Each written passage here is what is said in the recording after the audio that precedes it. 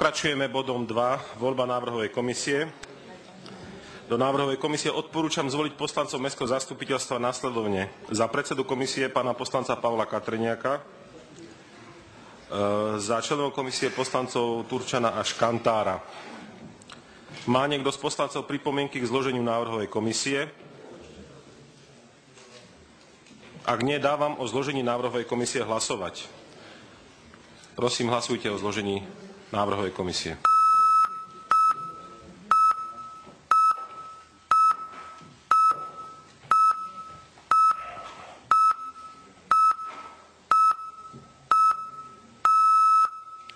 Za 23, proti 0, zdržal sa 0. Konštatujem, že návrhová komisia bola jednomyselne schválená.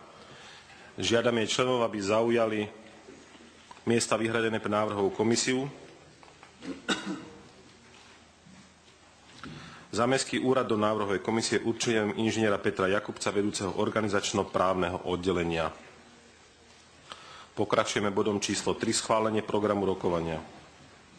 Vážené poslankyne, vážení poslanci, program rokovania ste obdržali písomne. E, dovolujem si vás informovať, že v rámci schvalovania programu dnešného zasadnutia v zmysle paragrafu 6 odstave 3 rokovacieho poriadku Mestského zastupiteľstva predkladám vám návrh na udelenie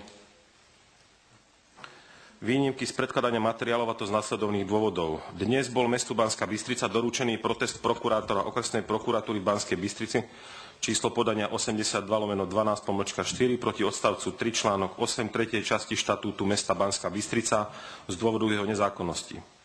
Kópia protestu vám bola ráno pri prezentácii odovzdaná. V zmysle ustanovenia paragrafu 26 odstavec 2 zákona číslo 153 2001 zbierky zákonov o prokuratúre je orgán verejnej správy povinný o proteste rozhodnúť do 30 dní od do dňa doručenia protestu. V zmysle predlženého návrhu rámcového predkladania materiálov do Mestského zastupiteľstva najbližšie riadne zasadnutie má byť 25. septembra 2012. Z dôvodu dodržania zákonného termínu pre prerokovanie protestu predkladám vám formou tejto výnimky návrh na zaradenie bodu prerokovanie protestu prokurátora číslo podania 82 12 pomlčka 4 zo dňa 25. júna 2012 za bod 3 ako bod 4. Ďalej vás chcem informovať, že vzťahujem z programu rokovania bod číslo 12 VZN o úhradách za sociálne služby, pretože pozmeňovací návrh poslanca Národnej rady Slovenskej republiky inžiniera Juraja Blanára k návrhu na vydanie zákona, ktorým sa menia doplňa zákon číslo 580 lomeno 2004 zbierky o zdravotnom poistení, kde v článku 3 sa doplňa a mení zákon 448 z roku 2008 o sociálnych službách, ktorý určila sumu úhrady za poskytovanie sociálnej služby výšky minimálne 50 priemerných ekonomicky opravnených nákladov. Vzhľadom na to, že účinnosť tohto pozmeňovacieho návrhu je navrhovaná od 29. júna 2012, nie je potrebné predkladať schvalovanie Mestského zastupiteľstva navrhované VZN o úhradách, o úhradách za sociálne služby, ktoré pôvodný zákon ukladal samozprávam schváliť do 36. Čiže oznamujem, že stiahujem bod 12. Pán prednosta? Vzhľadom k tomu, že idú prázdniny, čas oddychu, pokoja, mieru a lásky, stiahujem z rokovania bod číslo 4, informácia o situácii na Mestskom úrade. Nehádžem ju ale do koša, len ju odkladám do šuflíka. Ďakujem. Slovo má pán poslanec Gajdošík. Ďakujem pekne, pán primátor. Vzhľadom na, to, vzhľadom na to, že boli nejaké nepodpísané uznesenia a niektor, niektor, niektoré veci sme si ešte chceli doladiť, potr, navrhujem, aby ako bod 4, čiže pred súčasný bod 4, bol zaradený samostatný bod programu úprava pravidel komunikácie medzi zamestnancami Mestského, Mestského úradu a poslancami Mestského zastupiteľstva. Ďakujem. Pán poslanec Lichy. Kde máme to uznesenie? Ďakujem, vážené dámy, vážení páni, vo vzťahu k pozastavenému uzneseniu e, k bodu správa o plnení e, uznesenia Mestského zastupiteľstva nájomná zmluva plážové e, kúpalisko. Nebudem dávať návrh na potvrdenie uznesenia. Minimálne, minimálne je tam už v tom pôvodnom uznesení neaktuálny dátum, Uznesenie by muselo byť schvalované trepetinou väčšinou a takisto ide mi predovšetkým o plážové kúpalisko, nie o prekáračky týkajúce sa znenia uznesenia, takže v diskusii predložím k tomuto problému osobitný návrh na uznesenie. Ďakujem. Ďakujem. Sú nejaké návrhy k zmene alebo doplneniu programu dnešného rokovania Mestského zastupiteľstva. Ak nie, poprosím predsedu návrhovej komisie, aby zosumarizoval jednotlivé pozmeňujúce návrhy, o ktorých budeme per partes hlasovať.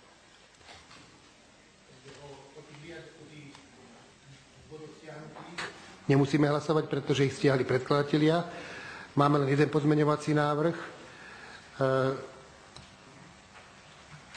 ako pred bod číslo 4 dať bod úprava pravidiel komunikácie medzi zamestnancami Mestského úradu a poslancami Mestského zastupiteľstva. Návrh uznesenia. Návrh e, podal pán, pán poslanec Gajdošík. To nemáme. A, a pardon, a ešte bod číslo, teraz neviem za bod, ktorý má byť skôr ten prokurátor, alebo ako si to mysleli. Takže ešte pre tento bod pôjde bod prerokovanie protestu prokurátora, úprava, ako je to, aj protestu prokurátora. Tak budeme dávať vlastne hlasovať jednotlivo. Prepáčte, trošku som sa zakomplikoval, pretože to neviem prečítať, e, dosť je to škaredo napísané. Tak, takže bod číslo 4, pozmeňovací návrh, ktorý podal pán primátor, prerokovanie protestu prokurátora. Dávam hlasovať o tomto návrhu.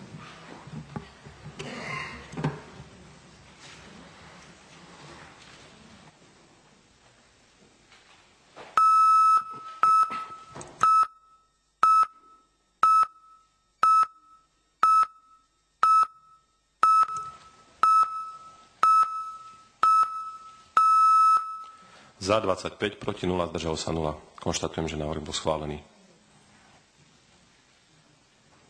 Poprosím ďalší návrh. Druhý pozmeňovací návrh podal pán poslanec Gajdošík.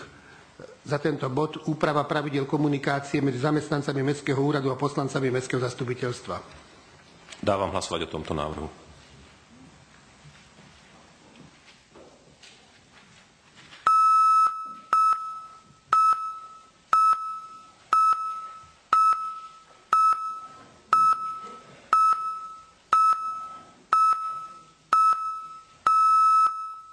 Za 25, proti 0, zdržal sa 0. Konštatujem, že aj tento návrh bol schválený.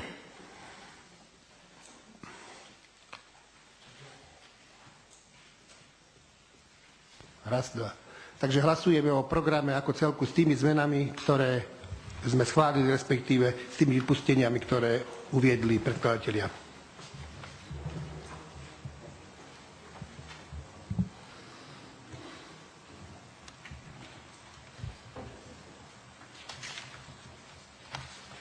Hlasujte, prosím.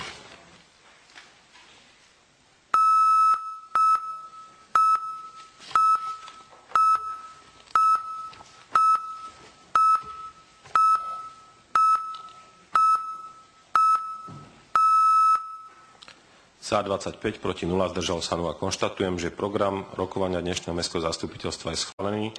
Pristúpime k bodu číslo 4 a tým je prerokovanie protestu okresného prokurátora Banskej Bystrici číslo podania 82 lomeno 12 pomočka 4 z 25. júna 2012. Vážené mestské zastupiteľstvo, e, pristúpime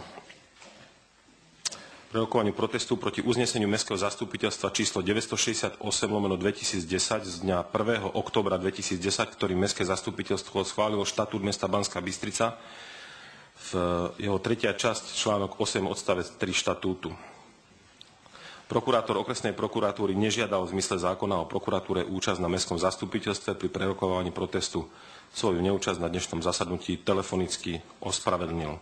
Ako predkladateľ materiálu nazývam, uvádzam nasledovné. Prednosta Mestského úradu magister Miroslav Rybár v súvislosti s pozastavením výkonu uznesenia Mestského zastupiteľstva číslo 504 lomeno 2012 29. maja tohto roku pre zabezpečenie právnej čistoty procesu schvaľovania uznesení a samotných znení uznesení podal podnet na preskúmanie zákonnosti postupu Mestského zastupiteľstva pri schvaľovaní uznesenia číslo 504 lomeno 2012 ako aj samotného uznesenia a tretej časti článku 8 odstavcu, odstavca 3 štatútu mesta, nakoľko sa domnieva, že sú nezákonné. Dôvodom môjho pozastavenia uvedeného uznesenia, ktoré Mestské zastupiteľstvo chválilo k bodu správa o plnení uznesenia číslo 209 2011 k nájomnej zmluve plážové kúpalisko, bola taktiež moja domnienka jeho nezákonnosti, nakoľko odporuje zákon číslo 369 90 zbierky o obecnom zriadení.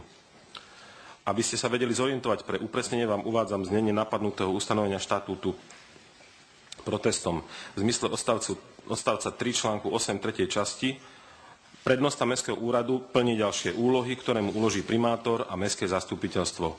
Prokurátor sa stotožnil s právnym názorom prednostu a podal protest proti uzneseniu Mestského zastupiteľstva číslo 968 lomeno 2010 z 1. oktobra 2010, ktorý Mestské zastupiteľstvo schválilo štatút mesta Banská Bystrica nakoľko bolo schválené v rozpore s ustanovením paragrafu 11 odstavec 4 a paragrafu 16 odstavec 1 zákon číslo 369 90 o obecnom zriadení v znení neskôrších predpisov.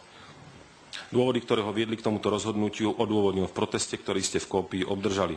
Prokurátor v odôvodnení uvádza, že výkladom ustanovení paragrafu 11 odstavec 4 zákona 369 z roku 90 dospel k názoru, že z toho nevyplýva, aby Mestské zastupiteľstvo mohlo vykonávať pôsobnosť zamestnávateľa, respektíve akéhosi nadriadeného pracovníka s rozhodnou právomocou voči prednostovi Mestského úradu a zamestnancom Mestského úradu, respektíve delegovať na sebe oprávnenie primátora, riadiť prácu prednostu Mestského úradu a prácu Mestského úradu.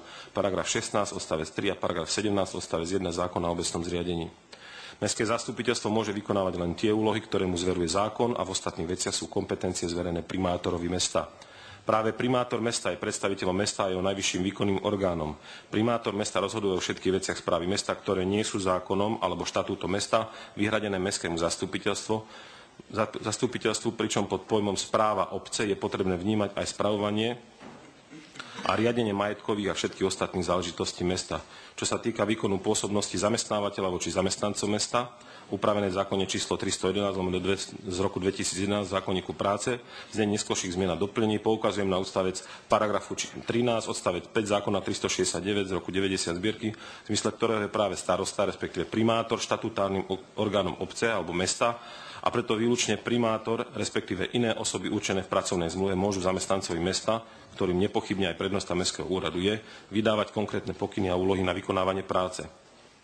Z dôvodu, že uznesenie Mestského zastupiteľstva číslo 968 z roku 2010 je v rozpore s ustaveniami paragrafu 11, odstavec 4 a paragrafu 16, odstavec 1 zákona 369 z roku 90, považuje prokurátor podanie protestu za dôvodné a navrhuje Mestskému zastupiteľstvu napadnuté ustanovenie štatútu zrušiť v zmysle paragrafu 26 odstavca 2 zákona o prokuratúre orgán verejnej správy o proteste rozhodnúť do 30 dní do jeho, od jeho doručenia. Ak mu vyhovie, je povinný bez zbytočného odkladu najneskôr do 90 dní do doručenia protestu, od doručenia protestu nezákonný predpis zrušiť, v prípade nahradiť predpisom, ktorý bude v súlade so zákonmi. Ak mestské zastupiteľstvo protestu nevyhovie, môže prokurátor podať návrh na preskúmanie napadnutého uznesenia súdom, alebo generálny prokurátor môže podať ústavnému súdu návrh na začatie konania o súlade právnych predpisov. Nakoľko moje dôvody pozastavenia uznesenia číslo 504 lomeno 2012 z roku z 29. maja 2012 sú totožné ako dôvody uvádzané v proteste, žiadam Mestské zastupiteľstvo, aby protestu prokurátorov vyhovelo v celom rozsahu. Pre podporu mojich tvrdení uvádzam, že napríklad i okresná prokuratúra v Košiciach 1 v Považskej Bystrici v Nových zámkoch vydala protest prokurátora s tým istým dôvodmi nezákonnosti ukladania úloh prednostu úradom mestským prednostu úradu mestským zastupiteľstvom. Mestské zastupiteľstva v uvedených mestách protestom vyhoveli v plnom rozsahu. V prípade, že Mestské zastupiteľstvo vyhovie protestu prokurátora vzhľadom na dodržanie zákonných lehôd v zmysle zákona o prokuratúre, súčasne predkladá Mestskému zastupiteľstvu návrh na schválenie dodatku číslo 1 štatútu mesta, ktorým bude nezákonná veta uvedená v odstáci 3 článku 8 3. časti vypustená. Tento návrh predkladám súčasne z toho dôvodu, že prokurátor v proteste upozorňuje Mestské zastupiteľstvo na tú skutočnosť, že v prípade, ak by Mestské zastupiteľstvo v zmysle paragrafu 13 odstavec 8 zákona o obecnom zriadení potvrdilo pozastavené uznesenie číslo 504 lomeno 2012, má za to, že toto bude nezákonné z tých istých dôvodov ako napadnutá časť štatútu a bude nutné na ne reagovať niektorým z prostriedkov prokurátorského dozoru. Predkladám návrhovej komisii nasledovný návrh na uznesenie. Mestské zastupiteľstvo v bode 1 vyhovuje protestu okresného prokurátora okresnej prokuratúry Banskej Bystrici číslo podania 82 lomeno 12 pomočka 4 zo dňa 25. júna 2012 proti uzneseniu Mestského zastupiteľstva Banskej Bystrice číslo 968 lomeno 2010 z dňa 1. oktobra 2010, ktorý Mestské zastupiteľstvo schválilo štatút mesta Banská Bystrica v časti 3. časť, článok 8, odstavec 3 štatútu. V bode 2 schvaľuje dodatok číslo 1 štatútu mesta Banská Bystrica, Štatút mesta Banská Bystrica schválený uznesením číslo 968 lomeno 2010 mestským zastupiteľstvom zo dňa 1. oktobra 2010 sa mení nasledovne. Tretia časť, článok 8, odstavec 3 štatútu v znení. Bod 3. Prednosta Mestského úradu plní ďalšie úlohy, ktoré mu uloží primátor a Mestské zastupiteľstvo sa vypúšťa. Navrhujem, aby sa o každom bode uznesenia hlasovalo samostatne. Otváram k tomuto bodu rozpravu. Do rozpravy sa prihlásil pán poslanec Pirošik. Máte slovo. Pán primátor, kvitujem, že, že vedenie mesta sa obrátilo na prokuratúru, aby ona ako jeden z orgánov ochrany práva interpretovalo nejasno v zákone, lebo treba povedať, že toto nie je nejaké špecifikum mesta Banská Bystrica, to, či možno alebo nemožno z pozície zastupiteľstva ukladať či už obecnému alebo mestskému úradu, alebo teda prednostovi úradu, nie je problém zo zákona. V tomto zmysle slova kvitujem, že ste sa obrátili na prokuratúru. E, prebehol som tým odôvodnením protestu prokurátora, beriem ho na vedomia, ale napriek tomu si myslím, že by bolo žiadúce, aby sme ho neprijali, aby sme za nehlasovali. A skúsim v krátkosti povedať prečo. E, pri všet, takom rešpekte ku kompetenciám a názorom prokuratúry. Ústami zákona je súd. Dnes tu tak trošku nastavujeme precedens. Naše zastupiteľstvo na rozdiel od mnohých iných dedín, ktoré nie sú možno pod drobnohľadom médií, je pod drobnohľadom médií a možno pôjde do toho slovenského sveta záver, že poslanci určite nemôžu ukladať, lebo tak povedala bansko prokuratúra. Vy ste sa okrem iného odvolali na e, prokurátorské rozhodnutia, myslím, z Nových zámkov e, prokuratúry z Košíc, z Považskej Bystrice. Ale povedzte prosím, ak máte ktokoľvek z vedenia mesta vedomosť o právoplatnom rozsudku, ktorý by potvrdil, že tá prokuratúra má pravdu, pretože žiaľ, neraz sa stalo, že názor prokuratúry voči nejakému opatreniu samozprávy súd nepotvrdil. Ešte raz opakujem, týmto konečnou inštanciou je súd, nie prokuratúra. A ten môj návrh by vyzeral nasledovne. Nepodporiť dnes tento protest, ale zároveň netrucovať a nie ukladať naďalej, počnúť dneškom už viac neukladať prednostovi, žiadať alebo proste nepokračovať v tej praxi, ktorú v zmysle štatútu prokuratúra označila za proti zákonu, ale zároveň nechať prokurátora, ktorý jediný má tú kompetenciu obrátiť sa na súd, aby sa naň obrátil a aby súd rozhodol, ako to je. Čiže ešte raz, ja nechcem ísť proti filozofii tohto protestu, môj návrh je, aby sme po dnešku už neukladali prednostovi, ale zároveň v dobrej viere nepodporili tento protest, aby sa prokurátor obrátil na súd, tak ako konštatuje v proteste, že tak môže spraviť. My to nemôžeme spraviť ani mesto, iba prokurátor. A aby súd prípadne potvrdil a potom zrazíme kramfleky a bude to naozaj tak a nech to vie celé Slovensko, alebo sa to reviduje. Čiže môj taký návrh je takýto a myslím si, že je tým zabezpečený aj súlad teda s nejakou spravodlivosťou aj dosledovanie nejakého mocenského ekvilibria, rovnováhy medzi, medzi úradom, primátorom a starostom a zastupiteľstvom. Ďakujem. Rozumiem vášmu návrhu. Formulujte prosím v tomto zmysle návrh uznesenia.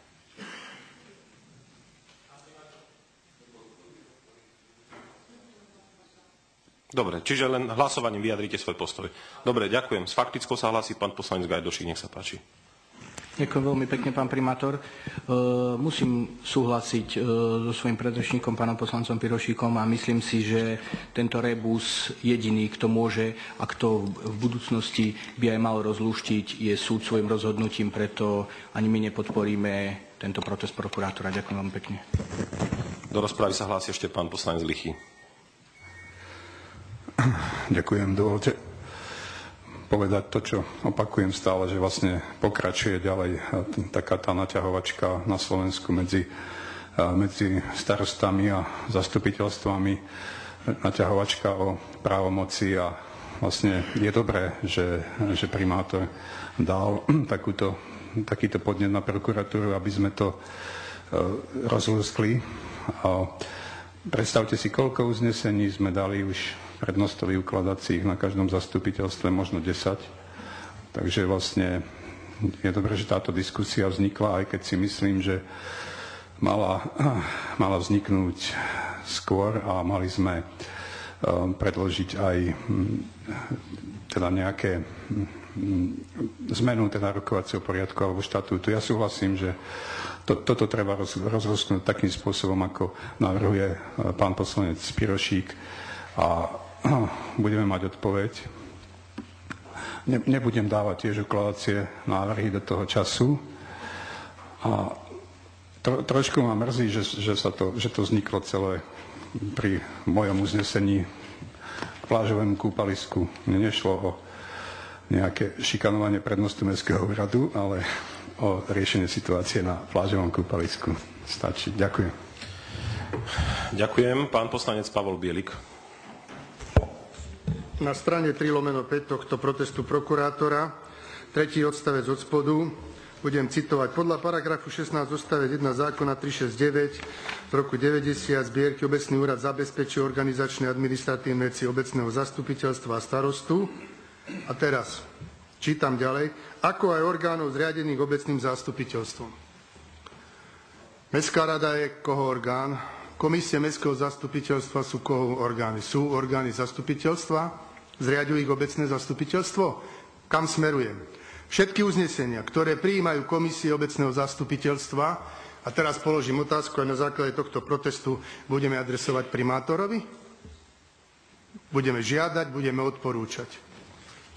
Predsedovia komisie, viete dobre, že máme problémy, keď robíme, príjmame uznesenia na zasadnutí komisii. Takže mňa bude zaujímať v intenciách tohto protestu prokurátora a všetko, čo ste tu dneska povedali ako jedna, jeden z predsedov komisí, komu budeme adresovať uznesenia komisie Mestského zastupiteľstva. Ďakujem.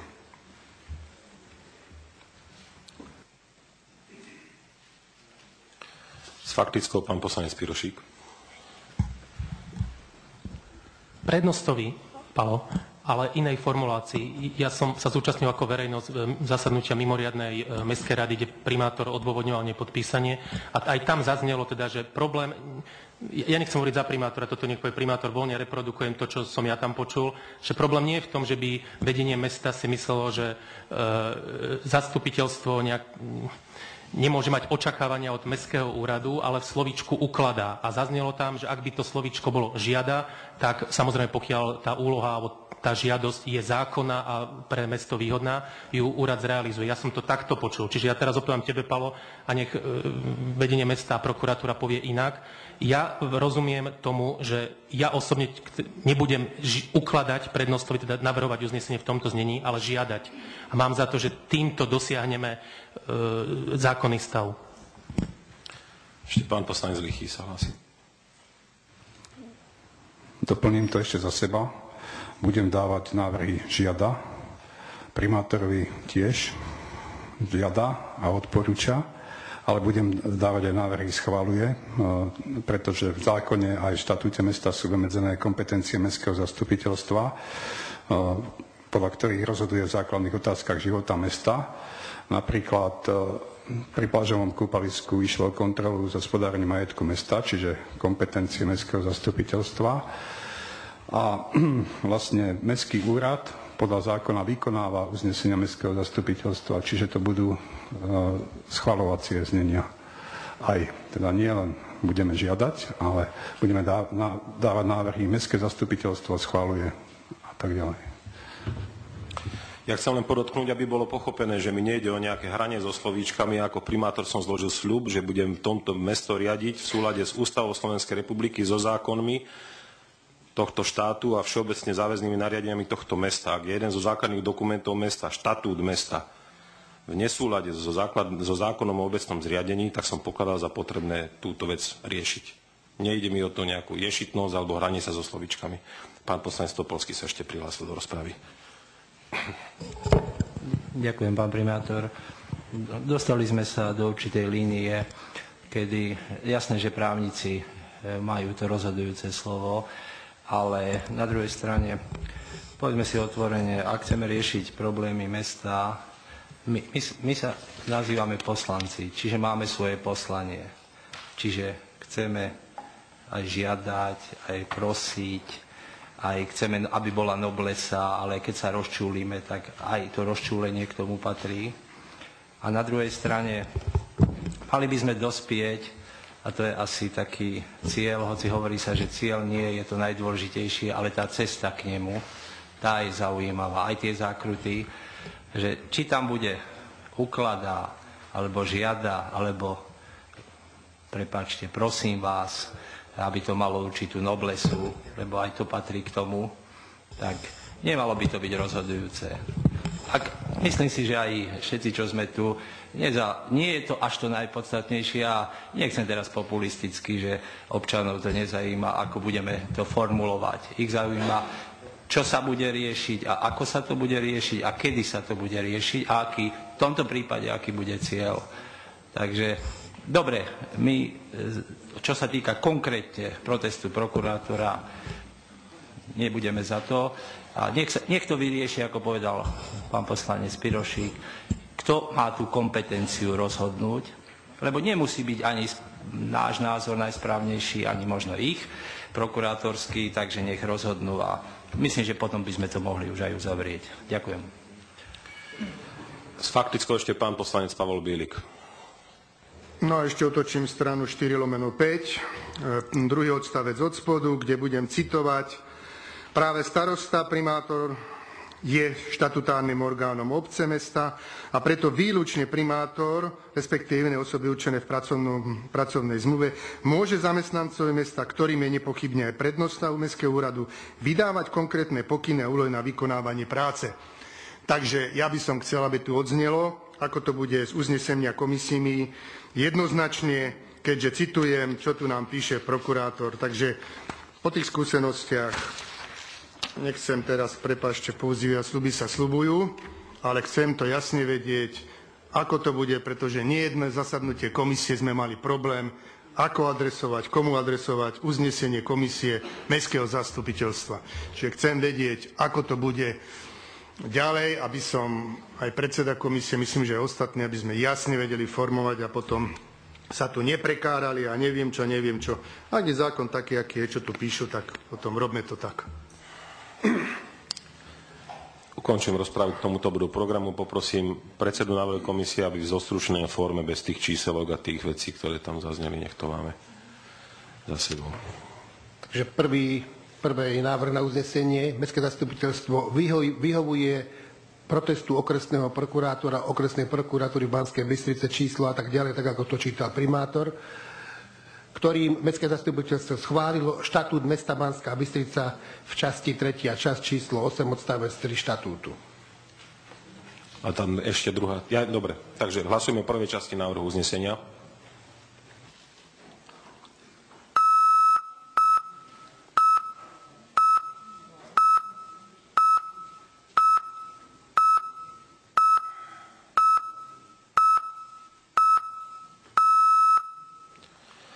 Za 1, proti 11, zdržali sa 11. Konštatujem, že protestu prokurátora nebolo vyhovené. Poprosím druhú časť uznesenia.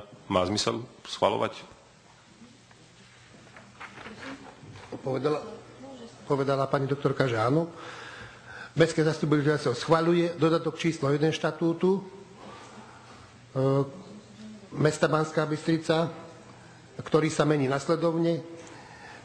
Prednosta Mestského úradu plní ďalšie úlohy, ktoré mu uloží primátor a mestské zastupiteľstvo. Táto veta sa vypúšťa do štátu. Dávam hlasovať o druhej časti návrhu uznesenia.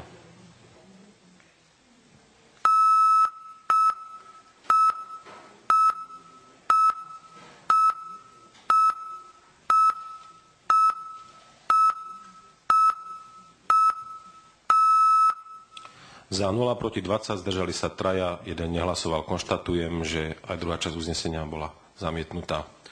Bodom číslo 5 a tým je nakladanie, pardon, oprava. Tam bola zmena programu ale nepamätám si znenie toho názvu.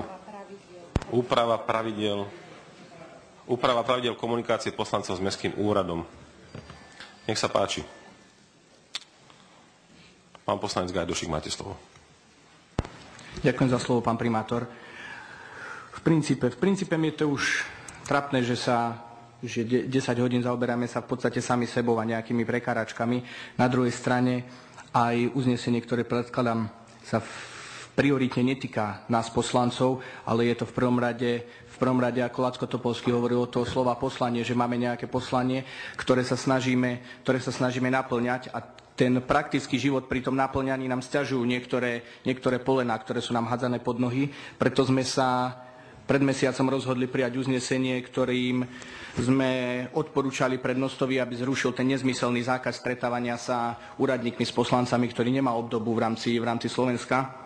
Uznesenie nebolo podpísané z technických, z, techni, e, z technických pripomienok najmä k jeho prvej časti, preto som sa rozhodol predložiť e, tento svoj návrh tak, aby to bolo samostatné uznesenie a aby sme sa už nemohli vyhovárať na nejaké iné body, e, ktoré, ktoré sú možno technicky zle naformulované podľa primátora. Čiže preto dávam návrh na uznesenie. Mestské zastupiteľstvo žiada prednostu Mestského úradu, aby bezodkladne zrušil zákaz stretávania sa zamestnancov Mestského úradu s poslancami Mestského zastupiteľstva a vás, pán primátor, potom by som poprosil o parafovanie tohto uznesenia ako samostatného a myslím si, že raz za navždy urobíme bodku za, za takýmito trapnosťami, nebudeme sa musieť k tomu vrácať a myslím si, myslím si, že vzájomná dobrá komunikácia medzi poslancami a mestskými úradníkmi bude práve na prospech občanov tohto mesta. Ďakujem pekne.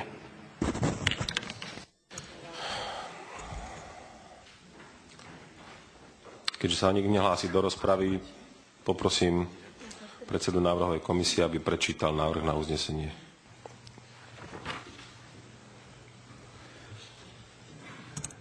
Mestské zastupiteľstvo žiada prednostu Mestského úradu, aby bezodkladne zrušil zákaz stretávania sa zamestnancov Mestského úradu s poslancami Mestského zastupiteľstva. Dávam hlasovať o tomto návrhu.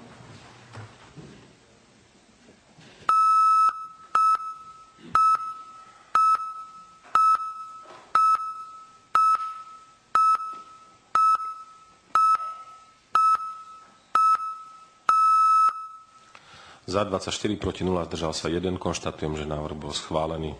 Pokračujeme bodom číslo 6 a tým je nakladanie s majetkom mesta Banská Bystrica. Poprosím inžiniera Jana Sasáka, vedúceho oddelenia evidencia správy majetku mesta o postupné zdôvodňovanie jednotlivých bodov nakladania s majetkom mesta Banská Bystrica. Takže začneme bodom A11 CVČ Havranské. Ďakujem za slovo, pán primátor pod A11 spôsob prevodu nehnuteľnosti Centrum voľného času Havranské 9 Banská Bystrica. E, jedná sa o stavbu e, budovu Centra voľného času plus kotolňu, súpisné číslo 6591, nachádzajúce sa na ulici Havranské 9 a o parcely ornú pôdu o výmere 6800 m2, zastávané plochy a nadvoria o výmere 1391 m2, zastávané plochy a nádvorie o výmere 847 m štvorcových. Celková výmera 9038 m štvorcových. Z dôvodu, že všeobecná hodnota odpredávaného majetku stanovená podľa osobitného predpisu presiahla 40 tisíc eur, navrhujeme ako spôsob prevodu použiť obchodnú verejnú súťaž. Minimálna cena je určená na základe znaleckého posudku číslo 28 lomeno 2012 zo dňa 4.4.2012 v celkovej výške 633 tisíc eur. Komisia e, Mestského zastupiteľstva pre financie, správu a hospodárenie z majetkom mesta a podnikateľskú činnosť zo dňa 5.6.2012 odporúča spôsob prevodu nehnuteľnosti schváliť na Mestskom zastupiteľstve po prerokovaní v Komisii Mestského zastupiteľstva pre územný rozvoj. Komisia Mestského zastupiteľstva pre územný rozvoj odporúča spracovať dve obchodno verejné súťaže, e, prvú na stavbu s priľahlým pozemkom a druhú e, OVS na samostatne odčlenený nezastávaný pozemok. Spôsob prevodu je potrebné schváliť nadpolovičnou väčšinou prítomných poslancov. Ďakujem za uvedenie materiálu. Budeme najprv hlasovať o spôsobe prevodu a potom budeme hlasovať o podmienkach obchodnej verejnej súťaže. Do rozpravy sa prihlásil pán poslanec Lichý. Ďakujem. Na úvod mám otázku v tom materiáli. Zaujíma ma vlastníctvo parcely číslo 1951 52, na ktorej stoja stavby a medzi pozemkami táto parcela nie je vymenovaná čiže, či ide o vlastníctvo mesta. To je otázka k tomu, že či teda materiál je úplný. A druhá, druhá moja poznámka je s návrhom na uznesenie je v súčasnosti je veľmi taká skloňovaná téma nájomných bytov a vlastne my v tejto chvíli schvalujeme verejnú obchodnú súťaž. Chceme predať nehnuteľnosti a pozemky ktoré podľa územného plánu sú určené, podľa platného územného plánu na výstavbu viac podlažné byto, teda na viac podlažnú bytovú výstavbu a vlastne sú v našom vlastníctve a my by sme mohli zvážiť aj mm, výstavbu nájomných bytov v tejto lokalite, financovaných napríklad zo štátneho fondu pre rozvoj bývania. Požiadal som prednostu Mestského úradu, pretože ja s ním komunikujem neustále, aby preveril túto možnosť a dostal som odpoveď, že, že môjim návrhom ohľadom prestavby centra voľného času Havranské nabity sa budeme aj s úsekom námestníka pre rozvoj zaoberať. Zvoláme k predmetnej veci pracovné stretnutie do 15.7., aby sa predloženému návrhu prijalo kvalifikované stanovisko vzťahu k realizácii navrhovaného zámer, zámeru, čiže takéto, takúto dobrú správu som dostal, ale predsa by som dal návrh na uznesenie v tejto veci. Mestské zastupiteľstvo žiada primátora mesta zabezpečiť do 15.7.2012 preverenie možnosti prestavby budovy centra voľného času a tak ďalej na nájomné byty s využitím štátneho fondu pre rozvoj bývania a v časti B výstavby zabezpečiť preverenie možnosti výstavby nájomných bytov s využitím štátneho fondu rozvoja bývania na pozemku parcela číslo 1951 lomeno 11, orná pôda a tak ďalej v katastrálnom území Radovaň. Ďakujem. Do rozpravy sa hlási pán poslanec Chladný. Máte slovo. Vážený pán primátor, vážené kolegyne, kolegovia, ja by som sa chcel len opýtať predkladateľov, že či je tam uvedené aj bremeno. Lebo máme tam v podstate správcu alebo školníka, ktorý tam má byt a má tú zmluvu na dobu neurčitú. To znamená, že buď s náhradným bývaním, ale s niečím iným bude riešené niečo také. Lebo neviem, akým spôsobom ho stať, vy pracujete vonka predávame dopredu a to by malo byť aj bremeno tam. Ďakujem pekne. Pán poslanec Kašper sa hlási do rozprávy, nech sa páči. Ďakujem za slovo. Ja len pre ozrejmenie na finančnej komisii, keď sme mali, respektíve aj na stavebnej túto vec, tak e, bola k tomu diskusia. Prišli sme na to, že je lepšie celú, celé tieto parcely v podstate rozdeliť na dve súťaže kvôli tomu, aby prípadní záujemcovia, ktorí budú mať záujem len o tú budovu s prilahlými pozemkami a prípadne iný záujemca, ktorý má práve záujem na tú plochu cez tých 6000 štvorcov, ktorá podľa územného plánu môže byť e, zastávaná ako viac podlažná zástavba. Aby to teda bolo rozdelené, aby sme zvyšli tak možno šancu na ten predaj a na to využitie tej celej plochy. Takže na vysvetlenie aspoň toľko ďakujem. Ďakujem. Takže keď sa nik ďalší do rozpravy nehlási, poprosím, aby sme hlasovali najprv o spôsobe. Aha, pán poslanec Šabo s faktickou. Ďakujem. Ja len pre doplnenie, že vlastne z finančnej komisie sa to vrátilo do komisii, respektíve na prerokovanie pre územný rozvoj. E, vznikla vlastne tá požiadavka práve kvôli tomu, aby to, že je to v súlade s územným plánom na výstavbu eventuálnych alebo potenciálnych nájomných bytov. Neviem, či je vhodné to, čo hovoril kolega Lichy, že prestavbu objektu Milan, ale v každom prípade dôvod na oddelenie a na dve OVSky je to, že tá plocha je naozaj asi využiteľná perspektívne aj na výstavbu v prospech mesta, ale OVSky môžu ísť a uvidíme potom, dáme tomu na jeseň, že ako sa to bude vyvíjať. Hej, vždy sa dá zrušiť, ja som len toľko chcel na upresnenie. Ďakujem. Dobre, ďakujem za doplňujúcu informáciu. A ešte pán poslanec Lichy s faktickou. Áno. Cieľom toho môjho návrhu je ešte, do, ešte predtým, ako hm, zverejníme tú verejnú obchodnú súťaž, prehodnotiť aj možnosť výstavby nájomných bytov a teda, aby s tými pozemkami disponovalo mesto, kým ich má a aby ich využiť aj na takúto záležitosť. Ďakujem. Dobre, takže dávam hlasovať o spôsobe prevodu nehnuteľnosti. Aha, takže poprosím, hej, jasne, ospravedlňujem sa. Takže poprosím predsedu návrhu komisie, aby formuloval návrh. Tak doplňujúci návrh k tomu uzneseniu, ktoré bude potom predložené, je k bodu nakladanie majetku mesta Banská Bystrica A11 spôsob prevodu nehnuteľnosti Centrum voľného času Havranské námestie, Havranské 9 Banská Bystrica Mestské zastupiteľstvo žiada primátora mesta zabezpečiť do 15.7.2012 preverenie možnosti prestavby budovy Centra voľného času Kotóňa a príslušenstvo súpisné číslo 6591 na ulici Havranskej 9 Banská Bystrica na pozemkoch parcelné číslo 1951 lomeno 48, 1951 lomeno 12 a 1951 lomeno 52 zapísané na LV 6930 katastrálne územie Radvaň na nájomné byty s využitím ŠFRB. Po B výstavby nájomných bytov s využitým ŠFRB na podzemku parcelné číslo 1951 lomeno 11 orná pôda o výmere 6800 m štvorcových katastrálne územie Radvaň. Dávam hlasovať o tomto doplňujúcom návrhu.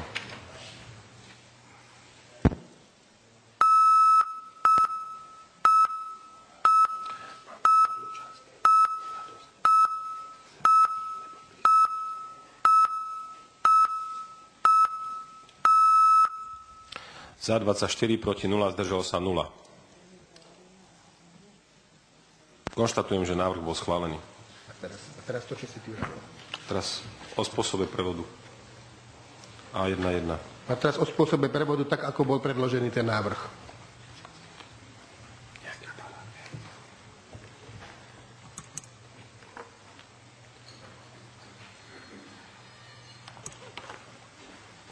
Takže dávam hlasovať. V zmysle predloženého návrhu hlasujte, prosím.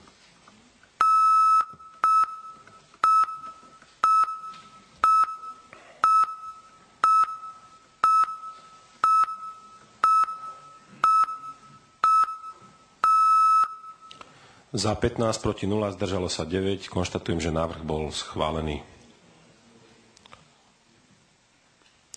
Teraz prosím podmienky obchodnej verejnej súťaže, zvlášť na objekt, zvlášť na pozemok. Čiže to je A1, 2.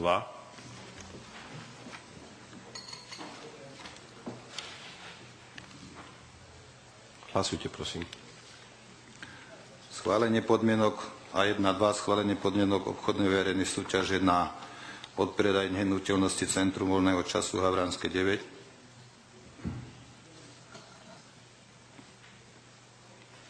Podmienky sú vlastne identické.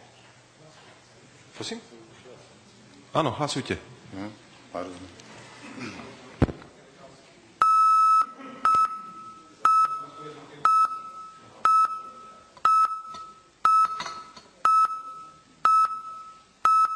Pokladám toto hlasovanie za zmetočné.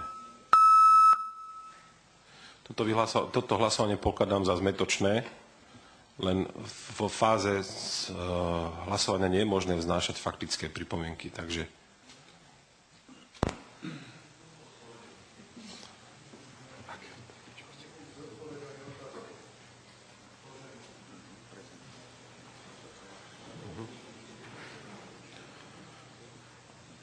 Dáte na to odpoveď?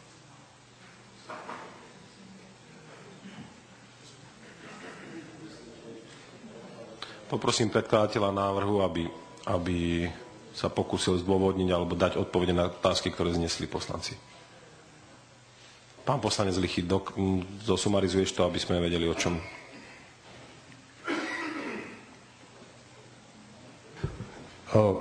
Prvá bola moja otázka, čo sa týka pozemku 1951 lomeno 52. Na pozemku stojí stavba vo vlastníctve mesta, napísaná na liste vlastníctva, ale pozemok nie je medzi, medzi pozem, vymenovaný medzi pozemkami, ktoré sú predmetom súťaže. Čiže či je ten pozemok pod tou stavbou mestský, a druhú, druhú otázku mal pán Chladný, e, čo bude teda s bytom e, školníka alebo správcu tej nehnuteľnosti. Či sa to bude riešiť vecným bremenom, alebo teda malo by to byť v tých e, podmienkach súťaže nejako, nejakým spôsobom ošetrenie.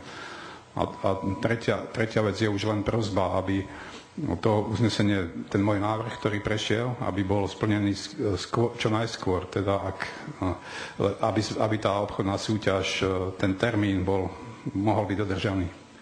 Lebo tam sa nám trošku, tam trošku kolidujú tie termíny. Čiže to preverenie možnosti vykonať skôr ako do toho 15. júla, ak je to možné.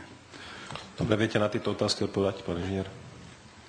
Čo sa týka pozemku, tak momentálne e, sa neviem k tomu vyjadriť a čo sa týka vecného bremena ohľadom na byt školníka, tak e, gesterom vlastne je odbor školstva, takže ten by sa mal k tomu vyjadriť. Pán magister Kútik.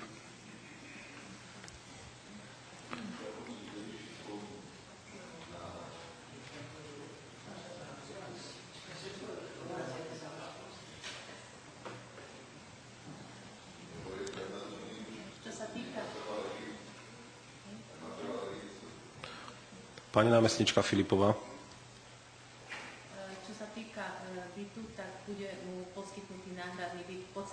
Riešilo podobne aj pri iných školách, keď sa riešili napríklad z Kudeckého, ak si pamätáte, tiež tam boli školnícke byty. E, na, e, takže tieto veci sa riešia. Potom samozrejme, že e, tí ľudia ako právo na bývanie a náhrada sa im poskytuje. Pán poslanec Gajdošik s faktickou. Ďakujem pekne, pán primátor. Ja sa chcem opýtať e, svojich kolegov, a som zaznamenal pri tom predchádzom hlasovaní, že zhruba bol 60% za a 40% proti. Sa chcem opýtať, tých 40% to značí tomu, že neboli dovysvetľované tie otázky, alebo e, tento majetok nechceme ďalej predávať, lebo potom, aby to nebolo o tom, že e, polovica sa tu zdrží a druhá polovica naháňa e, do, mesta, do mesta peniaze, do, kapitálo, do kapitálového rozpočtu, tak chcem od vás počuť odpoveď, prípadne kolegovia, ktorými chcete na to odpovedať či ste za to, aby sa tá budova ponechala mestu, alebo ste za to, aby súťaž, lebo my tu nebudeme ako do nekonečna trne späty niekomu vyťahovať a vy budete za tých dobrých. Tak ako buď je to nezodpovedané tie 3-4 otázky, ktoré ste položili, ale máte s tým principiálny problém, ale potom vystúpte v, dis- v diskusii a oznámte to svojim kolegom, lebo toto ako nerozumiem takýmto hlasovaniam. Ďakujem pekne. Pán poslanec Šabo sa prihlásil do rozpravy. Ďakujem pekne, pán primátor. Ja len chcem k tomu, k tej druhej časti, riešenie tej bytovej otázky potvrdiť slova pani námestničky Filipovej, lebo skutočne aj v minulosti sa riešil podobný prípad a si myslím, že je to na spolupráci práve aj mestských obchodných spoločností s vedením keď niečo takéto, takýto prípad nastane, tak spolupráca napomôcť navzájom lebo nie je to proces od dňa na deň, predpokladám, že to môže trvať pol roka a je to na komunikácii aj s tým dotyčným, takže ja som len toľko k tomu chcel. Ďakujem. Ďakujem pekne. Vítam pani poslankyňu Lašákovú na dnešnom rokovaní. Pán poslanec Gajdošik sa ešte prihlásil do rozpravy. Ja teda očakávam, že mi to niekto vysvetlí to hlasovanie, lebo potom, ak je nejaký zásadný problém s predajom tej budovy, tak to povedzte aj nám, lebo ako my to chceme tiež vedieť, my sa potom tiež držíme a potom tam môžeme myši chovať v poriadku, len nám to povedzte, aký je s tým problém, lebo toto sa vy nemôžete spoliehať na to, že my budeme automaticky hlasovať za všetko a keď sa vám to hodí, tak proste vy sa niekde pozdržujete, ako že vás nikto nevidí a potom si popíšete nejaké články, kade, tade, proti čomu vy ste bojovali. Tak nám to oznámte dopredu, že aký je zásadný problém s predajom tej budovy a možno sa zdržíme všetci, ale potom nenariekajte, keď budete mať kapitálom rozpočet 2 koruny. Ďakujem. Pán poslanec Topolský sa prihlásil. Ale... Faktická, pán poslanec Lichy. Chce reagovať zrejme na Pána poslanca Gajdošíka. Ďakujem. Vysvetlím no, svoj postoj, lebo však za seba musím hovoriť, nie za iných. Ako, ako vy teda, lebo sme tu zvolení väčšinovým systémom a, a vlastne hlasujem podľa svojho vedomia a svedomia a pod, skladali sme nejakú prísahu, takže tak. A čo sa týka môjho postoja, nie som za odpredaj tej budovy, keď už teda je dokonané, čo sa týka základnej školy okružnej a následne aj CVČ. Ale chcem, aby sa zvážila tá možnosť prestavby alebo výstavby nájomných bytov v režii mesta. A chcem, aby materiály, ktoré sú predkladané na mestské zastupiteľstvo, boli úplné, teda aby, respektíve aby úplne boli odpovedané, zodpovedané tie otázky. To je všetko. Pán poslanec Gajdošík. Fakticko na faktickú, neviem, či je košer. Aha, tak nech sa páči, poslovo má s faktickou poznámkou pán poslanec Chladný. Presne tak, ako bolo povedané pánovi. Ja hlasujem s najlepším vedomím a svedomím a neboli mi odpovedané, ani doteraz mi neboli odpovedané, aj keď sa snažil niekto na niektoré veci, ktoré sú absolútne nejasné a do dnešného dňa napríklad neviem ani, kde pôjde centrum voľného času, čo sa bude diať s tým, ako sa to bude. Jednoducho sú to veci, najprv predávame a potom riešime a o dva roky budeme vymýšľať si, že čo ďalej. To znamená, je aj návrh pána Lichého celkom seriózny, lebo je rozdiel nájomný a nájomný byt. Treba si uvedomiť. Ja poznám a vieme veľmi dobre, že nájomné byty sú mnohokrát tak výhodné v úvodzovkách, že skôr si dobre zobrať radšej úver a platiť ho, ako platiť vysoký nájom. A to v dnešnej dobe je veľmi bežné a aj mesto má niektoré také byty, v ktorých to nájomné prevyšuje možno dvakrát to, ako vyplatíme dneska za byty trebas. Takže ja potrebujem najprv vedieť jasné pravidlá, lebo tu na v podstate preda kupujúceho zavádzame, lebo bude kúpi a rok sa bude trápiť s nejakým bytom, čo s ním, ako s ním, lebo ten dotyčný nebude chcieť to, čo mu bude ponúkané napríklad. A nebude to adekvátne bytu tomu, ako má dneska. Čo, na čo má právo. Ďakujem pekne. Takže do rozprávy pán poslanec Gajdošík. Nech sa páči, máte slovo. Čiže rozumiem tým argumentom, čiže nie sú dovysvetľované niektoré, niektoré otázky tu, tu položené preto žiadam predkladateľov, aby mojim kolegom dovysvetľovali tie veci, na, sa pýt, na ktoré sa pýtajú, lebo to je podstatné pre ich rozhodnutie a pre rozhodnutie náš ostatných. Takže im to dovysvetľujte, keď sa vás niečo pýtajú, treba im jasne povedať, čo bude so školníkom, čo bude s inými vecami, čo bude s nájomnými bytami.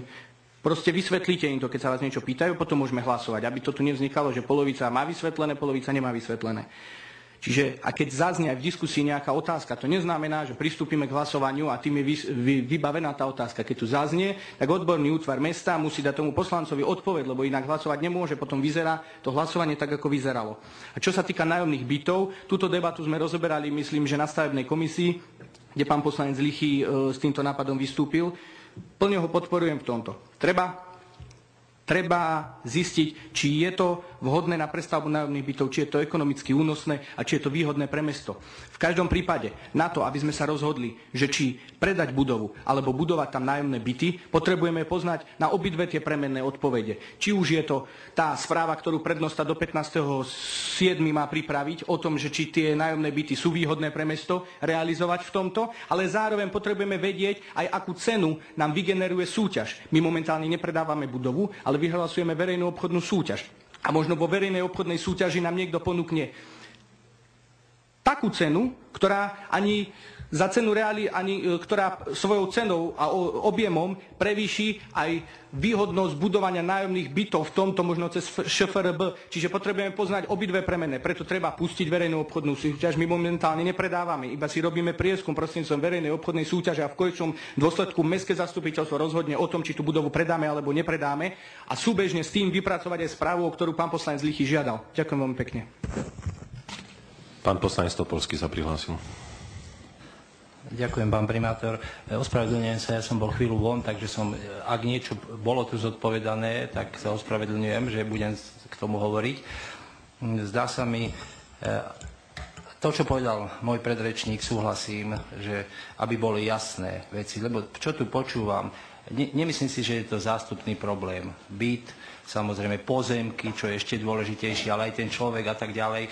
Ja sa len chcem, nie že spýtať, ale aby sme si jasne povedali, my tu vyhlasujeme VOS, vyhlasujeme a bolo jasne dané Centrum voľného času, kde ide, lebo ešte okružná nie je zrušená, tam nejaká línia bola, že sa to premiestni. Ak nie tam, tak neviem, do Sásovej, lebo tam máme voľné priestory.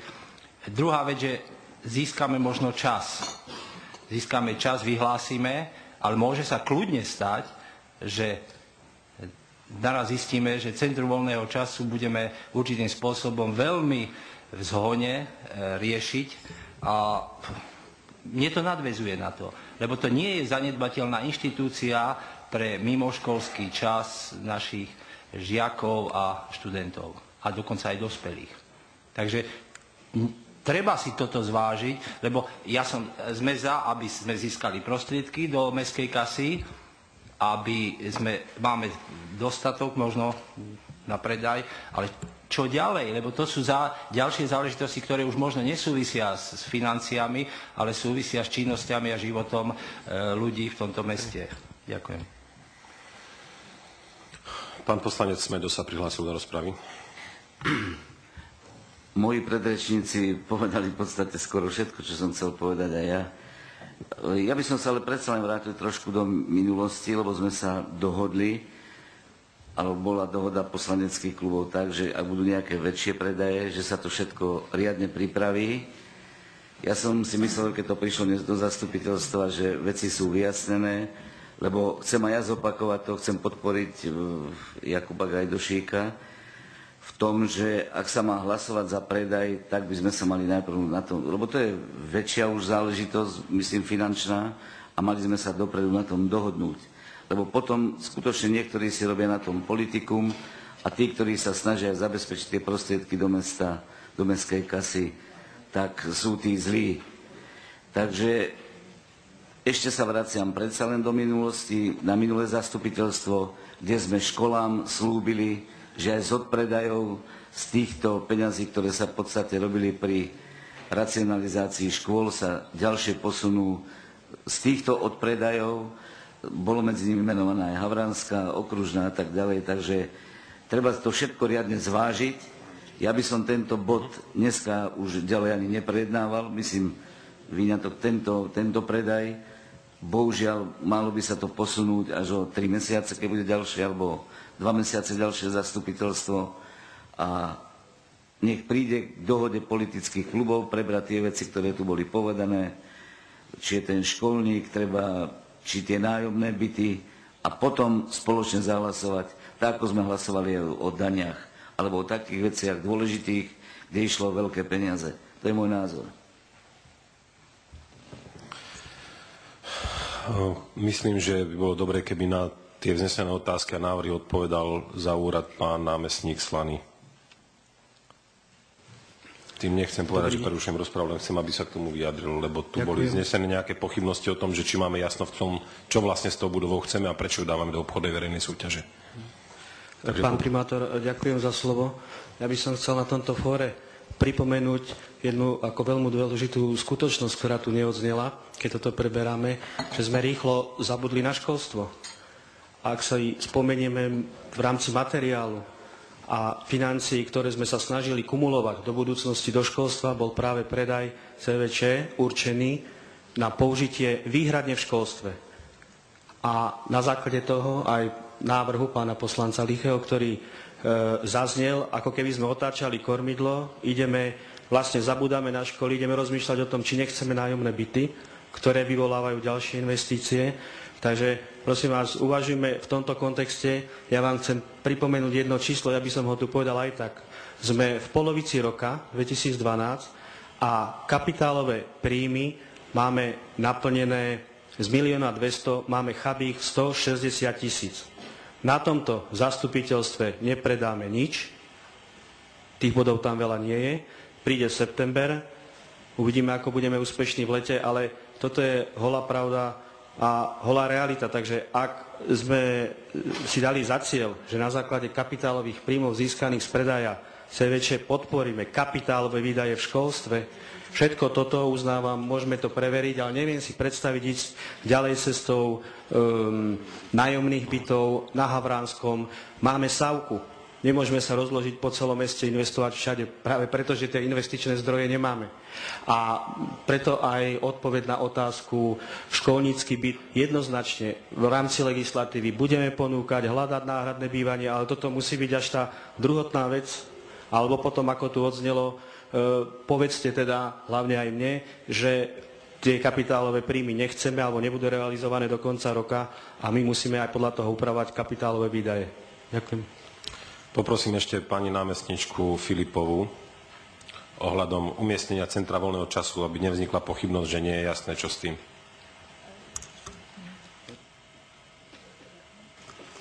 Čo sa týka Centra voľného času, samozrejme, že sa to riešilo, že by bolo nezodpovedné z našej strany, keby sme e, dali na e, predaja neriešili a nediskutovali o to, čo s Centrom voľného času. Ako v aj tej materiáli, keď sa schvalovalo e, koncepcia školstva, pri základných školách máme dostatok kapacít, čiže Radvanská, Tatrans, e, e, Tatranská, Magurská, Bakošová. A, e, čiže je možné, že to centrum voľného času nebude sústredené takto v jednom centre, ale bude rozptýlené. Okrem toho sa pripravuje alebo očakáva zmena legislatívy, čo sa týka financovania centrie voľného času, z ktorého vyplýva, že v takejto podobe sústredenej, ako teraz bolo a ako bolo financovanie, nebude možné udržať udržať takéto veľké centrum v jednom mieste, že sa neuživí, čiže budú e, roz, e, tie aktivity e, do, k jednotlivým školám, pri jednotlivých školách fungovať. Takže toto sa očakáva, tá zmena legislatívy je už, dá sa povedať, na spadnutie a zmení sa aj spôsob financovania. Samozrejme, že toto všetko je priebežne diskutované aj s riaditeľom Centra voľného času. Takže tie alternatívy prípade predaja budovy sú pripravené a rôzne varianty. E, to je jedna vec. A druhá vec, e, to, čo aj tu pán poslanec Gajdošik povedal, naozaj tu ide aj o ten čas s tým, že my sme e, dotedy, kým sa neuskutoční predaj, zachováme tam činnosť Centra voľného času, aby teda sme neriešili, lebo logicky prichádza, že niečo idem predávať, tak samozrejme správne sú tie úvahy, že čo s tým a dajte nám riešenia. Ale my zatiaľ toto sme neriešili, lebo v prípade, ak nebude záujemca, tak vlastne tú budovu nevyprázdnime. Takže taký, takýto je náš postup v, v tomto smere. Ďakujem. Ďakujem pekne, pani námestníčka. S faktickou sa prihlásil pán poslanec Chladný. Nech sa páči. Pán námestník, ja trošku neviem, či nám robíte výčitky, že kapitálové sú naplnené tak, ako boli pripravené predaje. Ja si myslím, že v tomto zastupiteľstve za pol roka sa schválilo všetko. Keď ste mali pripravené dobre, nebol žiadny problém. Takže ja si myslím, kapitálové sú aj na tom, že ako materiály idú do zastupiteľstva. A keď sú nenormálne, tak sú nenormálne, tak sa jednoducho neschvália. Aj tu napríklad pán poslanec Lichy hovorí o jednom pozemku, ktorý je zaujímavý a nik nevie vysvetliť, že prečo ten pozemok není tam, ako má byť. To tiež Môže to byť pozemok, ktorý je odčlenený a niekto si tam pripravuje stavbu domu, povie. Úvodzovka. Tak prečo sa to rovno nepovie? To je jednoduchšie ako takýmto spôsobom to riešiť. A ja priznám sa, že Centrum voľného času a financovanie také, ako keď sú mestské, tak záleží len na meste, že či si ho udrží alebo neudrží, lebo to je viac menej riešené na neštátne centra voľného času, to znamená na súkromné a cirkevné, že aby nerobili to, čo robili doteraz. Tak ja len toľko. Pán poslanec Pavol Bielik, dúfam, že nechceš reagovať na predrečníka, ale na... Ja chcem reagovať. 9.58 sme začali tento bod rokovania. Je to prvý bod z nakladania s majetkom mesta. Je 10.30. Tento materiál, ako sa ukazuje z rokovania, je absolútne nepripravený. Vznikol tu niektoré otázky, ktoré istým spôsobom spochybnili aj obsah. Ja myslím, že keď niekto niečo robí, aj pokazí. Rokovanie Mestského zastupiteľstva je najvyšším orgánom v zmysle zákona o obecnom zriadení. V predchádzajúcem bode s nami prokurátor to krútil. Nebudem klásť otázku, prečo krútil, ale myslím si, že na rokovanie zastupiteľstva materiály musia chodiť tak, aby sme za 10-15 minút. Všetci o tom rozprávate. A neviem, prečo teraz zrazu hodinu a pol už prakticky rokujeme. E, v zmysle rokovacieho poriadku dávam návrh na stiahnutie tohto materiálu z rokovania. Pán poslanec, všetky materiály, ktoré sa týkajú nakladania z majetku mesta, štandardne prechádzajú komisiami. Tak ak bol problém, tak ste to mali identifikovať v komisiách. Ja nevidím, prečo teraz tvrdí, že ten materiál nie je pripravený. Ak by nebol pripravený, tak predpokladám, že predseda komisie finančnej by mi povedal, pán primátor, toto nie je zrelé, neodporúčame na prerokovanie a moji úradníci by si ani nedovolili vás obťažovať s témou, ktorá nie je pripravená. Takže s tým si dovolím nesúhlasiť. Pán poslanec Katreňák má slovo.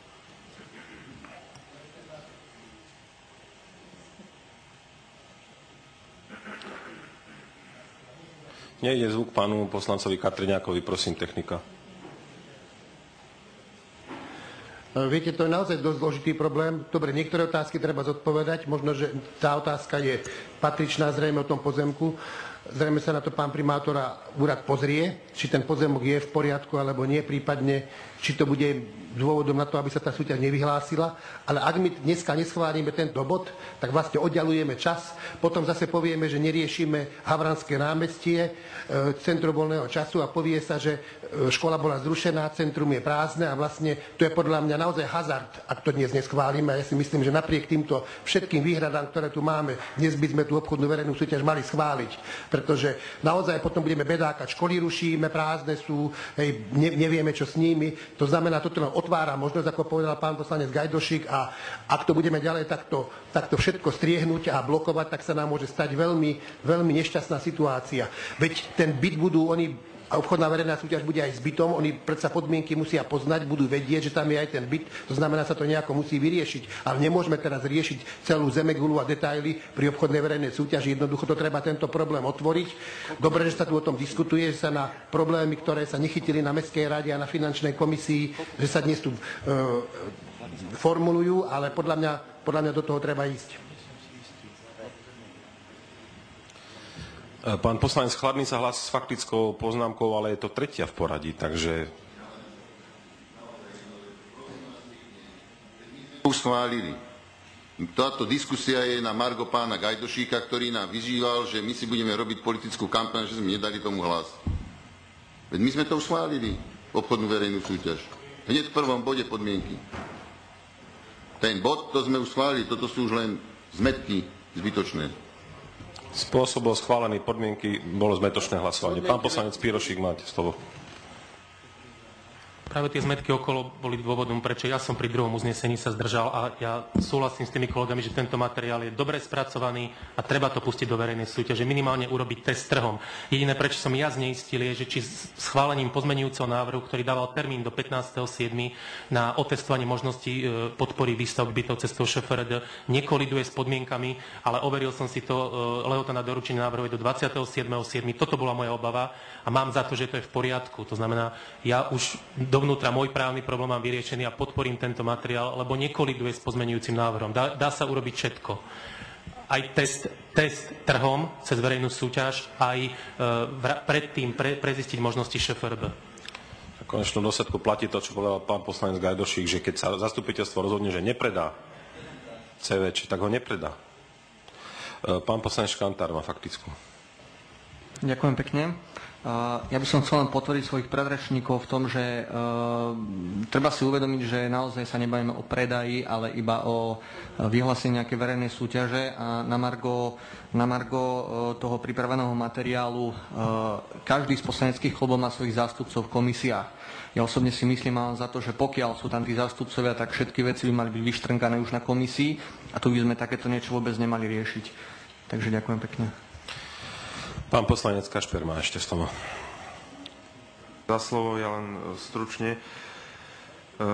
Ešte raz hovorím, na komisii sme to prebrali, všetky otázky boli v podstate zodpovedané a myslím si, že bolo obrovský luxus nejakým spôsobom to dneska oddialiť a stratiť ďalšie tri mesiace kvôli nejakým možno časti nezodpovedaným otázkam, ktoré sa ale myslím teraz vyriešili. Absolutne súhlasím aj s kolegom Katriňakom, ktorý to, ktorý to veľmi presne povedal a myslím, že si to naozaj nemôžeme dovoliť, aby sme tú ovs nepustili a ešte keď s dohľadom na to, že naozaj tým vôbec, vôbec nič nestratíme. Ďakujem. Ukončujem rozprávu k tomuto bodu a dávam hlasovať o schválení podmienok obchodnej verejnej súťaže.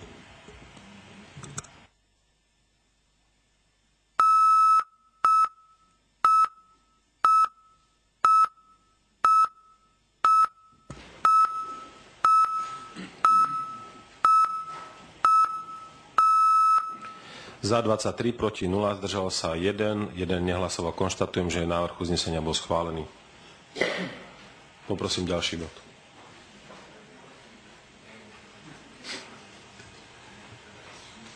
Bod 2.1. Spôsob prevodu, nehnuteľnosti Základná škola okružná 2 Banská Bystrica.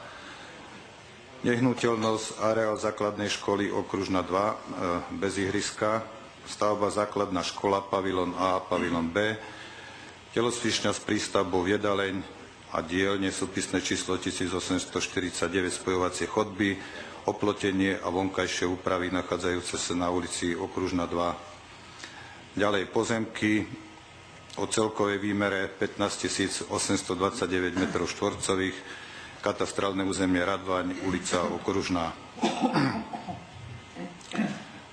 Vzhľadom k tomu, že hodnota od predávaného majetku stanovená podľa osobitného predpisu presiahla 40 tisíc eur, navrhuje sa ako spôsob prevodu e, použiť obchodnú verejnú súťaž. Komisia Mestského zastupiteľstva pre financie, správu a hospodárenie s majetkom mesta a podnikateľskú činnosť zo dňa 5.6.2012 odporúča spôsob prevedu nehnuteľnosti schváliť na Mestskom zastupiteľstve. Spôsob prevodu je potrebné schváliť nadpolovičnou väčšinou prítomných poslancov. Ďakujem. Dávam hlasovať o bode A21 spôsob prevodu nehnuteľnosti.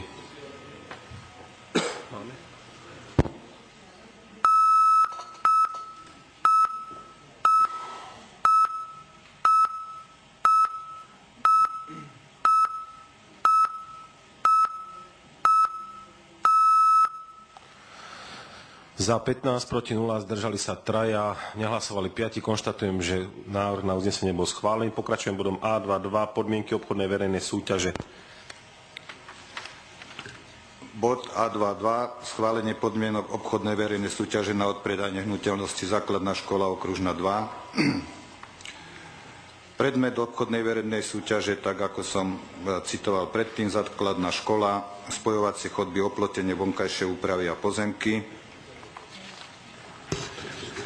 Účel využitia uprednostnení budú navrhovatelia odkúpenie e, nehnuteľnosti za účelom zachovania výchovno-vzdelávacích aktivít. Minimálna kúpna cena je stanovená na základe znaleckého posudku číslo 22 lomeno 2012 do dňa 16.4.2012 vo výške 1 690 tisíc eur.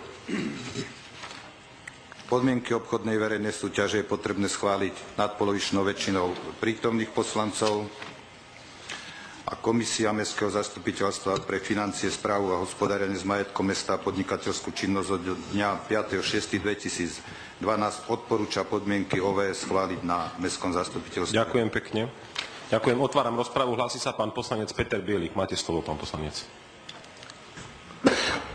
Ďakujem pekne za slovo. Ja sa chcem spýtať, že keď sme schvalovali ten predchádzajúci bod, tak nebolo miesto na diskusiu, tak som to nestihol, ale nevadí. Ja nemám žiadny problém s tým, že to ponúkne obchodnej verejnej súťaže, len sa chcem spýtať, či už máme informáciu, že táto škola je vyradená zo siete školských zariadení na ministerstve.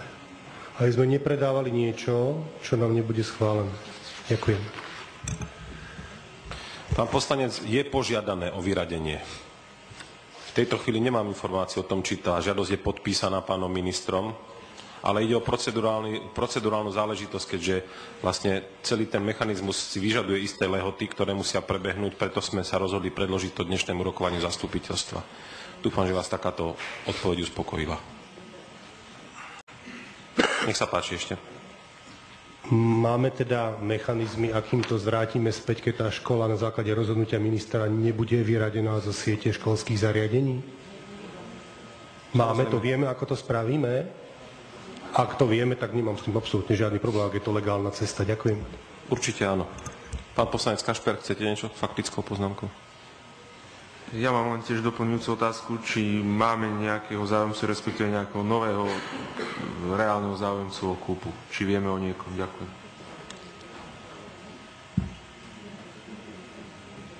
Jasne. Ešte k otázke pána poslanca Bielika. E, v tom návrhu nie je podanie tých e, návrhov, alebo teda záujemcov o účasť v obchodnej verejnej súťaži je fixovaný na termín, ale na lehotu od prijatia toho rozhodnutia o vyradení školy zo siete verejných škôl. Je to zverejnené takto na internetovej stránke. Dobre, ukončujem rozprávu k tomuto bodu programu a poprosím. Pardon, prepašte, som vám zobral slovo. Pán poslanec Kašper. Prepašte, ja som vám nevenoval pozornosť, ospravedlňujem sa. O okružnú? Minimálne o jednom, áno. Súčasný nájomca, respektíve súčasní nájomcovia, plus ďalší záujemca, ktorý zvažuje e, premiestniť svoj vzdelávacie zariadenie do iného objektu. Neviem, či vám stačí takáto odpoveď. Ďakujem, takže ukončujem rozpravu a dám hlasovať o vyhlásení schválení podmienok obchodnej verejnej súťaže pre objekt Základná škola Okružná 2. Hlasujte, prosím.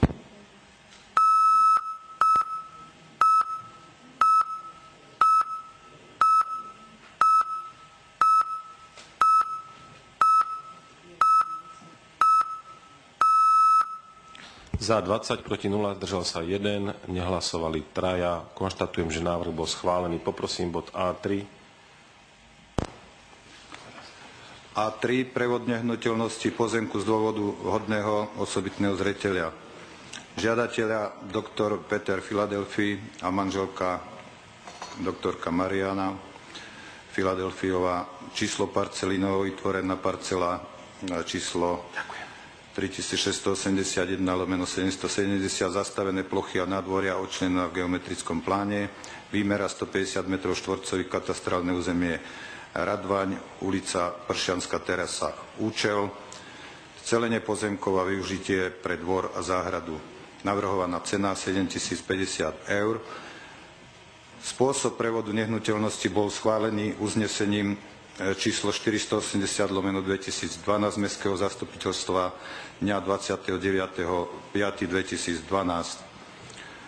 Finančná komisia odporúč, e, teda zo dňa 5.6. odporúča prevod pozemku z dôvodu hodného osobitného zreteľa schváliť na mestskom zastupiteľstve. Prevod nehnuteľnosti je potrebné schváliť trojpetinovou väčšinou všetkých poslancov. Ďakujem za uvedenie materiálu. Keďže sa nikto hlási do rozpravy, dávam hneď hlasovať. Bod A3. Hlasujte, prosím.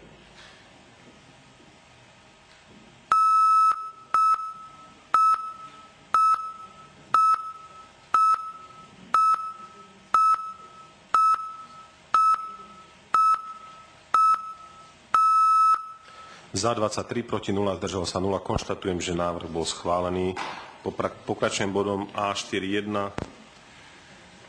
A41, spôsob prevodu nehnuteľnosti, žiadateľ Radomír Očenáš a manželka Šarlota, parcely, zastávané plochy a nádvoria o výmere 244 m štvorcových a zastávané plochy a nádvoria o výmere 53 m štvorcových, katastrálne územie Sasova, ulica Chabenecká, účel majetkoprávne vysporiadanie pozemku pod existujúcou budovou plynová kotolňa spolu so vstupom do budovy. Komisia Mestského zastupiteľstva pre územný rozvoj a komisia finančná odpredaj pozemkov odporúčila. Spôsob prevodu je potrebné schváliť nadpolovičnou väčšinou prítomných poslancov. Ďakujem. Keďže sa nikto rozprávy nehlási, dávam hlasovať o tomto bode. A4. 1.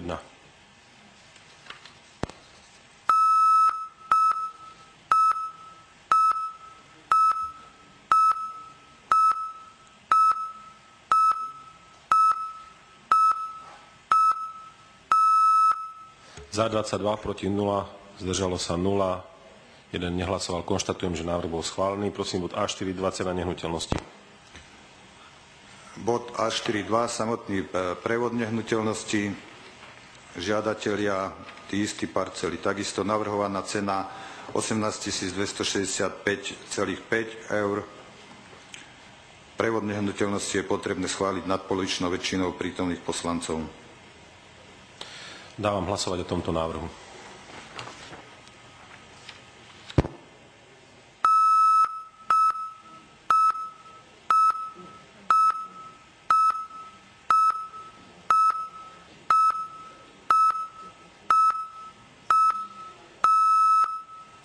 Za 22, proti 0, zdržalo sa 0, jeden nehlasoval. Konštatujem, že bod A42 bol schválený. Pokračujem bodom A5. Bod A5, schválenie podmienok obchodnej verejnej súťaže nebytový priestor číslo 12, pomočka 1, 12, pomočka 2, Viestova 28, Banská Bystrica. E, obchodná verejná súťaž, e, prevod nehnuteľnosti sa uskutočňuje opakovanie v zmysle zákona číslo 138 z roku 91 o majetku obci, nakoľko sa v prvom kole obchodnej verejnej súťaže na prevod predmetných nehnuteľností vyhlásený dňa 27.4.2012 neprihlásil žiaden záujemca. To znamená, podmienky zostávajú totožné s pôvodnými, okrem toho, že sa teda e, vypúšťa ustanovenie o minimálnej cene vo výške znaleckého posudku. Ďakujem. Podmienky OVS je potrebné schváliť nad polovičnou väčšinou prítomných poslancov. Ďakujem. Dávam hlasovať o schválení podmienok obchodnej verejnej súťaže. Hlasujte, prosím.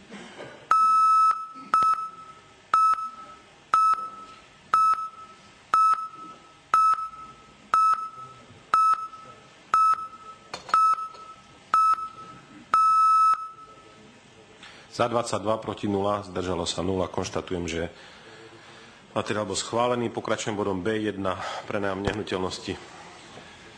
Bod B1, nájom nehnuteľnosti, žiadateľ Jan Benedik, nebytové priestory, garáž číslo 28, súpisné číslo 2626, na pozemku 5339 lomeno 030 priestoroch areálu Mičínska 35, výmera 50 m štvorcových. Navrhovaná cena 23 eur za metr štvorcový na rok bez služieb.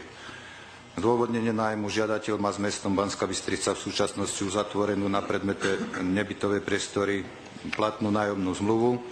Vzhľadom na skutočnosť, že Platná nájomná zmluva je uzavretá na dobu určitú s termínom ukončenia nájmu do 36. Nájomca požiadal o jej predlženie. Komisia Mestského zastupiteľstva pre financie odporúča nájom nehnuteľnosti schváliť. Prenechanie nehnuteľnosti do nájmu je potrebné schváliť trojpetinovou väčšinou všetkých poslancov. Ďakujem. Dávam hlasovať o materiáli B1.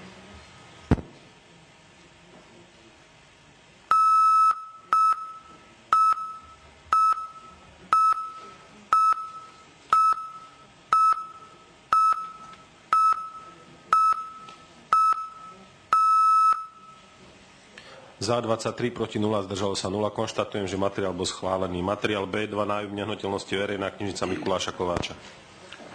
Bod B2, nájom nehnuteľnosti žiadateľ verejná knižnica Mikuláša Kováča, Lažovna 28, Banská Bystrica. Stavba nebytový priestor v materskej škole Karpatská 3, výmera 242,14 m štvorcových, katastrálne územie Sásova. Účel prevádzkovanie univerzálnej pobočky poskytujúcej verejné knižnično-informačné služby. Cena súčasné nájomné je 1 euro za rok. V cene nájmu nie sú zahrnuté náklady na služby spojené s užívaním nebytového priestoru. Doba nájmu na dobu neurčitú od 1.8.2012 navrhovaná cena teda 1 euro za rok. Ďakujem. Ešte stanovisko komisie. Komisia Mestského zastupiteľstva pre financie odporúča nájom nehnuteľnosti schváliť na Mestskom zastupiteľstve. Prenechanie nehnuteľnosti do nájmu je potrebné schváliť trojpetinovou väčšinou všetkých poslancov. Ďakujem. Dávam hlasovať o tomto návrhu uznesenia.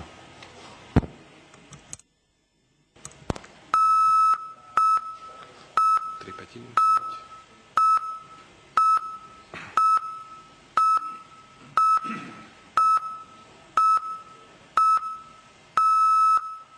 Za 24, proti 0, zdržalo sa 0. Konštatujem, že návrh bol schválený. Poprosím materiál B3, nájom nehnuteľnosti SPP distribúcia. B3 nájom nehnuteľnosti žiadateľ Slovenský plynárenský priemysel distribúcia AS Mlinské Nivy Bratislava stavba plynárenské zariadenie STL plynovod. Účel plynárenské zariadenie nájomca preberie do nájmu za účelom jeho využívania na distribúciu zemného plynu do odberných miest pripojených na predmete plynárenské zariadenie. Doba nájmu na dobu neurčinú, navrhovaná cena 261,9 eur ročne. Komisia Mestského zastupiteľstva pre financie odporúča nájom nehnuteľnosti schváliť na Mestskom zastupiteľstve. Prenechanie nehnuteľnosti do nájmu je potrebné schváliť trojpetinovou väčšinou všetkých poslancov. Ďakujem. Dávam hlasovať o tomto návrhu uznesenia.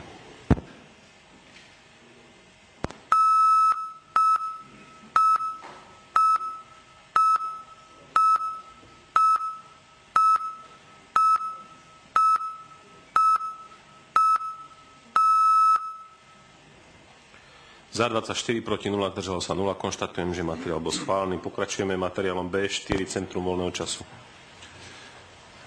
B4 nájom nehnuteľnosti žiadateľ Centrum voľného času Havranské 9, stavba časť budovy číslo 6408, výmera 490 m štvorcových, účel zabezpečovanie výchovno-vzdelávacej činnosti, cena 1 euro za rok, doba nájmu na dobu určitú od 1.8. do 31.10.2012.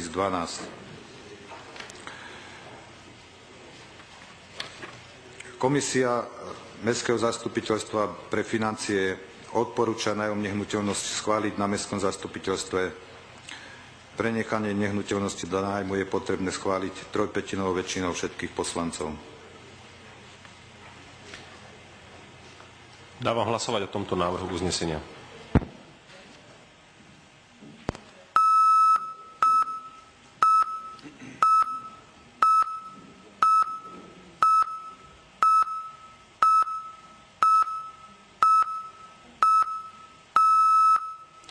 Za 24, proti 0, zdržalo sa 1.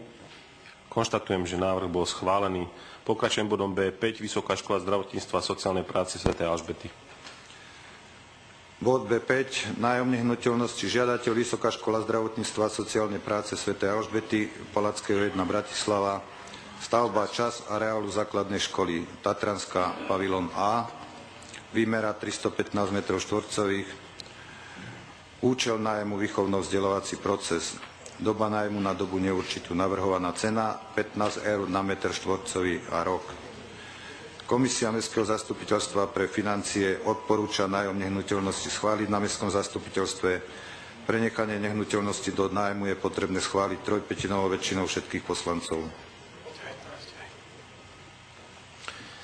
Ďakujem. Dávam hlasovať o tomto návrhu uznesenia.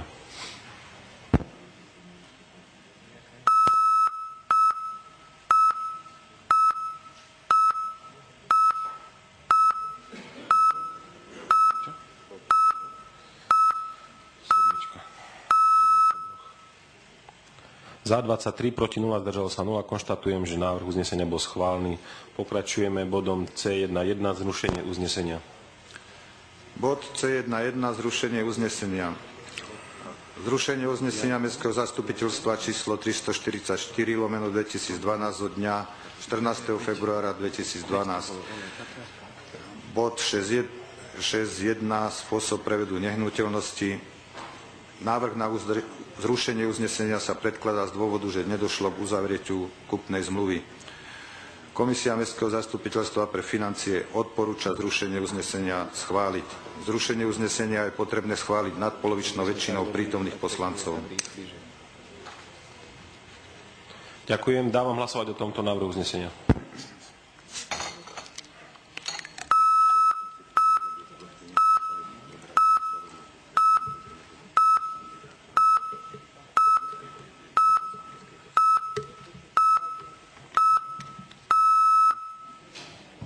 Za 25, proti 0, zdržal sa 0. Konštatujem, že uznesenie bolo schválené. Pokračujeme bodom C1.2. Bod C1.2. Zrušenie uznesenia, zrušenie uznesenia Mestského zastupiteľstva číslo 345 lomeno 2012 z dňa 14. februára 2012 v bode A62 prevod nehnuteľnosti pozemku z dôvodu hodného osobitného zreteľa. Návrh na zrušenie uznesenia sa predkladá z dôvodu, že nedošlo k uzavretiu kupnej zmluvy.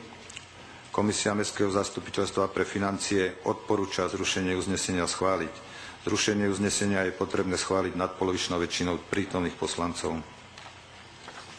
Ďakujem. Dávam hlasovať o tomto návrhu uznesenia.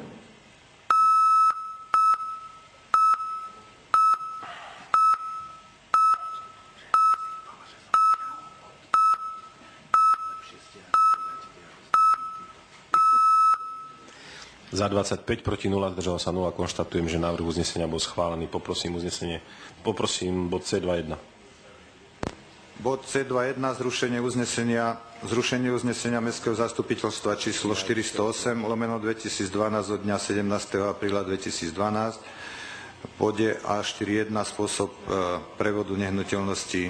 Návrh na zrušenie uznesenia sa predkladá z dôvodu, že nedošlo k uzavretiu kupnej zmluvy. Komisia Mestského zastupiteľstva pre financie odporúča zrušenie uznesenia schváliť. Zrušenie uznesenia je potrebné schváliť nadpolovičnou väčšinou prítomných poslancov. Ďakujem. Dávam hlasovať o tomto návrhu uznesenia.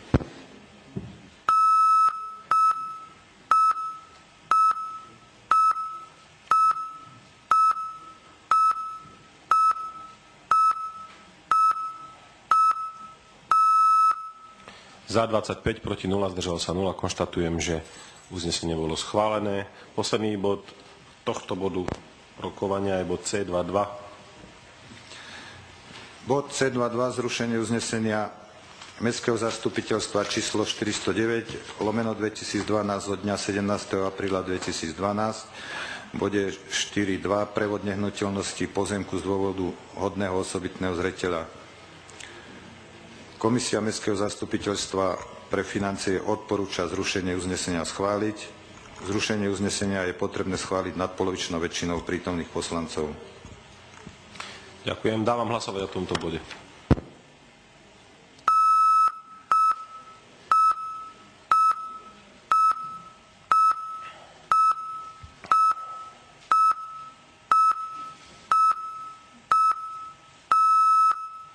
Za 25, proti 0, zdržalo sa 0. Konštatujem, že aj tento bod bol schválený. Tým sme prerokovali bod nakladanie s majetkom mesta. Pokračujem bodom číslo 6. Výsledky hospodárenia a záverečný účet mesta Banská Bystrica za rok 2011. No trošku sme v skoze, tak ak by som navrhoval, aby sme pokračovali v rokovaní. Poprvodom číslo 6, výsledky hospodárenia a záverečný účet mesta Banská Bystrica za rok 2011. No trošku sme v skoze, tak ak by som navrhoval, aby sme pokračovali v rokovaní. Poprosím inžiniera Branislava Slaného, ekonomického námestníka, o úvodné slovo. Ďakujem. Vážené mestské zastupiteľstvo, vážený pán primátor, pri tak rozsiahlom materiáli by sa žiadalo... Zle počuť? Hučí? Je aj viac? Viac klímu či menej klímu?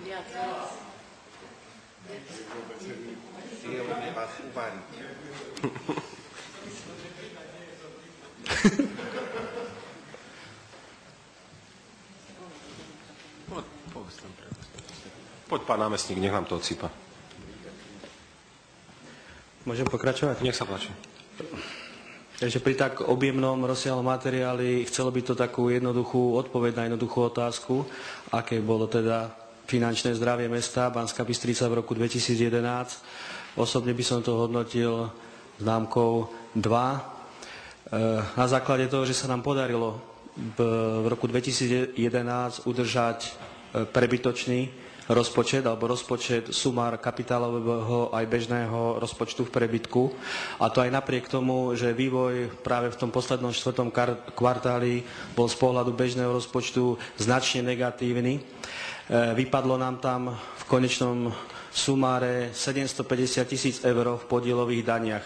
Pre ilustráciu to je suma napríklad na údržbu budov všetkých mesta na rok vynaložíme 250 tisíc a toto je trojnásobok tej sumy, takže mali sme, mali sme dosť problémy sa s týmto výpadkom vyrovnať.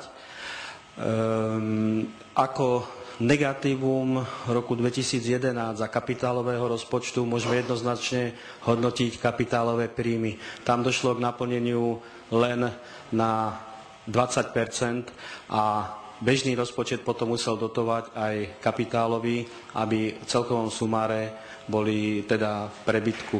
Z takých e, pozitívnych parametrov by som uviedol, že sme sa dobre vysporiadali, čo som rád so splácaním istiny tých veľkých úverov. Išlo tam 1 800 tisíc a podarilo sa nám tú legislatívnu alebo tú zákonnú zadlženosť alebo ten pomer úverov a bežných príjmov zraziť z 30 na 26 Zároveň ale aj musím povedať, že čo sa týka e, dajme tomu dopravy, tak sme si rozložením splátok potlačili do, dopredu cca 900 tisíc eur ako nazval by som to taký skrytý dlh voči doprave, ktorý riešime teraz v roku 2012 a v roku 2013. A podstatné pre ten cash mesta v tomto roku bolo aj to, že nám začali sme splácať 10-ročný projekt obnovy miestnych komunikácií.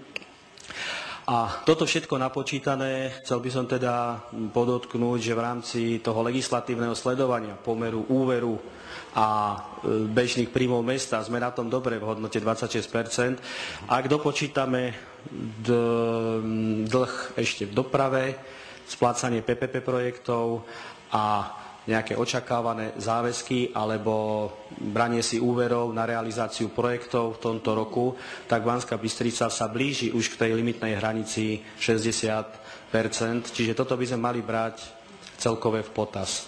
E, nebudem k tomu viac hovoriť, zrejme len taká informácia pre vás, toto bol rok 2011, čerstva k 36. alebo ku koncu mesiaca je nasledovná, že v rámci bežného rozpočtu e, viete, že sme na začiatku roku mali opäť také turbulencie, výkyvy, ne, m, nedarilo sa nám ani uhrádzať záväzky voči našim dosť veľkým dodávateľom. E, môžeme už teraz konštatovať, že tá situácia v rámci bežného rozpočtu je konsolidovaná k 36. Čiže platí to aj potom pre dotačnú politiku mesta a následné, následné kroky.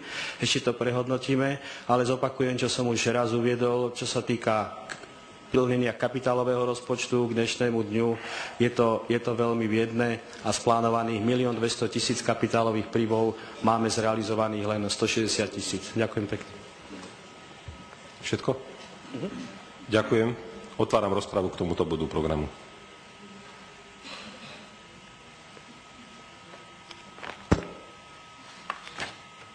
Keďže sa nikto rozprávy nehlási, ukončím rozpravu a poprosím o prednesenie návrhu uznesenia. Návrh na uznesenie je tak, ako bol predložený písomne. Dávam hlasovať o tomto návrhu.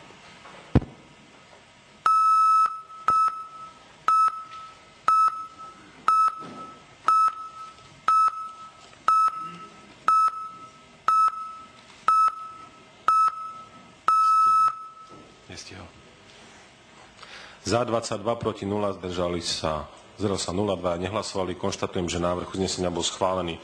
Bodom číslo 8. Návrh na zmenu rozpočtu číslo 3. Poprosím inžiniera Branislava Slaného, ekonomického námestníka, o stručné úvodné slovo.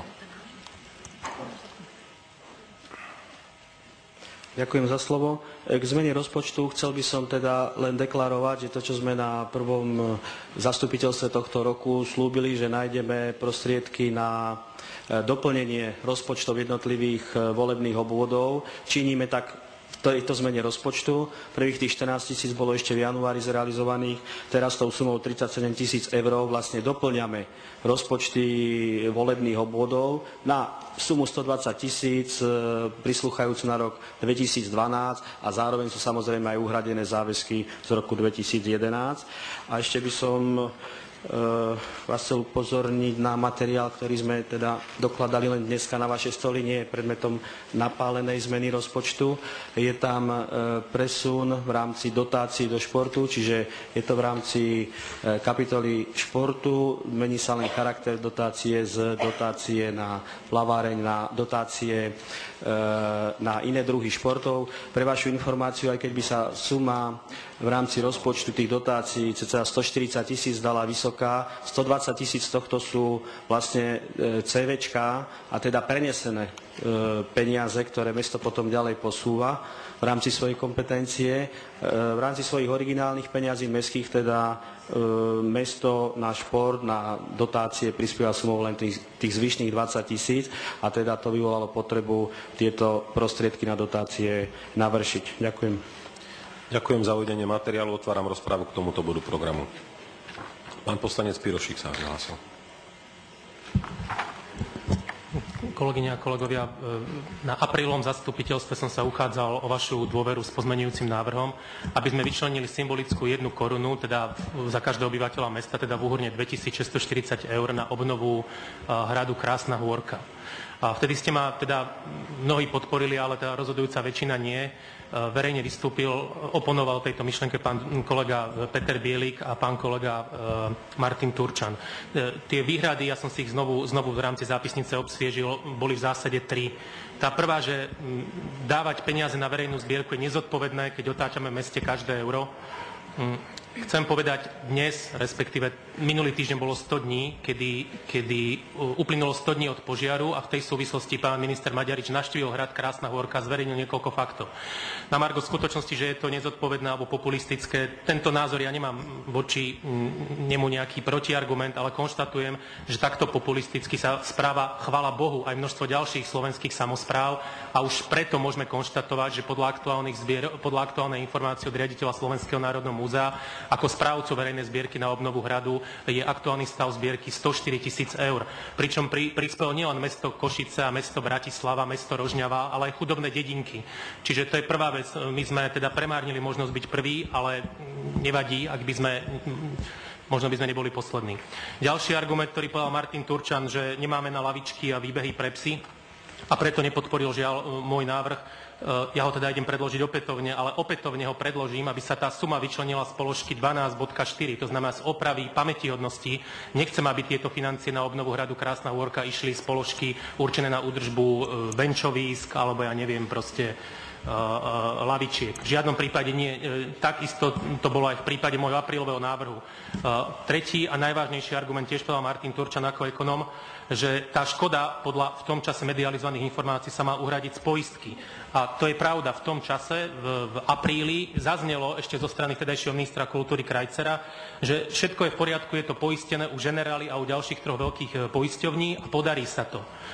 Ja som už vtedy povedal, že sú informácie, že sa to nepodarí. Tie informácie zreálnil minister Maďarič, keď v útorok na kontrolnom dni a následne na tlačovej konferencii oznámil, že škoda e, nebude tak, ako ste mysleli dovtedy 10 miliónov eur, ale 15 miliónov eur, pričom ešte stále nie je dokončený znalecké posudky na hnutelný majetok, e, čiže tá škoda bude ešte rásť a celková suma, na ktorú štát u komerčných poisťovní poistil všetky nehnuteľné hnuteľné majetky, ktoré spravuje e, ministerstvo zastúpení e, Slovenského národného múzea, sú na sumu približne 10 miliónov. Čiže ešte raz, škoda na samotnom e, hrade je väčšia ako je poistné plnenie na všetky hnutelné a nehnuteľné veci, ktoré štát poistil.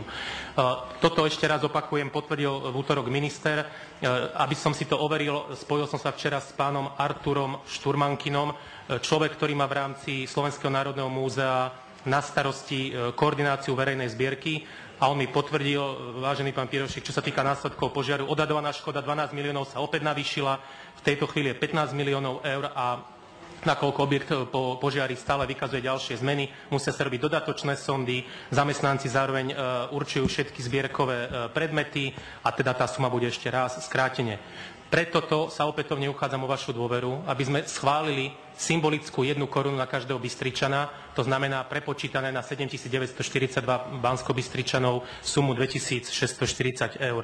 V tomto zmysle podávam pozmenujúci návrh, aby sa v rámci schváleného rozpočtu z podprogramu 12.4, teda oprava a údržba kultúrnych pamiatok, presunula suma 2640 eur v prospech verejnej zbierky Slovenského národného múzea na obnovu hradu Krásna Hôrka. Ďakujem.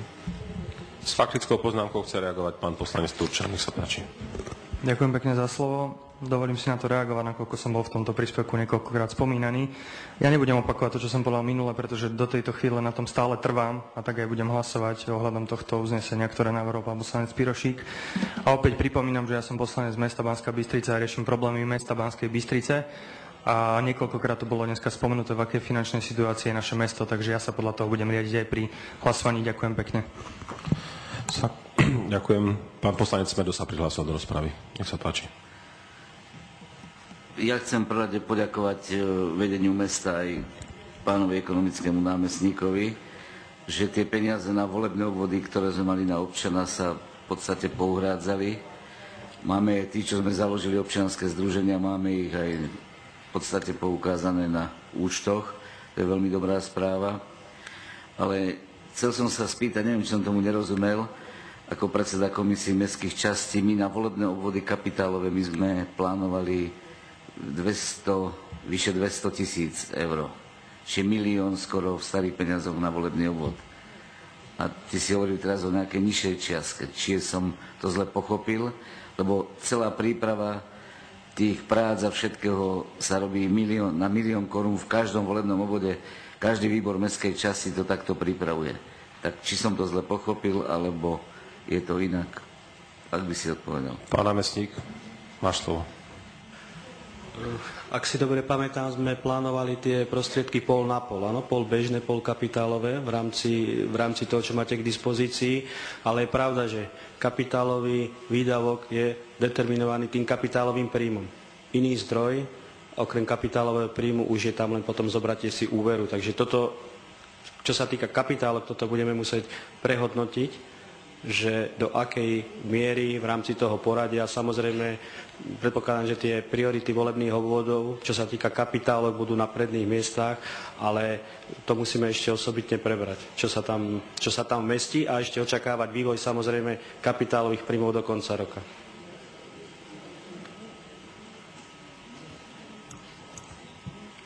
Ďakujem. Keďže sa nik ďalší do rozpravy nehlási, máme tu jeden pozmeňovák. Takže poprosím hlasovať najprv o pozmeňujúcom návrhu a potom návrhu uznesenia. Takže pozmeňovací návrh pána poslanca Pirošíka. V rámci schváleného rozpočtu sa z podprogramu 12.4 oprava a údržba kultúrnych pamiatok presúva suma 2640 eur v prospech verejnej zbierky Slovenského národného múzea na obnovu hradu Krásna Hôrka. Ďakujem. Dávam hlasovať o tomto návrhu.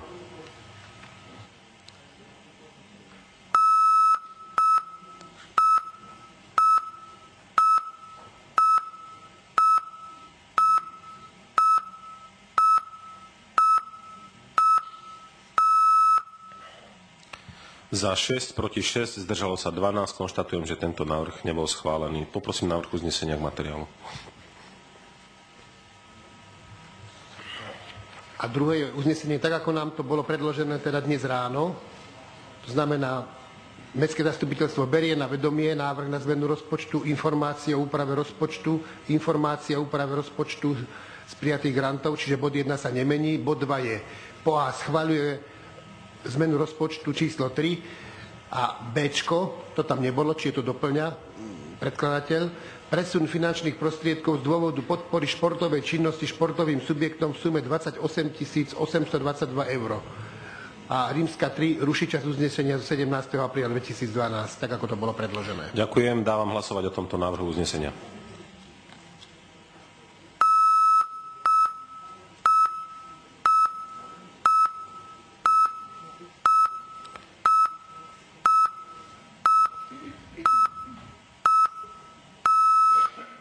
Za 24 proti 0, zdržal sa 0. Konštatujem, že návrh uznesenia bol schválený. Pokračujeme bodom číslo 9. Zásady hospodárenia a nakladania s majetkom mesta Banská Bystrica. Poprosím opäť pána námestníka Staného o úvodné slovo k tomuto materiálu. Ďakujem. Vážené mestské zastupiteľstvo, vážený pán primátor, e, zásady sa na toto zastupiteľstvo dostali ich preložením, pretože sme tam potrebovali dokomunikovať jeden podstatný bod, kde sa nejakým spôsobom e, tie názory boli rozdielne.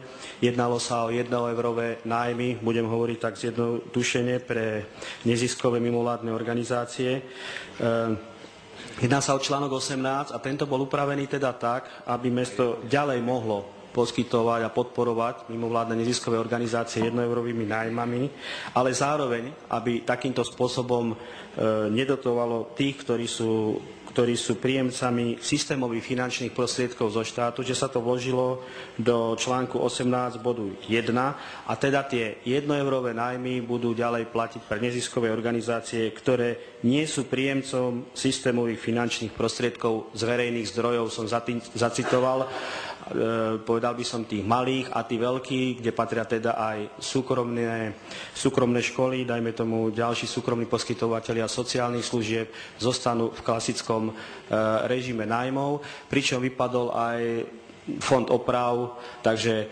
neziskovka, ktorá bude za 1 euro, bude znášať už iba náklady na prevádzku, čiže réžie, elektriku, vodu a tak ďalej. Žiadne ďalšie náklady znášať nebude. Ďakujem. Ďakujem za uvedenie materiálu. Otváram rozprávu k tomuto bodu. Pán poslanec Pirošik, máte slovo. Ďakujem. Podľa mňa nové zásady sú, sú spracované v poriadku. Podporil som ich aj v rámci finančnej komisie, ale keď som sa včera pripravil na zastupiteľstvo, našiel som ešte dve také drobnosti. Pred zastupiteľstvom som ich konzultoval aj s pánom eh, Slaným a s pánom Sasákom. Eh, preto navrhnem dva pozmenujúce návrhy, ktoré neriešia tú filozofiu, či už sú to nájmy, alebo teda mm, eh, spôsoby prevodu. V každom prípade v, parag- v článku 3, kde sa definujú základné pojmy, v odseku 12, v poslednom pojme, pojme je vymedzený prípad hodný osobitného zretela ale chyba mi tam tá zmienka, ktorú stanovuje samotný zákon o majetku obci, že ak sa aplikuje prípad hodný osobitného zretela, tak musí byť vždy zdôvodnený. To nehovorím ja, to hovorí zákon. V tomto zmysle sa navrhujem, aby sa do tohto článku 3 odsek 12, ktorý nemá normatívnu povahu, len deklaratórnu, ale aby sa aj tu pre poriadok zakomponovala druhá veta, ktorá by znela osobitný zreteľ, musí byť vždy zdôvodnený. Samozrejme potom bude dôležité, aby sa táto veta uplatňovala aj v praxi pri jednotlivých majetkových prevodoch. A ešte jeden pozmenujúci návrh článku 10 odsek 4. Um, už istý čas, a myslím, že to začalo ešte aj v predchádzajúcom funkčnom období, uh, sa uh, znalecké posúdy a geometrické plány obstarávajú na základe teda uh, E, tieto posudky vyhotovujú geodeti a znalci určený mestom, ale teda hradí si ich kupujúci. Tento princíp je v poriadku a pokračuje sa v ňom, ale článok 10 odsek 4 e, hovorí, že náklady na vyhotovenie geometrických plánov a znaleckých posudkov znáša kupujúci, s ktorým bude uzatvorená kúpna zmluva, pričom geometrický plán a znalecký posudok vyhotoví geodet a znalec, ktorého určí mesto podľa pravidela postupov zákona o verejnom obstarávaní. Až doteraz je tá veta úplne v poriadku ale je tam čiarka, hovorí sa, ak e, sa zmluvné strany nedohodli inak.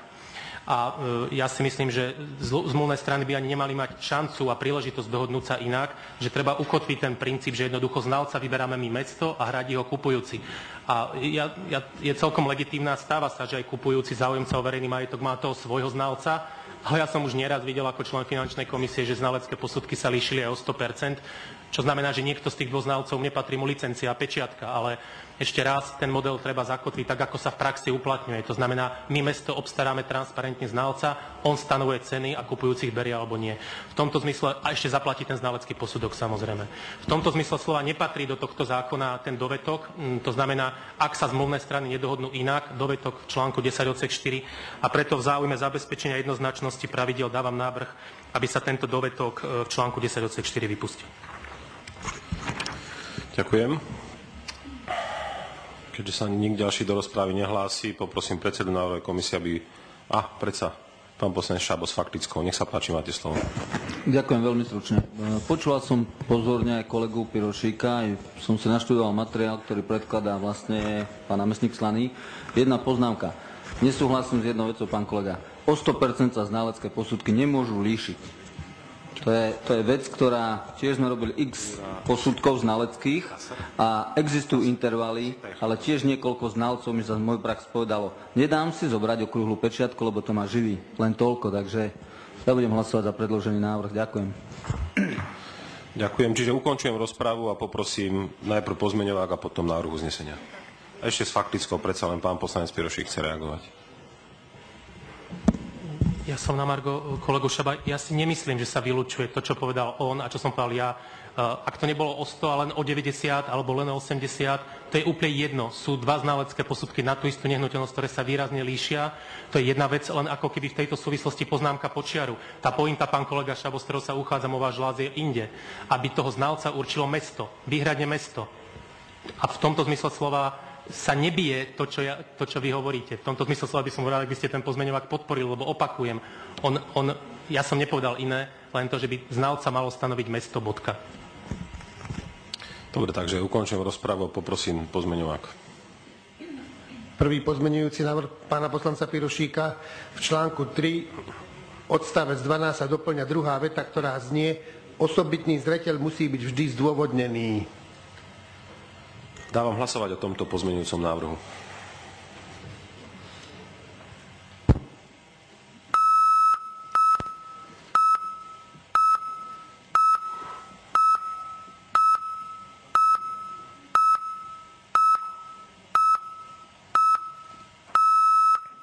Za 24, proti 0, zdržal sa 0. Konštatujem, že pozmeňujúci návrh bol schválený. Poprosím ďalej. Pozmeňovací návrh, ktorý opäť predložil poslanec Pirošík. V článku 10 odstavec 4 sa vypúšťajú slová na konci vety, ak sa zmluvné strany nedohodnú inak. Dávam hlasovať o tomto pozmeňujúcom návrhu.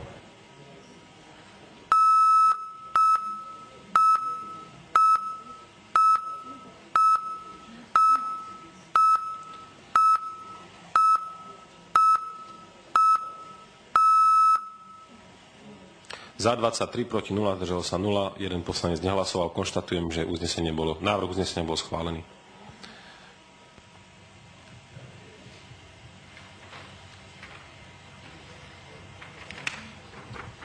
No a teraz národné uznesenie berie na vedomie, schváľuje s tým, čo sme schválili tie Doplň, pozmenujúce návrhy. pozmenujúce návrhy. Ďakujem. Čiže dávam hlasovať o uznesení k tomuto bodu programu.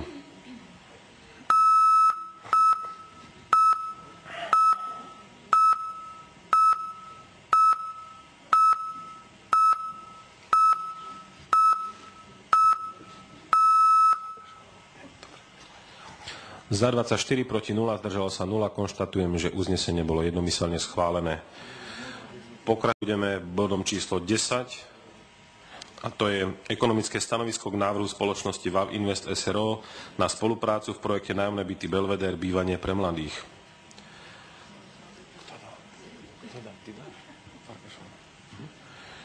Poprosím inžierku Beatu Farkašovú, vedúcu ekonomického odboru, o prednesenie úvodného slova.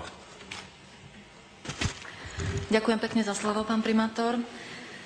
Materiál, ktorý sme spracovali do podoby dôvodovej správy, je predložený na základe uznesenia z 13. decembra 2001, ktorým bolo teda uložené prednostovi spracovať ekonomické stanovisko k predloženému materiálu a predložiť ho teda v prvom pol roku 2012. Čo sa týka dôvodovej správy ako takej, konštatujeme v rámci nej Okomentovávame materiály, ktoré boli predložené e, spoločnosťou VAV Invest.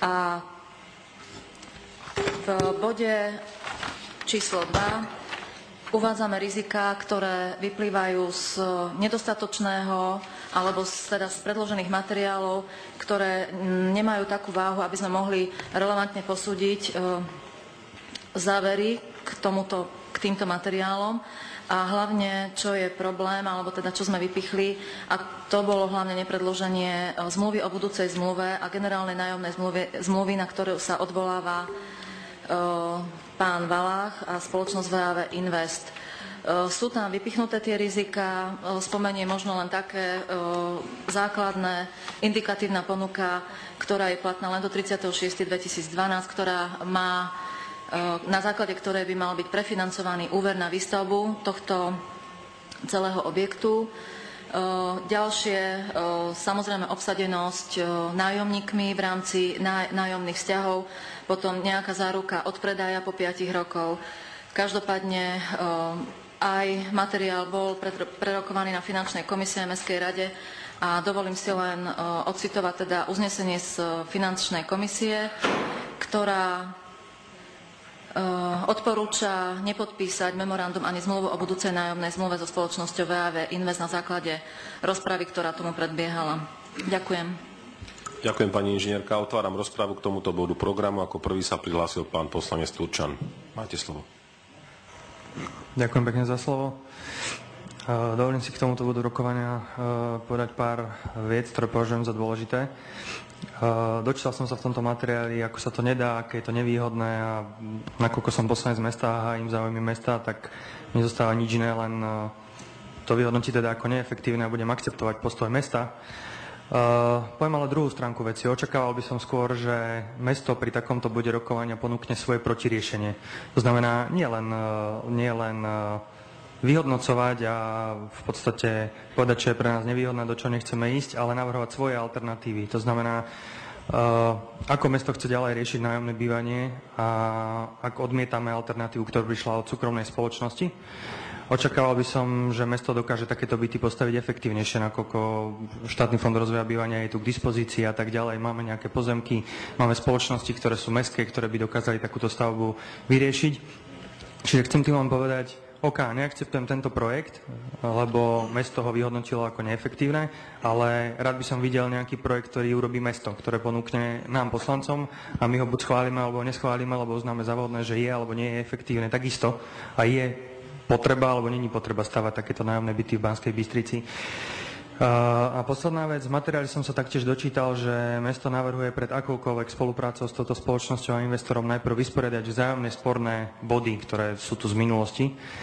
Na to môžem uvieť len jedno. Pred viac ako rokom som žiadal mesto o vypracovanie materiálu, ako chce využiť Dom kultúry, nakoľko tento Dom kultúry je takisto v majetku tohto invest- investora, ktorý prišiel s ponukou na nájomné byty.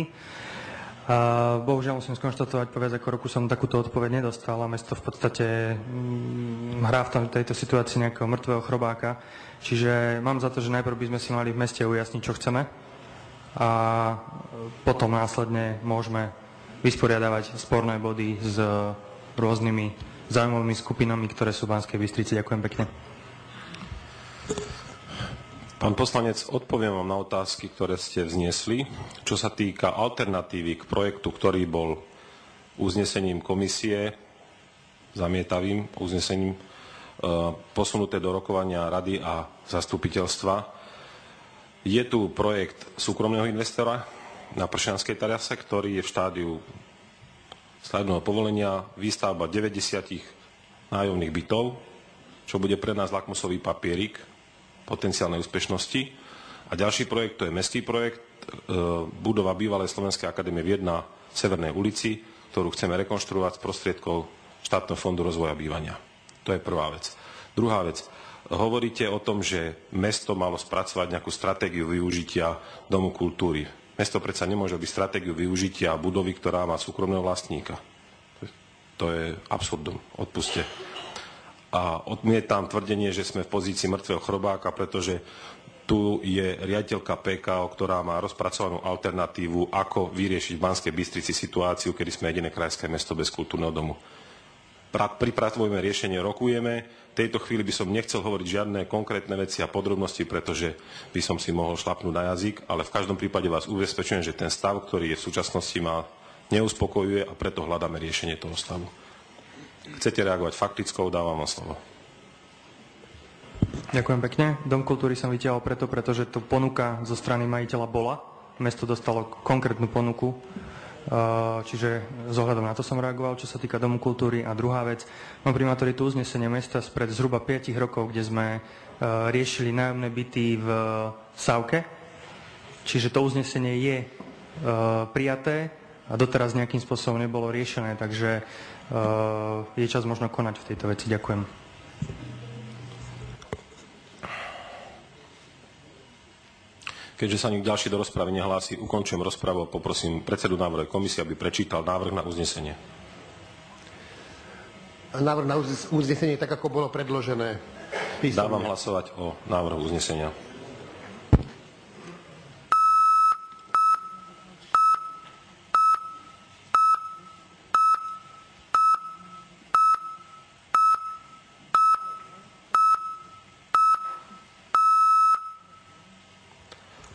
Za 9, proti 1, zdržali sa 14.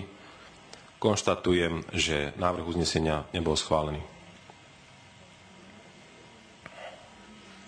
Pokračujem.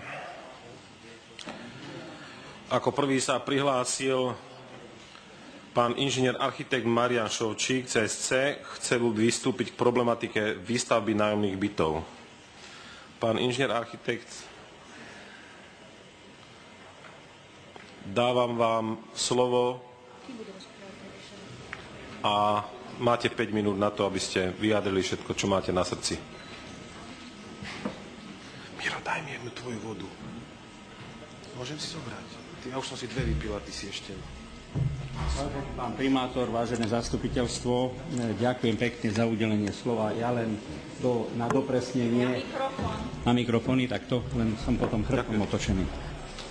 Uh, k bytom poviem len jednu vetu. Podstatné moje stanovisko a vyjadrenie je k vášmu stanovisku, k zaujatia mm, e, vášho postoja k územnému rozhodnutiu na VAU Park, alebo teda Európa 2, ako sme to pracovne volali. K bytom len toľko, mne je to škoda, aké uznesenie, teda ľúto, aké uznesenie sa prijalo, ale to ďalej nebudem e, komentovať. E, zaražajúcejšie však je pre mňa vaše stanovisko ako primátora k, k umiestneniu stavby Valpark BB, e, pretože považujem toto už za pre mňa neriešiteľnú situáciu a požiadal ma aj investor o vystúpenie, ktorý je v zahraničí teraz pretože už sa nevieme dopátrať pravdy. Nikdy som nechcel tu v eh, pozíciách pracovných vystupovať v takejto úlohe, ale mám dojem, že treba, aby už vedeli aj eh, poslanci, aj ostatní, eh, ako sa veci majú s týmto pripravovaným projektom. Od 11.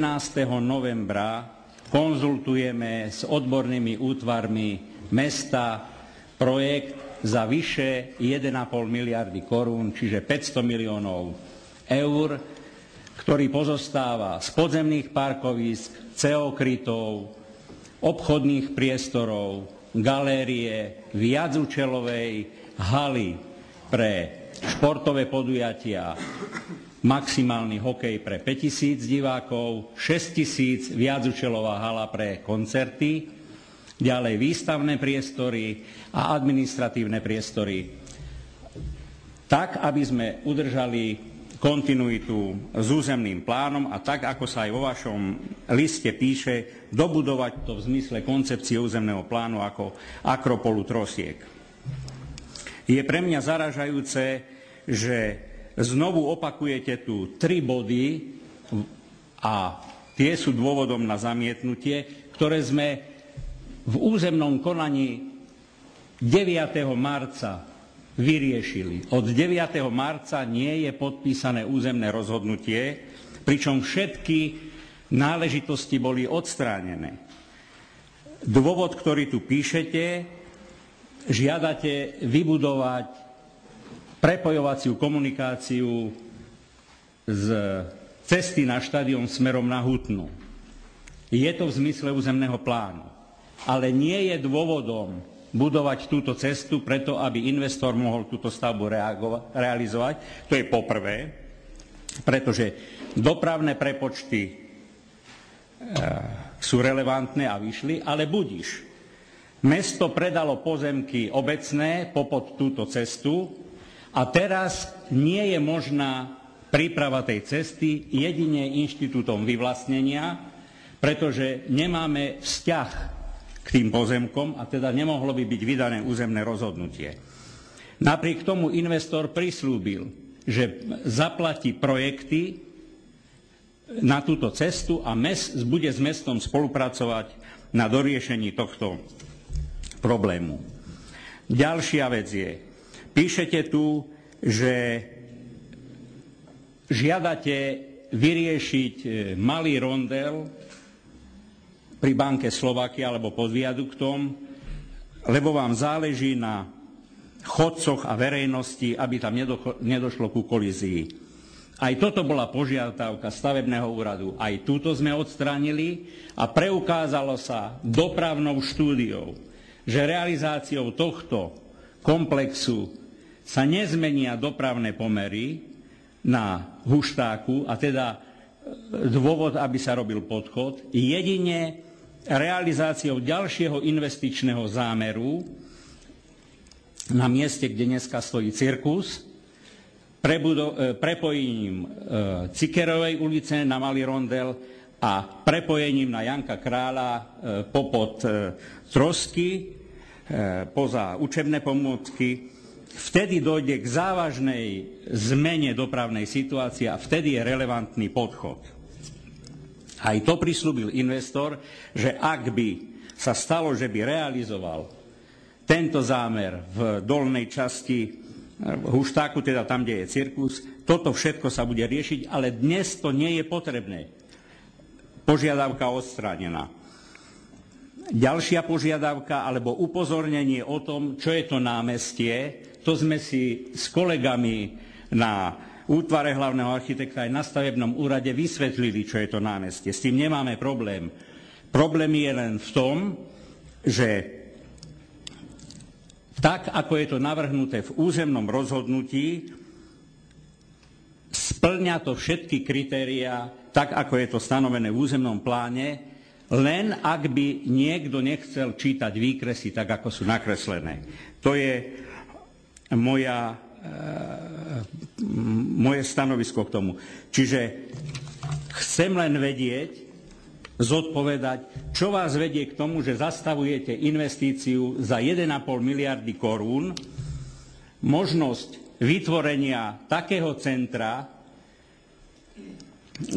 s tak bláznivým finančným zámerom, že sa mu treba kláňať, že niekto v Banskej Bystrici možno v zmysle predstav, ktoré sa tu formujú 70 rokov o metropolitnom centre, chce realizovať centrum, ktoré v podstate nemá obdobu na Slovensku, pretože vznikne peší priestor krytý od Huštáku až po Mojzesa na Belvederi. Nerozumiem tomu.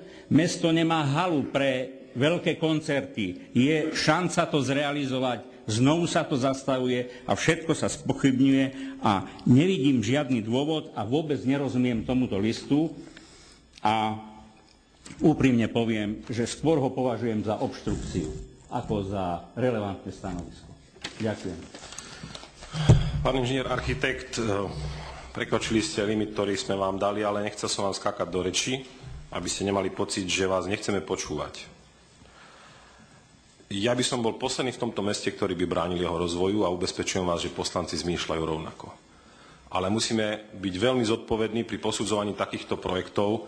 Ja to nechcem vulgarizovať, nie som odborník na dopravu, ale ak nás presvedčíte, že cez Malý rondel prejde 6 tisíc návštevníkov spoločenského podujatia v hale v Európe dvojke, tak potom...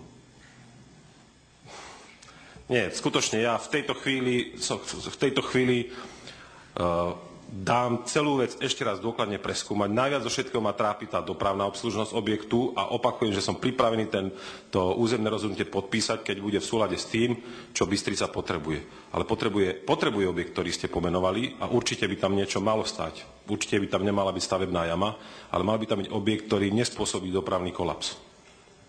Môžem reagovať, lebo potom to bude Nech sa páči. Tieto isté dôvody mali vaši pracovníci. Tieto isté dôvody mali vaši pracovníci. My sme ich zdokumentovali. Dokonca prepočty spravil dopravný inžinier, len ktorého akceptujú, inžinier Janík. Ja už neviem, čo mám viac preukázať. Ale aj napriek tomu hovorím, že situácia je taká, aká je. Za ďalšie, prosím vás pekne, veď e, sme dnešní a chodíme po svete.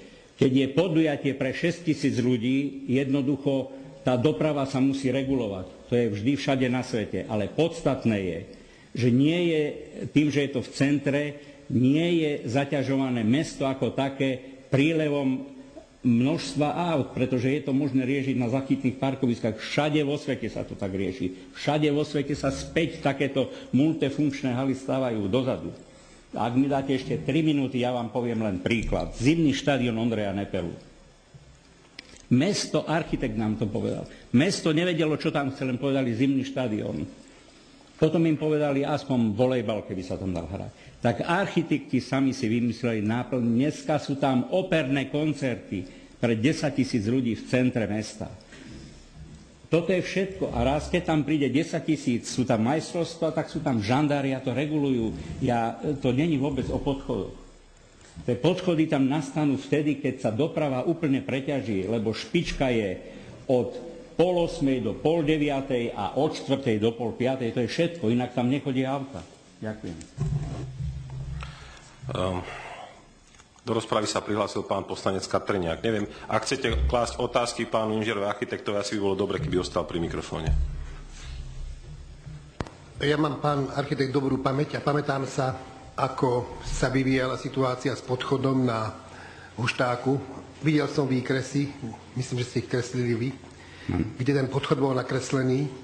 Naraz tie výkres, ten podchod zmizol z výkresov a zmeny a doplnky územného plánu boli bez podchodu. Potom sa pamätám na vaše vystúpenie na prvej dopravnej komisii za pána primátora Saktora, kde ste požiadali mesto, aby budoval podchod pri e, to, do, tomto okruhu kruhovom, kde vlastne vy ste vznesli túto požiadavku, ktorý som už skoro do mdlu obpadal. Teraz hovoríte, že ten, že ten podchod nie je potrebný. Ja rozumiem mestu, že mesto si tieto veci musí preveriť. To je nie také jednoduché. Viete, pamätáte sa, rokovali sme napríklad o tej, o tej cyklotrase, ten červený koberec pri Európe. Aj ste vtedy, vtedy ste zvážili tie argumenty a cyklotrasa tam je. Dneska sú na tej cyklotrase kopu reklamných panelov, čiže človek tam vlastne, keď je na bicykli, tak má veľké ťažkosti. To sú veci, ktoré treba vopred a dopredu premyslieť. Ja nejdem obhajovať stavebný úrad, nech si to oni vyriešia, či tie argumenty boli také alebo onaké. Ale rozhodne e, ja mám takú skúsenosť, že mnohé veci, ktoré sa aj nahodili, potom neboli splnené. Čiže nečudujte sa, že mesto je obozretné a poslanci, že sú obozretní a že určité veci radšej po týchto skúsenostiach nepúšťajú. Čo sa týka toho prvého bodu, na finančnej komisii k tomu bola obrovská debata k tým bytom. Viete, pravíte, že vás to mrzí, ale na finančnej komisii naozaj podľa tých argumentov, ktoré tam odzneli a odzneli z úst odborníkov, sa ukázalo, že, alebo sa zrejme ukáže, že ak mesto bude chcieť ísť do tohto, tak bude oveľa výhodnejšie, keď pôjde svojou cestou a nebude, nepôjde cez prostredníckú organizáciu, ktorá mu to môže skomplikovať a ktorá vlastne mu dá povinnosti neskoršie, ktoré padnú po rokoch na mesto. A okrem toho to robí lacnejšie. Tie byty boli dosť drahé podľa toho prepočtu. Takže tých otázok je naozaj veľa. Ja len chcem povedať, že nedá sa to tak, viete, vy, vy, vy povedať, že, že všetko ste preukázali, že je nejaká štúdia. Aj mesto má svoje argumenty, aj poslanci majú svoju obozretnosť a nečudujte sa nám, že po týchto skúsenostiach máme, máme, máme takéto stanoviska. Nie je to z nejakého odporu, nie je to z nejakej veci, že je tu, je tu nejaké nepriateľstvo voči vám, ale mesto naozaj musí prezierať do týchto vecí ísť, aby neskočil do niečoho, z čoho potom ťažko bude súbať. Pozrite sa, z toho podchodu nevieme vycúvať. Keby boli bývali, ostali tie výkresy, budete hovoriť ispá, neviem čo, a že, ta, a že tam je uh, estakáda. Veď tá estakáda tam bola dávno, ja som sa s nebohým pánom Vaníkom potom rozprával. Estakáda bola tam oveľa skorej, ako ste vy plánovali podchod. Takže Takže je to, je to vec, kde naozaj mesto musí byť obozretné a tá situácia nie je dobrá, je veľmi zlá. Tí ľudia skáču do tej cesty ako zajace. Je to otras, ako tí ľudia musia prechádzať do Európy zo starého mesta. A vlastne aj Európa podľa mňa je tým poškodená, pretože ľudia z toho majú nervy, keď tam majú ísť. Takže všetky tieto veci treba chytať na začiatku. A preto to, podľa mňa to mesto chytá. A v tomto, čo sa týka dopravnej situácie, rozumiem. O ostatnom neviem odpovedať.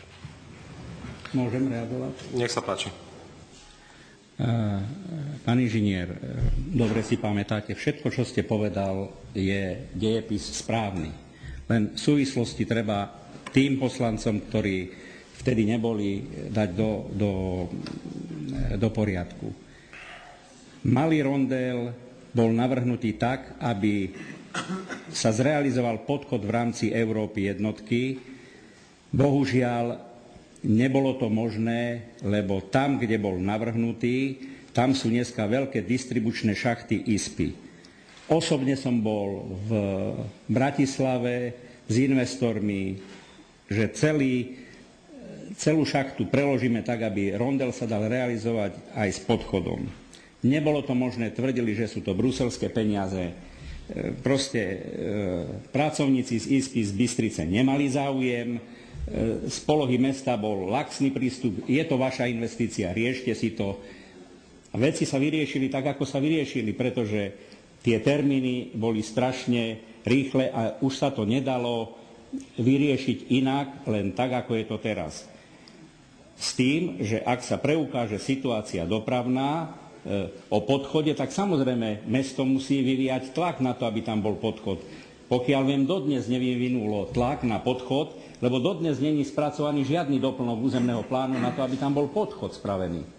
Není to v žiadnej dokumentácii, ale nevadí. Cez to všetko to treba riešiť. Ja len argumentujem tým, že sme spravili prepočty dopravných situácií a že okrem hodinových špičiek ráno a po obede to funguje. Ja som to vtedy aj tým policajtom povedal, veď všade vo svete, kde je zložitá situácia, tak policajti chvíľu riadia dopravu. Tam to není. Veď e, musíte to sám uznať. Ale keď príde dostatok investícií do toho priestoru, jednoducho ten podchod sám vznikne. To je svetá pravda. Tak to je. E, k vášmu stanovisku na, na byty, ja, ja som len povedal, že je to škoda, tým to končí. Čiže tak, tak sa veci majú s podchodom. Čiže o to sa jedná. O to sa jedná, že ja som na otázku podchodu technicky reagoval pre úrad. A úrad reagoval tak, respektíve jeho primátor, ale aj tak to chceme. No tak to sa tak nedá. Viete, to, to proste tak nejde, to není argumentácia. Ja proste nerozumiem tomu listu, pán primátor. Nerozumiem. Pán poslanec Peter Bielik sa prihlásil do rozpravy. Ďakujem za slovo. Pán architekt, ja som bol tiež na tej dopravnej komisii, prvej musím absolútne podporiť pána kolega Katreniaka ako to tam vyzeralo. Ja som bol tedy ako mladý poslanec dosť prekvapený agresivitou jednania, ale nechajme to tak. Viete, že to riešenie sa našlo, to riešenie sa našlo tu v parlamente, pretože e, znúcesnosť bola, že sme museli prekladať e, prechody cez chodcov na základe našich in, iniciatív, stadiaľ, kde boli životne nebezpečné na to, to odklonenie, že je teraz prechod prechodcov hore k e, Mama centru Sv. Agáty a tie štúdie, ktoré sú vypracované, viete, to je všetko veľmi pekné, keď sa to tam napíše na papieri, ale choďte sa pozrieť, ako vyzerá tiež odobrená štúdia v, na Kolumbiazde pri Lidli smerom k Rooseveltovej nemocnici ráno v tých špičkách, choďte tam pozrieť, ako si tam vystavíte, napriek tomu, že všetko to bolo priepustné a v poriadku. Ale moja otázka smeruje niekde inde. Spomínali ste cestu, ktorá bola určitým spôsobom vytknutá mestom ktorá by mala byť ako nejakým spôsobom ďalšou prístupovou komunikáciou. Ma zaujíma, že kadiaľ tá cesta má viesť, lebo viem, že s tým bol nejaký problém. No, to je e, priečné prepojenie z cesty na štadión smerom na Hutnú. Ale kadiaľ chce vedieť? Cez potok. Cez potom na mieste? Švermov, smerom na Švermov. V, ktorým, v, ktoré, v ktorom mieste zhruba, keď máme... Ako je oporný múr e, Európy terajšej, tak poza, ponad ten oporný múr má ísť cesta, ktorá sa napája na cestu na štadión, respektíve má pokračovať ďalej smerom na Hutnu a Švermov. Je to cesta, ktorá vedie cez záhradky rodinných domov? Nie. Dobre, ďakujem. Pani poslankyňa Priehodová sa prihlásila do rozprávy, nech sa páči. Ďakujem. E, Ja chcem vyjadriť podporu Mestskému úradu a obozretnosti e, úradníkov na stavebnom úrade, pretože máme skúsenosti, aké máme.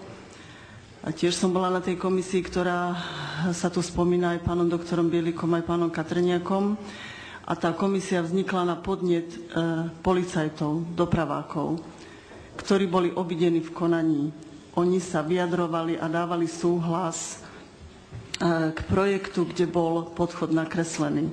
Čiže vtedy bolo zhodou okolností také osadenstvo na Mestskom úrade stavebnom, ktoré dalo súhlas na zmenu stavby pred dokončením bez toho, aby si vyžiadali stanovisko policajtov. Takže držím palce stavebnému úradu, aby teda chránilo a strážilo verejné záujmy a nedalo sa opiť rožkom investorom. Ďakujem. Pán poslanec Smedo. Marian, ja ti budem hovoriť ako pri bežnom styku našom. Poznáme sa strašne veľa rokov. Ja som jeden z tvojich podporovateľov. Tie projekty, ktoré si porobila v Bystrici, skutočne sú niektoré veľmi dobré. A vieš, ja sa nikdy nebránim rozvoju práve, že chcem, aby toto mesto napredovalo. Poznáme sa veľa rokov, nebudem o tom tu hovoriť. Ale predsa, nechcel som tomuto vystupovať, ale musím. Nebol by som rád, keby sa toto zviezlo do takej roviny, že sa vyhrotia vzťahy medzi VAV Invest a mestom. To by nebolo dobré. Nikto z týchto poslancov ani vedenia mesta, debatovali sme na porade poslaneckých klubov, na Mestskej rade, nikto nechce, aby takéto investície v Bystrici sa nerobili. Je to skutočne, ako si povedal, geniálne. To je všetko v poriadku. Len vy, hlavný investor, musí brať ohľadať na tie veci, ktoré už zaujímajú nás, a to sú tí pešiaci. Ja to nebudem opakovať tu o podchode a tak ďalej. Jednoducho to mesto musí brániť aj tých ľudí, a ja by som bol nerád, aby to napríklad na takej malej investícii ako ten podchod, toto všetko malo padnúť. Lebo ten podchod, keď bol naozaj vyriešený, tak dneska sme o 4 kroky ďalej. Ale nechcem ja uh, hovoriť o týchto veciach, ja by som bol veľmi rád, keby tieto jednania neskončili tak, že zastupiteľstvo nechce, primátor nechce. Chceme. Všetci to chceme. Len treba sadnúť a treba hľadať riešenia. A nie na základe nejakých expertíz, to ti zase ako kamarát vravím, na základe bežného denného života, s čím sa stretávame. A tam je problém. A keď príde tam taká hala, ako hovoríš, tak tam bude ešte väčší problém. Bude. Dobre, povedal si to veľmi múdro, áno, pri veľkých podujatiach, máme to aj na šťavničkách, keď príde veľa návštevníkov na fotbalový zápas, musí prísť regulácia, musia prísť policajti, to je v poriadku. Ale keď tam príde takáto investícia, tam bude denný pohyb ľudí, oveľa väčší pohyb ľudí, sa to jednoducho neutiahne sa to v správnych kolajach. A nás budú potom tí občania byť, pretože prestáva sa 1,5 miliardy a jeden postratý podchod za 20 miliónov, hej, ktoré sú smiešné, pri tej investícii sa neurobí. Tak chcem ťa ja poprosiť, keď z to odídeš, aby si nemal dole hlavu, hlavu treba dať hore, ja som tiež jeden z tých, ktorí chcem, aby sa to určite robilo ako aj všetci kolegovia poslanci, ale nech je to dobre urobené pre celé mesto. Primátor nás o tom informoval, povedal to aj dnes, povedal to veľmi dobre, on takisto má záujem. Veď by sme išli proti sebe. Len skutočne hľadajte cesty pre obidve strany. To chcem povedať aj pánovi Valachovi, ja si ho takisto vážim, ale musí sa to urobiť tak, aby to bolo dokonalé, nielen z jednej strany, ale aj z druhej.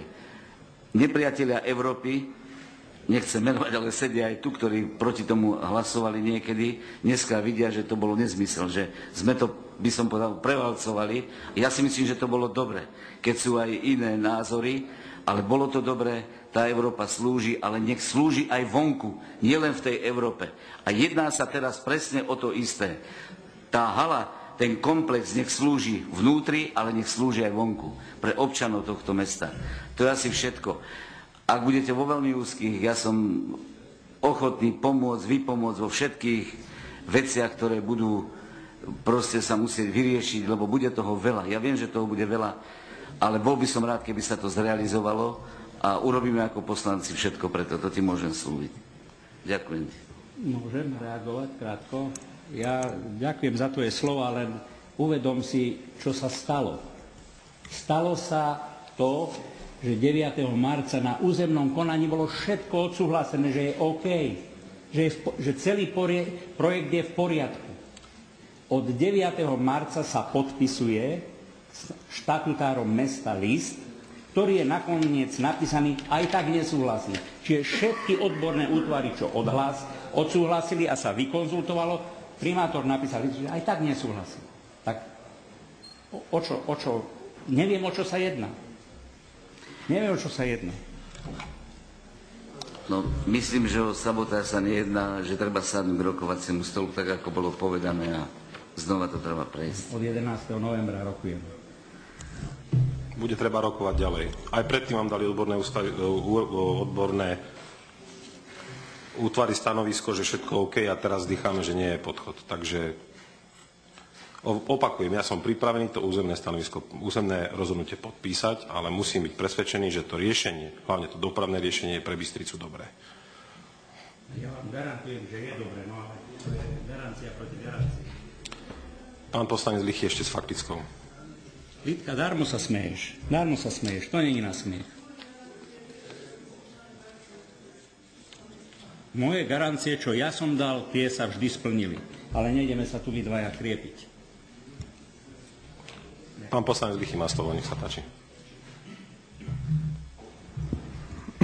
Ďakujem.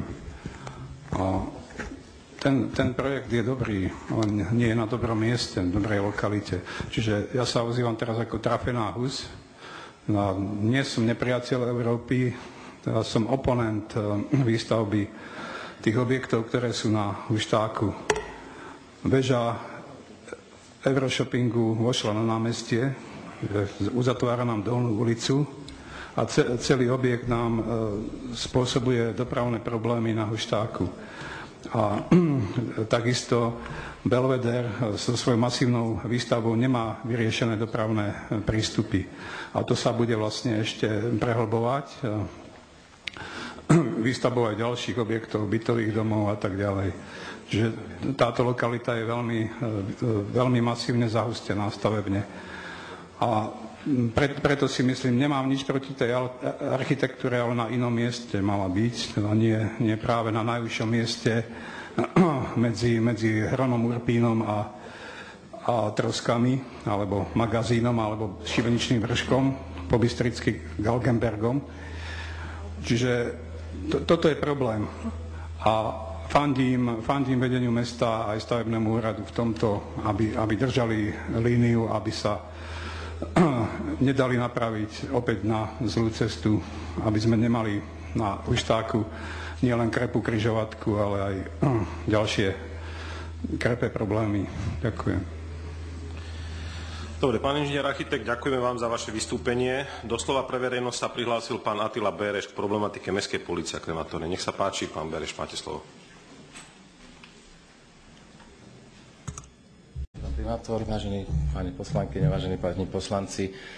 Pôvodne už dávnejšie som chcel sem prísť ohľadom problémov s prístupom e, príslušníkov mestskej policie k, konkrétne ku nám ako k podnikateľom a k občanom. Vtedy sa presunul bohužiaľ e, termín slova pre verejnosť.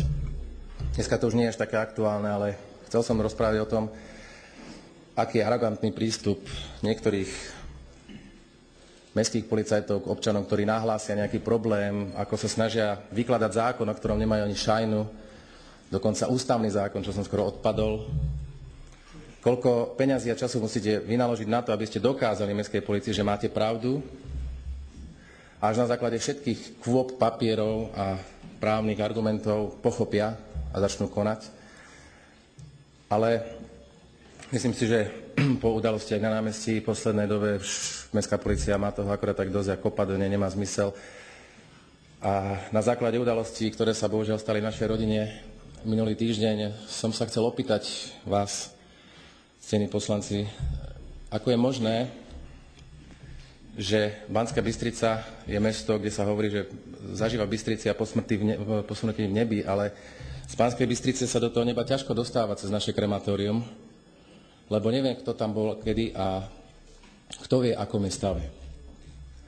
Kto vie, v akom stave je príprava celého procesu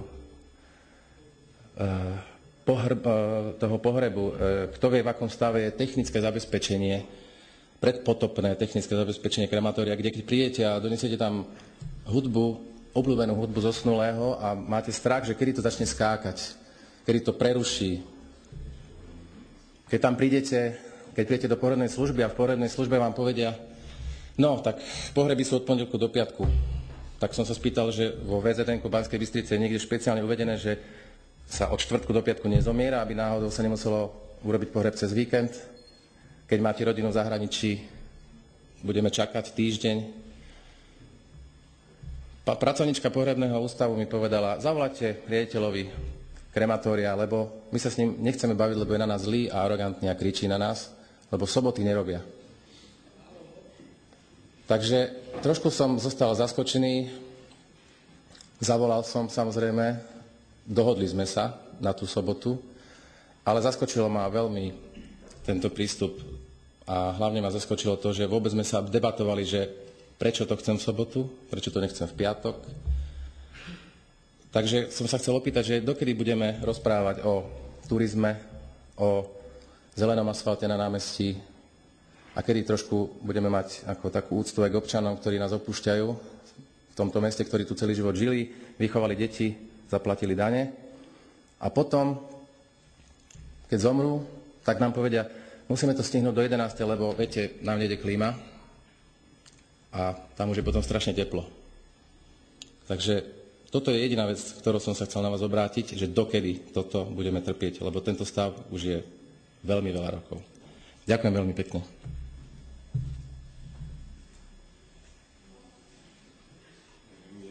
Je záujem o rozpravu k tomuto vystúpeniu? Pán poslanec Pavol Bielik, nech sa páči, máš slovo. Činčo. Budem reagovať ako vedúci prevádzky krematória. Očakával som, že aj mestská policia vystúpi obrady pondelok až piatok na požiadanie odôvodnených prípadok aj v sobotu.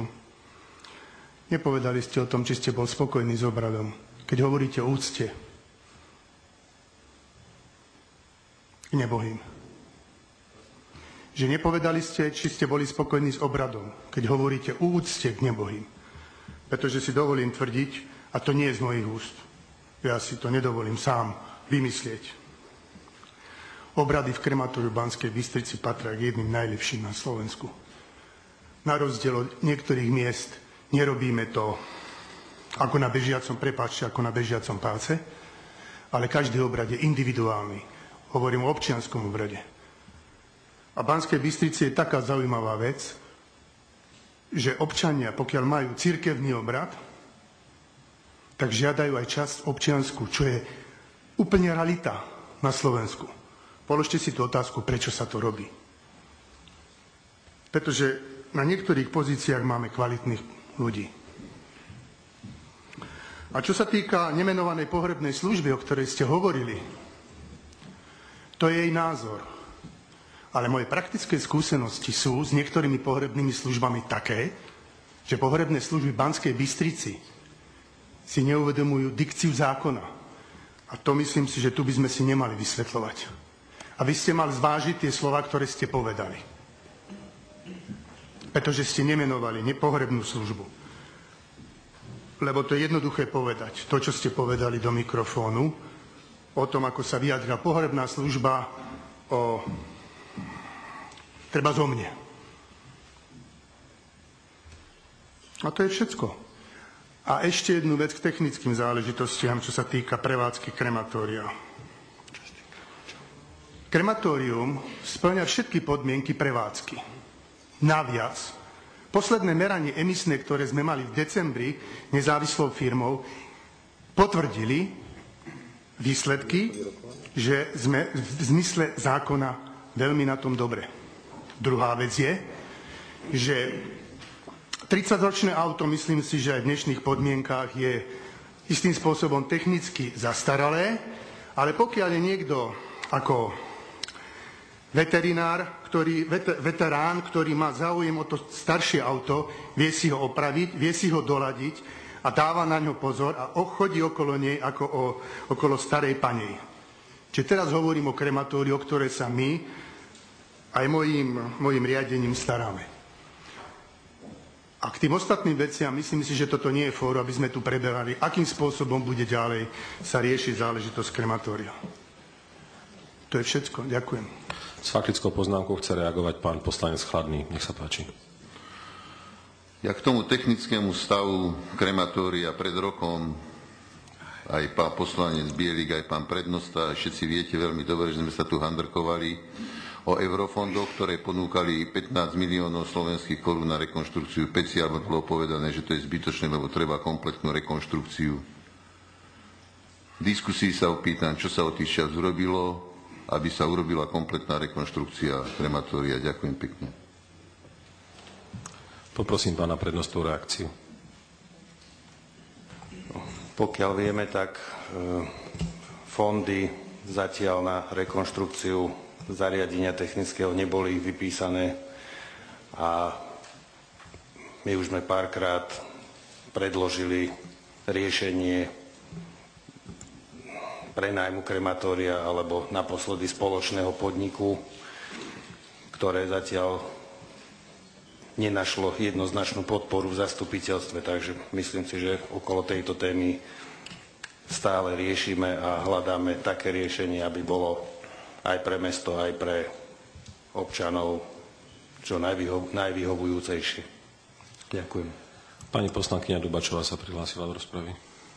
Ďakujem veľmi pekne. Mm, ja si myslím, že by mal byť náš spoločný tlak, aby naozaj tie podmienky boli, boli lepšie. A chcem vyjadriť úprimnú sústrasť Atilovi a povedať, že Pali Bielik a Atila nie sú proti sebe, ale by mali, všetci by sme mali spoločne bojovať za to, aby tie podmienky v tom krematóriu vlastne aby boli lepšie. Ďakujem veľmi pekne. Dobre, dovolte v tejto chvíli, aby som ukončil rozpravu k slovu pre verejnosť a prešiel k ďalšiemu, ďalšiemu bodu programu a tým je... Kto sa hlasí? Aha, ja tu nevidím cez ten pult, takže sa ospravedlňujem. No, my sme sa dohodli na tom, že sa do slova pre verejnosť bude prihlasovať písomne. Takže ak je niekto, kto by ešte v slove pre verejnosť chcel vystúpiť, tak v tom prípade musí zastupiteľstvo prejaviť ochotu dať človeku dotyčnému slovo. Takže dávam hlasovať. Čo? Poprosil by som, aby ste, predstavili, aby ste sa predstavili a povedali, za akou vecou chcete vystúpiť, aby, aby poslanci mohli kompetentne rozhodnúť, či chcú alebo nechcú.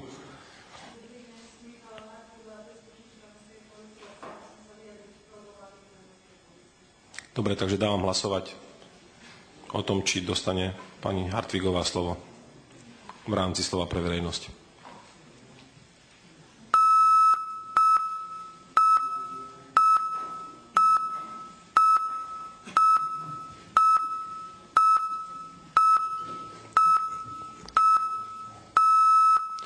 Za 25, proti 0, zdržalo sa 0. Konštatujem, že bol vydaný súhlas. Pani Hartigová, pristúpte k mikrofónu, máte 5 minút.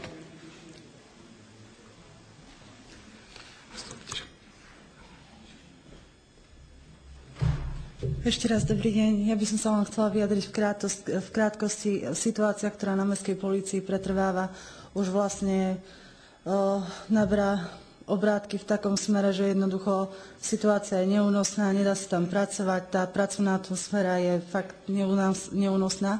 Ale to je vo všeobecnosti, aby som skôr chcela priblížiť môj osobný problém so zástupcom náčelníka pre výkon, a to pánom Slovákom kde vlastne od novembra 2011 zo strany pána Slováka, Slováka voči mne boli vyvíjane sexuálne narážky, návrhy a podobné veci. Keď som na tieto veci nepristúpila, pán Slohák vo februári proste začal jednoducho doslova bojkotovať moju prácu, ponižovať ma a vulgárne sa správať na moju adresu, adresu ostatných kolegov pred ostatnými kolegami. To je asi tak krátkosti všetko a chcela by som poprosiť vedenie mesta a poslancov, aby jednoducho zakročili a vyriešili túto situáciu, nakoľko som žena a matka a takáto situácia si myslím, že nie je priaznivá ani pre verejnosť. Ďakujem. Ďakujem. Otváram rozprávu. Prihlásil sa pán poslanec Pavol Bielik. Ja sa chcem opýtať pani Hartigovej, ako dlho pracujete na mestskej policii? 2009 mesiac? Ďakujem. Pán poslanec Peter Bielik. Ďakujem pekne. Ja neviem teda, ale ja si myslím, že takéto veci mal riešiť šéf daného, teda danej organizácie a nie mestskí poslanci. Ako je, je mi to veľmi ľúto a toto sa existujú na Slovensku zákony. Ďakujem.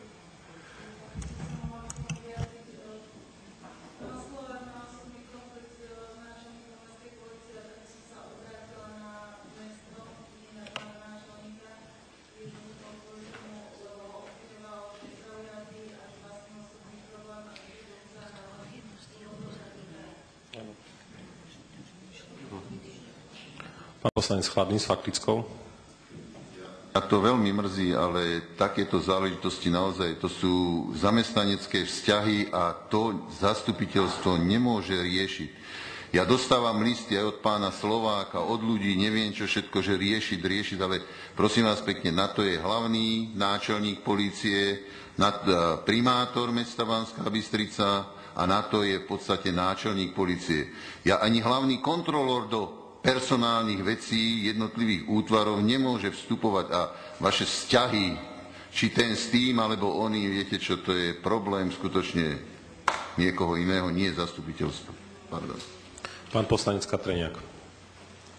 Ja len pridám, že teraz ste povedali, že ste sa obrátili nie na pána náčelníka, ale na nás. No ja som šokovaný, aby ste sa s takouto vážnou vecou pri prvom nejakom pokuse keď ste to videli, neobrátili na svojho nadriadeného. Naozaj my to tu teraz máme riešiť. To je, to je, viete, to je slovo proti slovu a toto, toto je pre mňa situácia, ktorú si ani neviem celkom, celkom predstaviť, čo my tu môžeme. Vy nás tu tlačíte do polohy, ktorú my vôbec nevieme overiť, ale myslím si, že naozaj v prvej fáze musíte vy vystúpiť a povedať to tomu, kto je nadriadený, kompetentný, potom je tu pán primátor a nielen takto vybehnúť na zastupiteľstvo. No ja otváram ústa.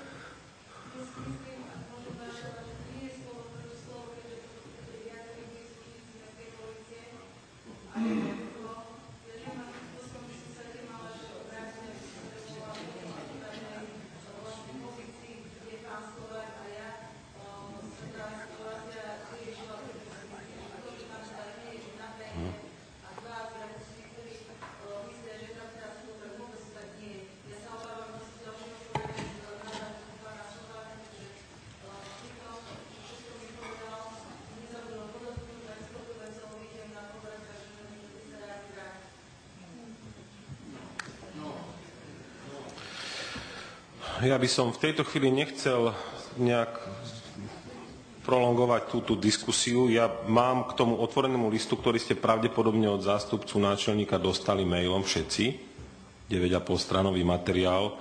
Ja som pripravil návrh na uznesenie. Čiže to, to som mal v pláne otvoriť, otvoriť v rozprave, ale aby sme, aby sme teraz túto našu príslušničku mestskej polície tu nevypočúvali ako... Ja nechceme. No, pretože si myslím, že, že kompetenčne to nadnesla na fóre, ktoré to nemám prečo riešiť. Absolútne. Takže neviem, nechcem, nechcem, rušiť, nechcem rušiť rozpravu, ste prihlásení viacerí do tej rozpravy, ale neviem, či v tejto chvíli vieme niečo zmysluplné povedať, okrem toho, že tu je človek, ktorému môžeme uložiť, aby sa tou vecou zaoberal. Takže neviem, trváte na tej rozprave, pán poslanec Lichy? Dobre, pani poslankyňa Priehodová. Pán poslanec Turčan. Tak poďte. Poslank, pani poslankyňa Priehodová, predsa len poprosím stručne k tomu. Ďakujem. Ja len chcem poprosiť, ak vám to teda nebude vadiť, aby táto časť nebola zaznamenaná do zápisnice, keďže sa jedná o citlivý problém, ktorý by mohol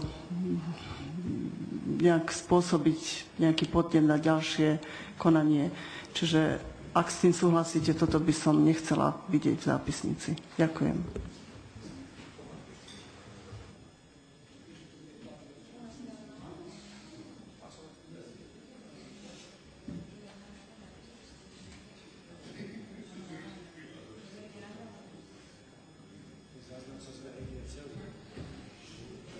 Nie som si, nie som si istý, či vám vieme vyhovieť, pani poslankyňa.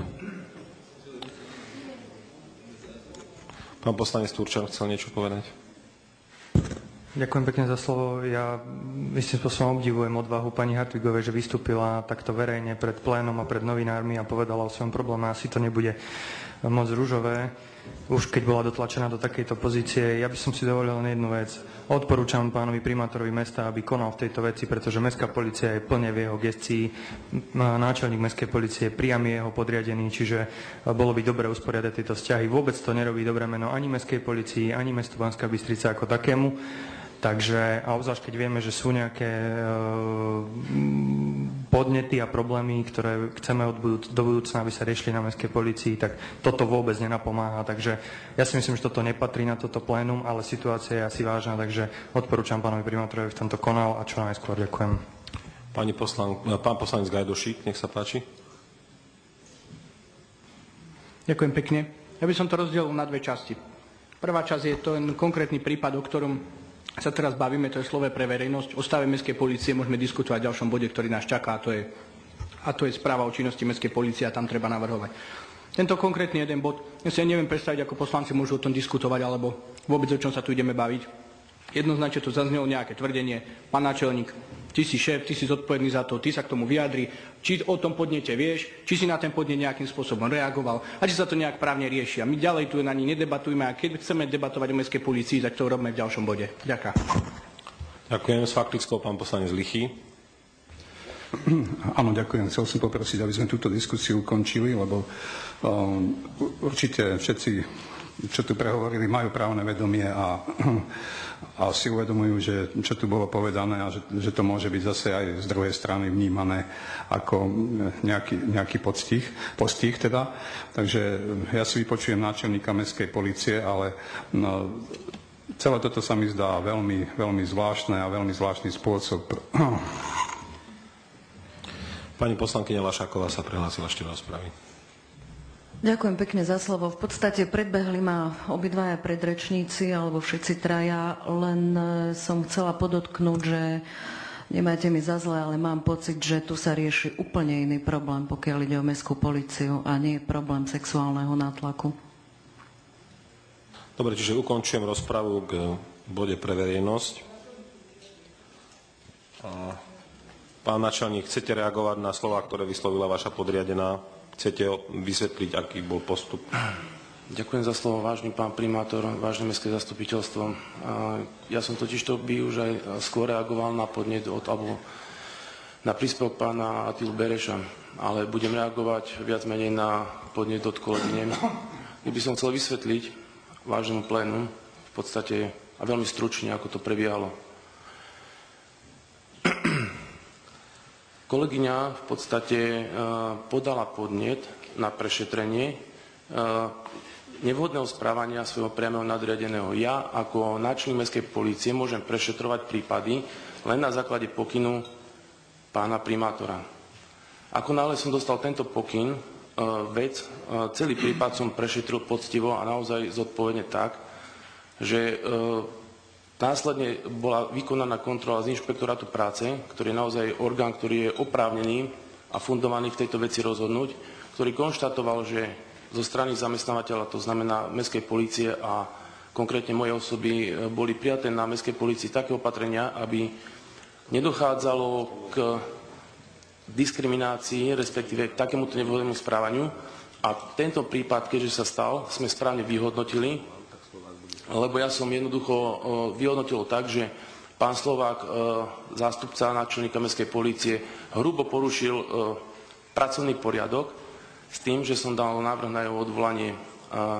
Žiaľ, môj návrh, ktorý zo zákona 564 z roku 91 predkladám primátorovi, to znamená, že predkladám všetky pracovnoprávne návrhy pánovi primátorovi, boli zo strany Mestského úradu boli jednoducho neboli akceptované ktoré boli e, spracované až po dobe, kedy sme už nemohli jednoducho vyvodiť voči pánovi Slovákovi e, žiadne sankcie. To znamená, že sme prešvihli lehotu a tým pádom pán Slovák ako by sa ničo nedopustil. E, toto všetko vlastne využil v, v neprospech mesta Banská Bystrica a kaďakými listami, otvorenými listami, ja neviem čím, v podstate, ešte by som chcel povedať, je podľa zákona číslo 211 zahlcuje svojho zamestnávateľa nezmyselnými požiadavkami, a tým spôsobuje aj škodu na majetku mesta. Zo strany e, mňa, ako náčelníka mestskej policie, som urobil všetky opatrenia, ktoré mi vyplývajú zo zákona, a to tak, že som prípad pani Hartvigovej riadne prešetril, riadne uzavrel a riadne som navrhol opatrenie. Žiaľ, neboli akceptované. Ďakujem. Poďme. Ja navrhujem, aby sme sa v tejto chvíli preklopili do témy správa o činnosti Mestskej polície a potom v rozprave otvorili problémy, ktoré vnímame v tejto téme. Budeme bodom číslo 10, slovo pre verejnosť. Keďže sa do tejto chvíle do, do, mm, nikto slova pre verejnosť neprihlásil, budeme pokračovať bodom číslo 12 a to je všeobecne záväzné nariadenie mesta Banská Bystrica o doručovaní písomnosti elektronickými prostriedkami bez zaručeného elektronického podpisu. Poprosím inžiniera Alexandra Hlavatého, vedúceho oddelenia informatiky o úvodné slovo.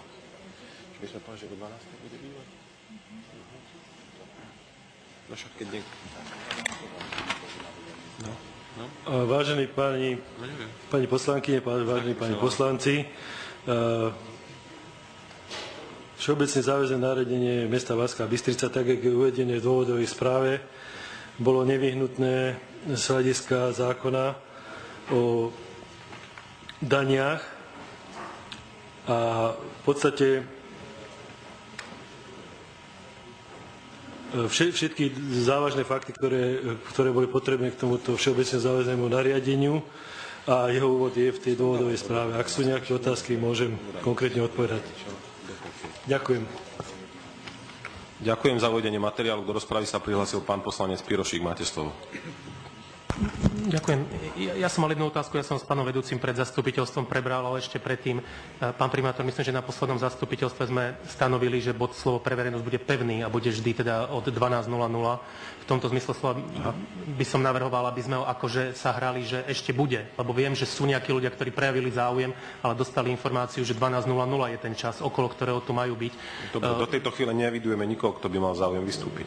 Ja som mal pocit, že napríklad pán Attila Bereš evidoval, že by rád prišiel. On tu prišiel aj minulý a prišiel síce na čas, ale už bol ten bod preč a Aha. hovoril, že ako pracujúci človek s tým má trošku problém a myslím kolega Lichy alebo niekto z poslancov inicioval, aby ten bod bol fixný. Bez ohľadu na to, kto má záujem, to by som bol rád, aby v rámci nejakej, nejakých pravidel uh, sme sa dohodli, že ten, je fix, ten bod je fixný, ten čas, aby ľudia, ktorí majú potrebu niečo povedať, približne vedeli kedy. Uh, moja pripomienka k tomuto nariadeniu, ktorú som konzultoval aj s pánom, s pánom uh, Hlavatým, bola o tom, že, že či mm, ten, ten konkrétny elektronický portál, ktorý sa e, teda uvádza v paragrafe 1 odsek 2 náhodou nie je komerčný produkt a mám za to, že tak trošku je, hoci v tejto chvíli riadne vysúťažený a tak ďalej, ale tak ako by nebolo celkom v poriadku, aby sa do VZDNK o odpadoch povedalo, že to zabezpečuje firma X a do VZDNK o údržbe komunikácie firma Y, aj keď by sa to možno viacerým páčilo, tak e, si nemyslím, že by malo byť v tomto VZDNK e, odkaz na konkrétny produkt. Veľmi jednoduchá zmena, ktorá nemení filozofiu, teda znie, aby v paragrafe 1 odsek 2 sa vypustilo slovo e-point. Čiže tá veta bude znieť elektronickú komunikáciu zabezpečuje elektronický portál e, umiestnený na web stránke mesta.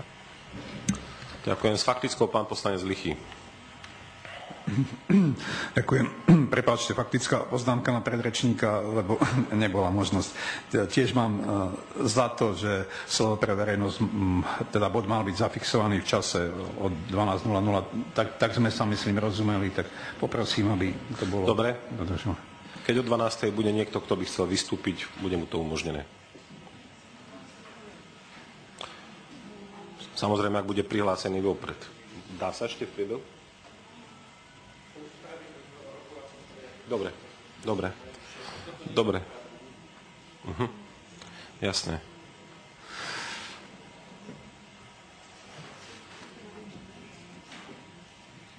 Mhm. Dobre, dobre, takto som si to ja predstavoval. Dobre, takže odznel nám nejaký pozmeňovací návrh k tomu elektronickému doručovaniu. Takže poprosím najprv pozmeňovák a potom uznesenie k tomuto materiálu. Predseda návrhovej komisie. V paragrafe 1 odstavec 2 sa vypúšťa slovo point. E-point, pardon. Čiže neuvádza sa konkrétny realizátor.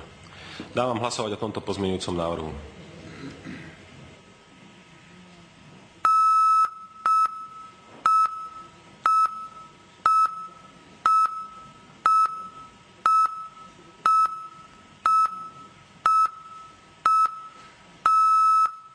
Za 22, proti 0, zdržalo sa 0. Konštatujem, že návrh bol schválený. Poprosím návrh uznesenia k tomuto materiálu.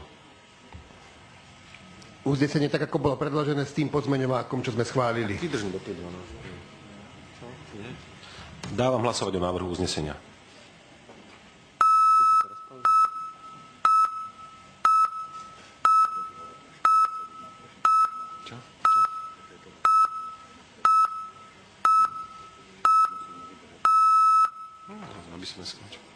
Za 21, proti 0, zdržal sa 0, dvaja nehlasovali. Konštatujem, že uznesenie bolo schválené. Pokračujeme bodom číslo 14 a to je Všeobecne záväzné nariadenie mesta Banská Bystrica o verejných kultúrnych podujatiach. Poprosím magistru Karin Graciasovú Šikulovú, vedúcu odboru propagácie mesta, o krátke úvodné slovo. Ďakujem za slovo. E, vážené mestské zastupiteľstvo, oddelenie kultúry spracovalo v zmysle plánu práce nové všeobecne záväzné nariadenie o verejných kultúrnych podujatiach. Oddelenie organizačno-právne však nové VZN neodporúča z dôvodu, že schválenie tohto nového návrhu VZN je nad rámec zákonných oprávnení vyplývajúcich z ústavy Slovenskej republiky. Organizačno-právne oddelenie odporúča zrušiť aj pôvodne platné VZN číslo 180 lomeno 2007. Toto stanovisko ako aj návrh VZN bolo predmetom rokovania Komisie Mestského zastupiteľstva pre kultúru, ktorá bola 11.6.2012, kde komisia prijala uznesenie, v ktorom sa stotožňuje so stanoviskom oddelenia organizačno-právneho a odporúčala zrušiť aj uvedené VZN. Aby však bolo nejaké náhradné riešenie, oddelenie kultúry spracováva materiál, respektíve manuál pre usporiadateľov verejných kultúrnych podujatí a aktivít pre verejnosť na území mesta, kde budú poskytnuté všetky potrebné informácie, kontakty a postupy pri plnení zákonných povinností voči mestu pre zabezpečenie a realizáciu verejných podujatí. Ešte by som doplnila, že tento materiál bude k dispozícii na webovej stránke mesta a aj bude zverejnený v radničných novinách. Ďakujem. Ďakujem za uvedenie materiálu. Otváram rozpravu. Keďže sa nikto do rozpravy nehlási, ukončím rozpravu a poprosím návrh uznesenia. Tak, ako bol predložený písomne. Ďakujem, dávam hlasovať.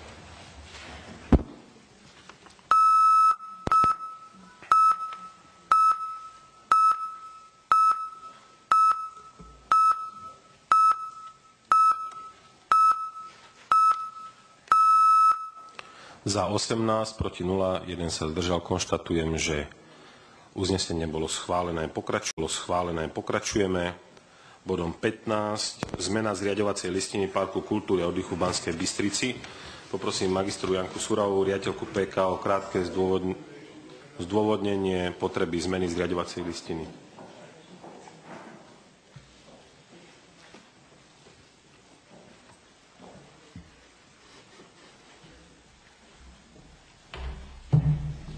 Ďakujem pekne za slovo, vážené mestské zastupiteľstvo. Predkladám návrh na zmenu zriadovacej listiny Parku kultúry a oddychu. Táto potreba zmeny zriadovacej listiny vlastne vzýšla z potreby aktualizovať hlavne jej predmet činnosti, nakoľko mm, a teda vydať ucelenú zriadovaciu listinu. Zmena zriadovacej listiny presne kopíruje činnosti, ktoré v súčasnom období Park kultúry vykonáva, jednak v hlavnej, ale aj podnikateľskej činnosti. E, zistila som po nástupe do svojej funkcie, že teda Park kultúry vykonáva podnikateľskú činnosť, na ktorú nemá živnostenské oprávnenie, lebo bolo v roku 2010 zrušené. E, preto 28. mája Park kultúry požiadal e, o zápis do živnostenského registra. Vlastne je to mm, aj podnikateľská činnosť by bol, bola prvým krokom k zabezpečeniu viaczdrojového financovania pre Park kultúry. Ďakujem pekne. Ďakujem. Otváram rozpravu. Pán poslanec Turčan, poprosím pani riaditeľka, ostaň prosíte ešte pri mikrofóne, ak by bolo treba zodpovedať nejakú otázku. Pán poslanec, máte slovo. Ďakujem pekne. Ja som chcel pani Surovej poďakovať, že nastúpila v takomto tempe a v podstate pracuje na týchto veciach. Je pre mňa nepochopiteľné, že boli zrušené živnosti, ktoré na základe ktorých mohla park kultúry a oddychu vykonávať podnikateľskú činnosť. A zároveň vítam, že konečne zjednotila zriadovaciu listinu, ktorá po troch dodatkoch konečne máme na stole finálnu verziu. Takže ja ďakujem pekne a to je všetko. Ďakujem. Ďakujem. Ďakujem pekne. Ak sa nik ďalší do rozpravy nehlási, poďakujem riaditeľke PKO. Ďakujem pekne. A poprosím predsedu návrhovej komisie, aby prečítal návrh na uznesenie. E, tak, ako bolo predložené písomne. Ďakujem. Dávam hlasovať o návrhu uznesenia.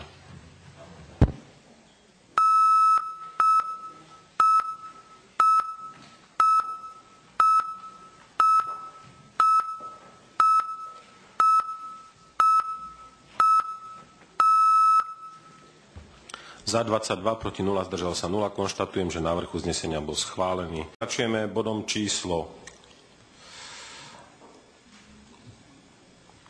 12. Máme to prečíslované, lebo sa nám menilo niečo. 16. Správa o činnosti Mestskej policie Banská Bystrica za rok 2011. Poprosím náčelníka Mestskej policie Ľubomíra Piterku, aby uviedol tento materiál. Opätovne ďakujem za slovo. Vážený pán primátor, vážne mestské zastupiteľstvo, predkladám vám správu o činnosti Mestskej policie za rok 2011, ktorá je predložená v štandardnom formáte, ktorý predkladáme po niekoľko rokov. Akurát e, jedna výnimka je bod 21, kde sme v dôležitých skutočnostiach uviedli tú skutočnosť, že v roku 2011 bola uzatvorená, alebo boli uzatvorené tri zmluvy o spolupráci medzi obcami a mestom Banská Bystrica, pričom k reálnemu naplneniu týchto zmluv došlo len v prípade obce Selce. Táto spolupráca podľa môjho názoru bola veľmi osožná a pre obidve strany bola prínosná. Ďakujem pekne. Ďakujem. Otváram rozprávu k tomuto materiálu. Ako prvý sa prihlásil pán poslanec Turčan.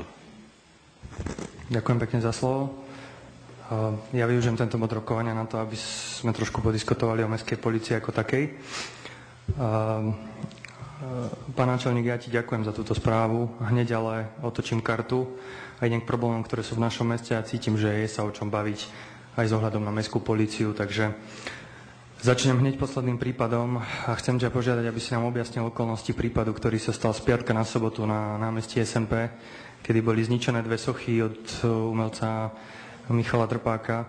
Tento incident považujem len za vyvrcholenie situácie, ktorá sa pravidelne každý týždeň počas piatkových a sobotnejších nocí opakuje na sídliskách alebo v centre nášho mesta. Väčšinou mladí ľudia podgoražení alkoholom vyčínajú a svojim konaním poškodzujú majetok občanov, ale aj mesta. Dovolím si tvrdiť, že centrum mesta sa počas týchto nocí mení na vyslovene bojovú zónu, kde sa každý slušný človek bojí pohybovať. E, rozkopané koše, ohnuté značky, zničené pouličné osvetlenie, pomalované steny domov, rozbité okná, alebo porozbijané fľaše na ceste. To je už tradícia sobotnejších a nedelnejších rán, kedy toto nachádzajú obyvateľia mesta na svojich uliciach. Kontrolovať, usmerňovať, pokutovať, pri osobnej kontrole legitimovať, proste zaviesť poriadok. Toto nie je normálna situácia, ktorá absolútne nevyhovuje, myslím si, nikomu v tomto meste a vôbec nepomáha ani cestovnému ruchu. Dávam ti preto na zváženie, aby ste pripravili model, ako zvýšiť výrazným spôsobom počet hliadok v meste, počet nočných hodín v našom meste. Ak nie sú kapacity, tak ja neviem, uberte cez deň, ale proste posilnite noc, kedy vyslovene tú mestskú policiu musí byť cítiť v meste. Ja si dovolím ešte, ešte jednu vec k tomuto bodu rokovania. Nakoľko sa ma tento incident počas víkendu výrazným spôsobom dotkol, dávam verejnú výzvu našim občanom, za účelom objasnenia pôvodcu tohto činu. Tu verejne slubujem odmenu ako poslanec mesta, kto mi odhalí identitu páchateľa a má konkrétne dôkazy v tomto prípade. Túto odmenu vyplatím z môjho vlastného vrecka ako poslanec mesta. Jednoducho vyzývam niekoho, kto to videl, aby sa mi ozval a čítam aj na internetových fórach, že mnoho ľudí týchto páchateľov videlo príčine len či už sa boja, alebo, alebo neviem, boja sa možno nakontaktovať na políciu alebo prezadiť svoju, svoju identitu.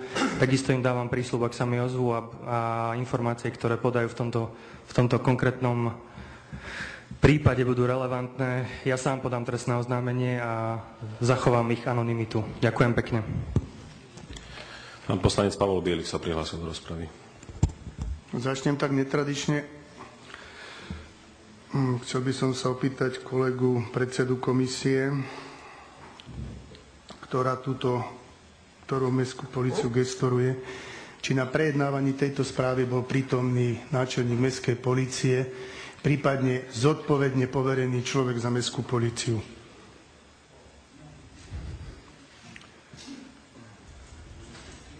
S faktickou. Tebe, Jakub, áno, ty si predseda. Predseda komisie.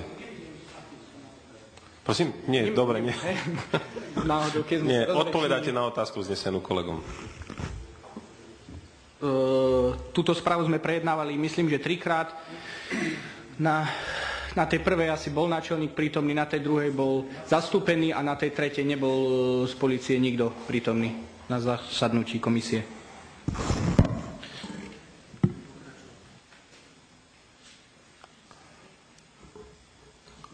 Pán poslanec Pavol Bielik dostal odpoveď na otázku, chce pokračovať v svojom diskusnom príspevku.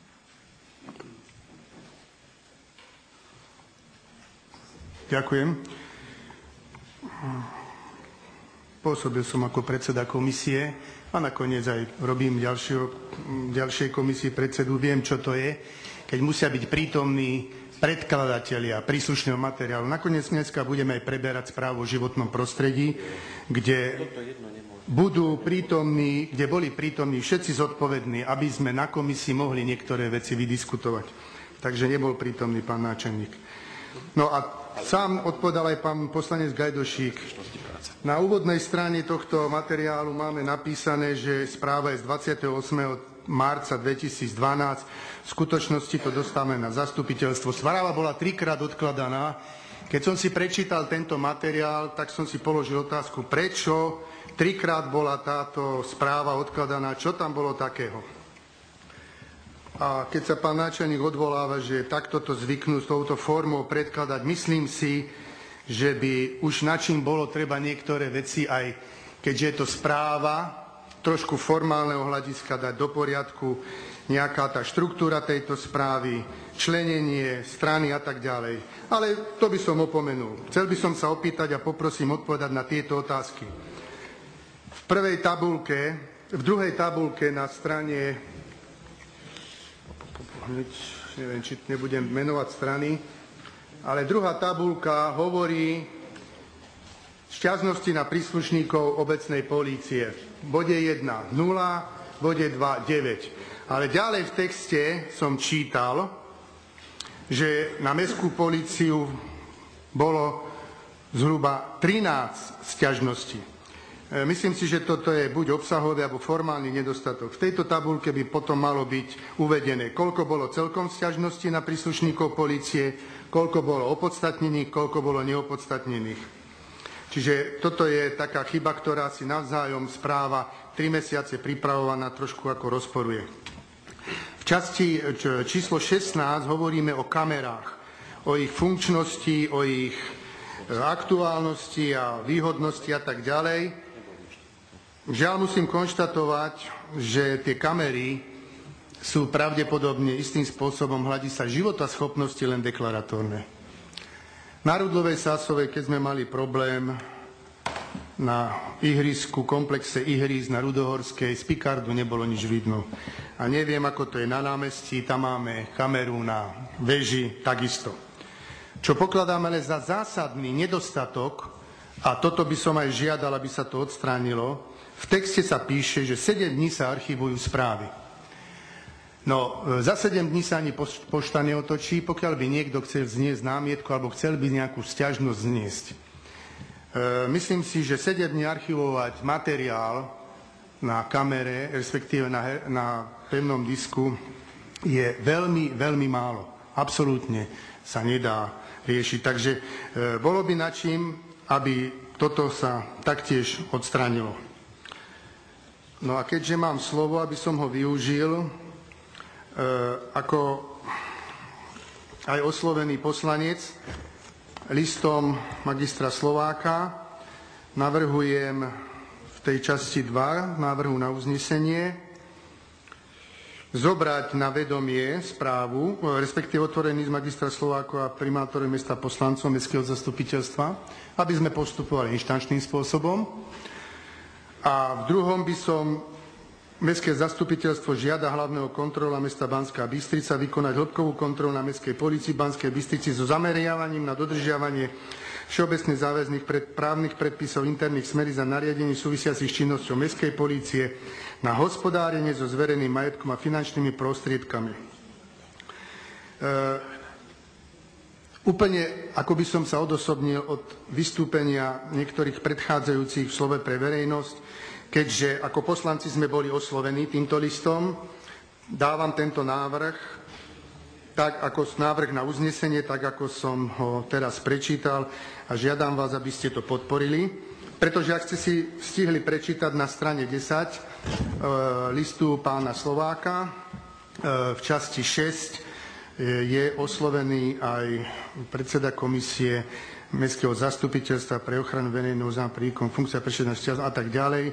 A nakoniec je tam aj v predchádzajúcej e, časti aj e, návrh, respektíve podnet k hlavnému kontrolovi. Takže toto predkladám vám, aby sme v rámci tohto bodu riešili. Ďakujem. S faktickou poznámkou chce reagovať pán poslanec Pecník. Nech sa páči. Ďakujem za slovo, pán primátor.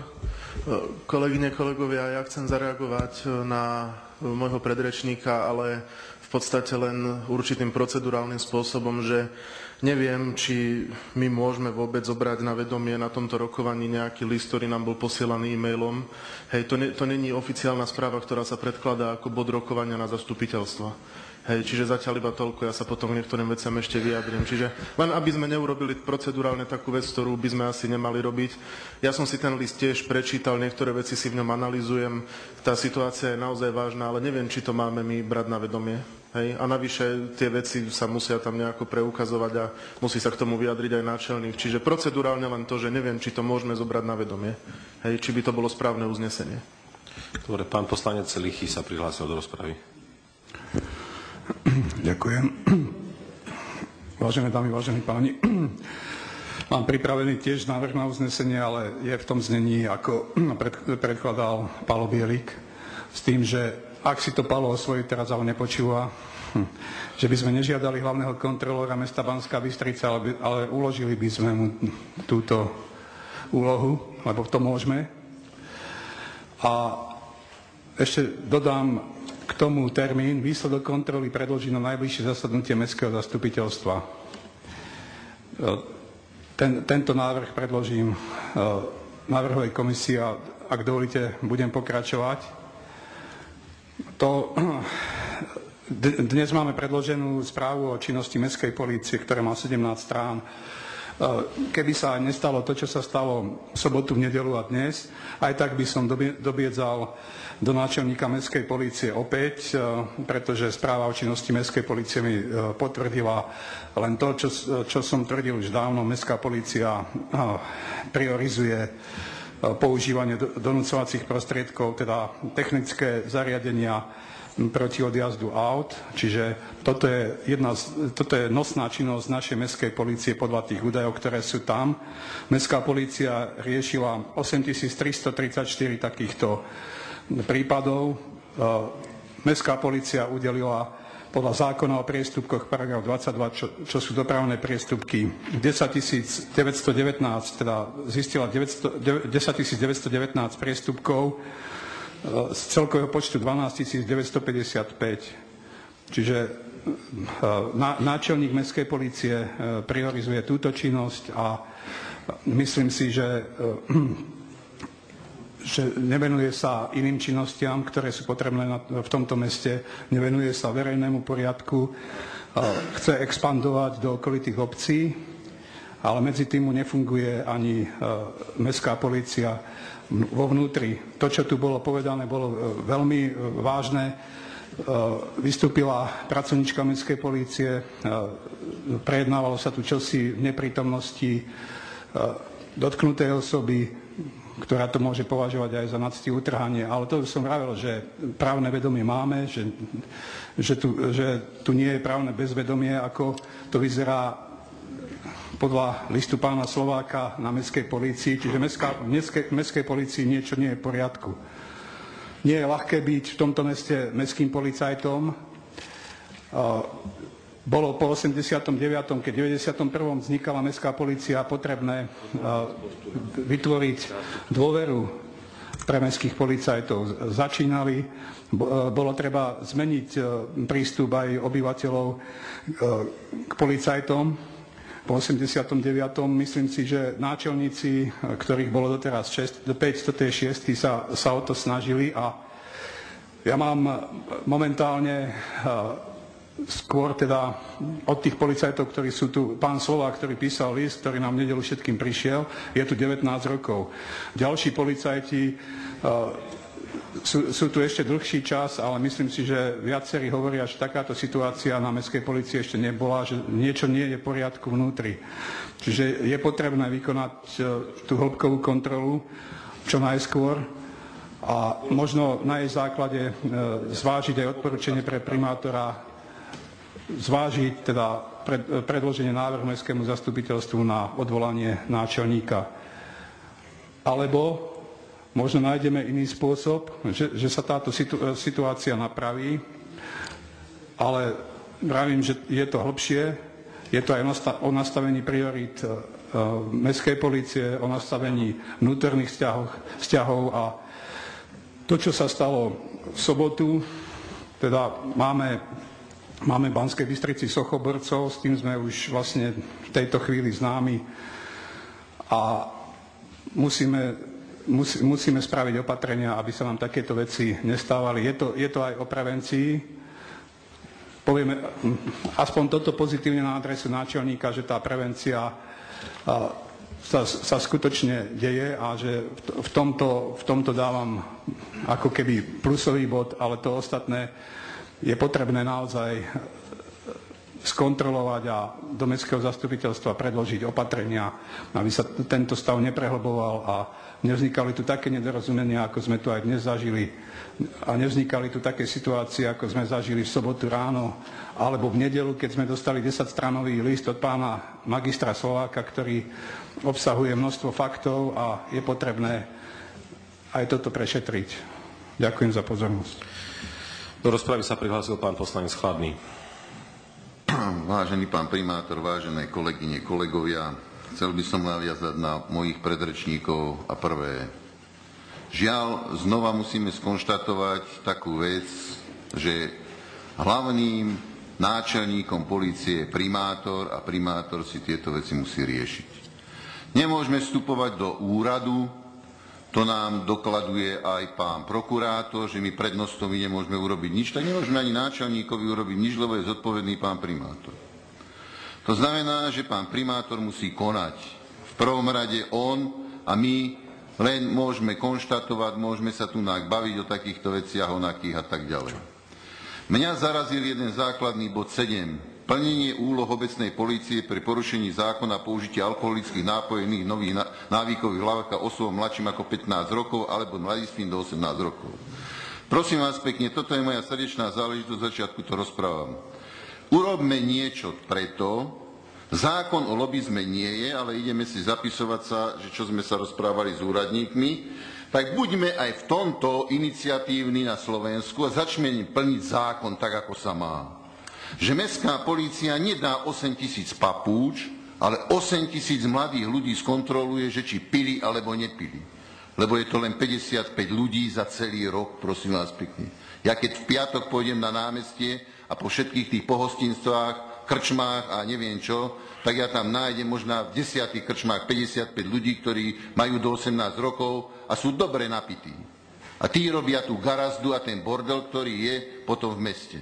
Len žiaľ Bohu, ja mám také in, informácie, že pokým tam policia príde, tak majiteľ dostane echo, že pozor, tu ak prídu, tak nevieme nič robiť. A tu vzniká situácia, potom nič nenájdeme, všetko je v poriadku. Ale prosím vás pekne, buďme už raz rázni a začneme toto sekať a sekať, pokutovať krčmárov, majiteľov, rodičov a potom budete vidieť, že v meste Banská Bystrica bude poriadok. Len žiaľ Bohu, máme priority mnohí iné a mnohé veci iné, ale toto, ktoré nám robí neporiadok v meste, to je mládež. Od 12 vám môžem povedať, možno aj mladší, do 18 rokov, ktorí sa nevedia zmestiť do kože, a robia najväčší bordel v meste Banská Bystrica 7 hodine večer, ja to tak poviem. A piatky a soboty možná aj neskôr. Ja mám skúsenosti, rodičia ich budú zastávať, rodičia nepovedia nič a mestská policia, keď 55 ľudí za celý rok, prosím vás, čo to je? To je smiešné. Vravím, skúsme raz toto. Občianku má mať každý, keď nemá občiansky preukaz, von s krčmi. Nevyzeráš na 18-ročného odchod. Žiadne debaty okolo týchto vecí, pokým sa to nenaučí. Veci už zoberme príklady z iného sveta. V Spojených štátoch amerických do 21 rokov nesmie sa piť alkohol.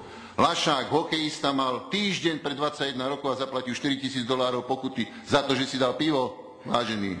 A krčmár zaplatil ďalších 4 tisíc dolárov. A u nás mal týždeň do 21 rokov, prosím vás, a bol hráč NHL. Tu keby sa to stalo, tak všetci sme blázni. Ale u nás my to tolerujeme s úsmevom na tvári, bez vyhnutia oka. A preto nie je poriadok tak, ako má byť. Lebo aj tie všetky výlomky a výkriky a bordel, čo je na meste, čo sa vyvalujú smetné koše, čo sa rozbijajú tamto, môže povedať aj pani Suravová, posl- e, riaditeľka PKO, že dneska sa nemôže dať Betlehem do fontány, lebo bol fur rozbitý a fur dolámaný a nikdy sa nik bol nenašiel, kto to urobil. To nie je prvá socha, čo sa tu na tejto Bystrici rozbila. Tu ich bolo už XY rozbitých. Tamto novomestského hlava už padla dávno, alebo ktorý tam bol ďalší pri divadle, to jednoducho tam sa nemôže nič dať, lebo sústavne po dvoch týždňoch je spadnutá hlava. Takže na toto sa dívajme, prosím vás pekne. A nedívajme sa už na veci malikerné a to, čo je na mestskej polícii. Vy poviete, že to je podstatná vec. To je vecou primátora mesta Banská Bystrica. Ďakujem pekne. Pán poslanec Katreniak požiadal slovo. No, pokiaľ viem, tak aj mestské zastupiteľstvo môže hovoriť do osoby náčelníka mestskej polície, takže si myslím, že je to aj vec mestského zastupiteľstva. Pán doktor Chladný, nie len primátora. Okrem toho tu sme počuli veľmi rozporuplné vyjadrenia. Pani povedala, že sa na nás obracia, že nejde, nejde na nadriadeného, či ja som z toho vyrozumel, že vlastne ani pánovi náčelníkov nedala informáciu. On tu potom povedal, že všetko to spracúval. To by podľa mňa bolo treba naozaj, niekto by sa mal na to pozrieť časovo, kedy sa to stalo, kedy dal správu, akú dal správu, aké dala výzať, lebo toto nie je švanda. Čiže podľa mňa to dianie na polícii veľmi ovplyvňuje vôbec dianie potom aj na vonok a konanie polície na vonok, takže aby som to tak nepodceňoval. E, je isté, ale policia nemá ľahkú robotu. Agresivita naozaj stúpa, nie len tu v Bystrici. Bol som počas víkendu v Devínskej Novej Vsi a videl som, ako tam sedem bolestnú panu Máriu s Kristom roztrieskal nejaký človek ešte z mreží, vytiahol tú sochu a rozbil veľmi peknú sochu. A jednoducho, jednoducho bohužiaľ, bohužiaľ, takto to je. Takže tá polícia mestská má aj dosť ťažkú situáciu a ešte keď má vnútorné problémy, o to je to horšie. Ja som dobre počúval pani poslankyňu Lašákovú a myslím si, že tá veta bola veľmi trefná, čo povedala o tom vôbec, čo sme tu dnes počuli, že to môže byť zástupný problém. Nerozumiem ale, nerozumiem ale tomu, že sa táto vec neriešila naozaj a myslím si, myslím si že na, za toto predovšetkým, predovšetkým bude musí nie zodpovedať ten, kto tú vec poriadne nenahlásil, alebo ten, kto tú vec poriadne neodstúpil, ak sa tak stalo. Ale to je vec pána primátora, aby si tieto veci prešetril. Mestská polícia veľmi málo napríklad chytila ľudí, ktoré, ktorí zakladali čierne skládky. Viem, že s tým je problém. Podľa mňa, podľa mňa naozaj tých, tých prípadov neúspešných je veľmi veľa, čo si myslím, že svedčí nie o dosť, o dosť kvalitnom výkone alebo nie o dosť kvalitnej práci jej. Isté, sú veci, kde funguje dobre, sú, sú veci, kde, alebo sú oblasti, kde sa je darí. Hovorím, že nemá to ľahké. Na druhej strane E, tých prípadov úspešných je veľmi málo. Ja rozumiem, že nemuseli to chytiť na námestí od, od, od, od druhej či o 4 na 3 v noci, keď tam nejakí opití išli a, a trestli do tej, do tej jednej sochy, druhej sochy a utekali potom vraj striebornou ulicou volá kde preč. To nemohli byť všade, to je jasné. Potom, keď, to, je, to, je, to je logické, ale aj tak si myslím, že tá polícia, polícia má tých, tých dier veľmi veľa, tých neúspechov. Toto mi vadí. No ale keď sa pozriete na návrh na uznesenie, tak to uznesenie je totálny trápas čo nám pán náčelník predložil. Mestské zastupiteľstvo berie na vedomie dôvodovú správu hej, k správe o činnosti mestskej policie. Keď si pozriete tú dôvodovú správu, tá má tri riadky, alebo štyri. V tej dôvodovej správe nič nie je. My nemôžeme brať tú dôvodovú správu. V tej dôvodovej správe mal práve pán náčelník vysvetliť, prečo mešká správa. Hej? Prečo, je to, prečo to bolo odložené. Prečo dal do prvej správy e, tie inf, tie neverejné informácie, osobné údaje a vlastne celé sa to naťahovalo, že tá správa nebola dobre urobená, nevedeli sme ju ani otvoriť. Toto je to meškanie. A toto si myslím, že sú veci, ktoré v tomto materiáli mali byť urobené v dôvodovej správe. A takú dôvodovú správu, ako je tu, my nemôžeme brať na vedomie, takže neviem, či to pán náčelník opraví, alebo či mi dovolí opraviť jeho uznesenie, ale ja dávam pozmeňovák, že berie na vedomie správu o činnosti Mestskej policie za rok 2011. Ďakujem. Pani viceprimátorka Čižmárová sa prihlásila do rozpravy. Vážené kolegyne, kolegovia, e, súhlasím s mojimi predrečníkmi Absolútne súhlasím s kolegom pánom Chladným a určite bude potrebné, aby sme ako poslanci, ale aj ja ako členka vedenia začali systematickejšie robiť prevenciu proti týmto opatreniam, proti týmto uh, stavom, ktoré sa sú v súčasnosti hlavne v oblasti prevýchovy mládeže. Určite bude potrebné prijať prísnejšie opatrenia pri kontrole požívania alkoholických nápojov, možno aj zmeniť systém vstupu mladistvím do reštauračných zariadení, a samozrejme systematicky túto situáciu riešiť, lebo osobne takisto sa stotožňujem s pánom Chladným, že to, čo sa deje v súčasnosti v meste v noci, je jedna katastrofa. Tam sú deti 12-13 ročné o polnoci, opité, ktoré robia potom výtržnosti. Uh, Chcela som hlavne vystúpiť s prijatím uznesenia, ale ma predbehol kolega Palko Bielik. Takže stotožňujem sa s návrhom toho uznesenia. Ďakujem. Ešte pán poslanec Pavel Bielik sa prihlásil do rozpravy. Musel som sa prihlásiť, prepáčte, lebo mm, chcem ešte raz upriamiť vašu pozornosť na článok 16 v textovej časti tejto správy Hovorí sa o kamerovom systéme, hovorí sa o rôznom monitorovacom systéme, ale ja som tu nenašiel v tejto správe zhodnotenie toho monitorovacieho procesu.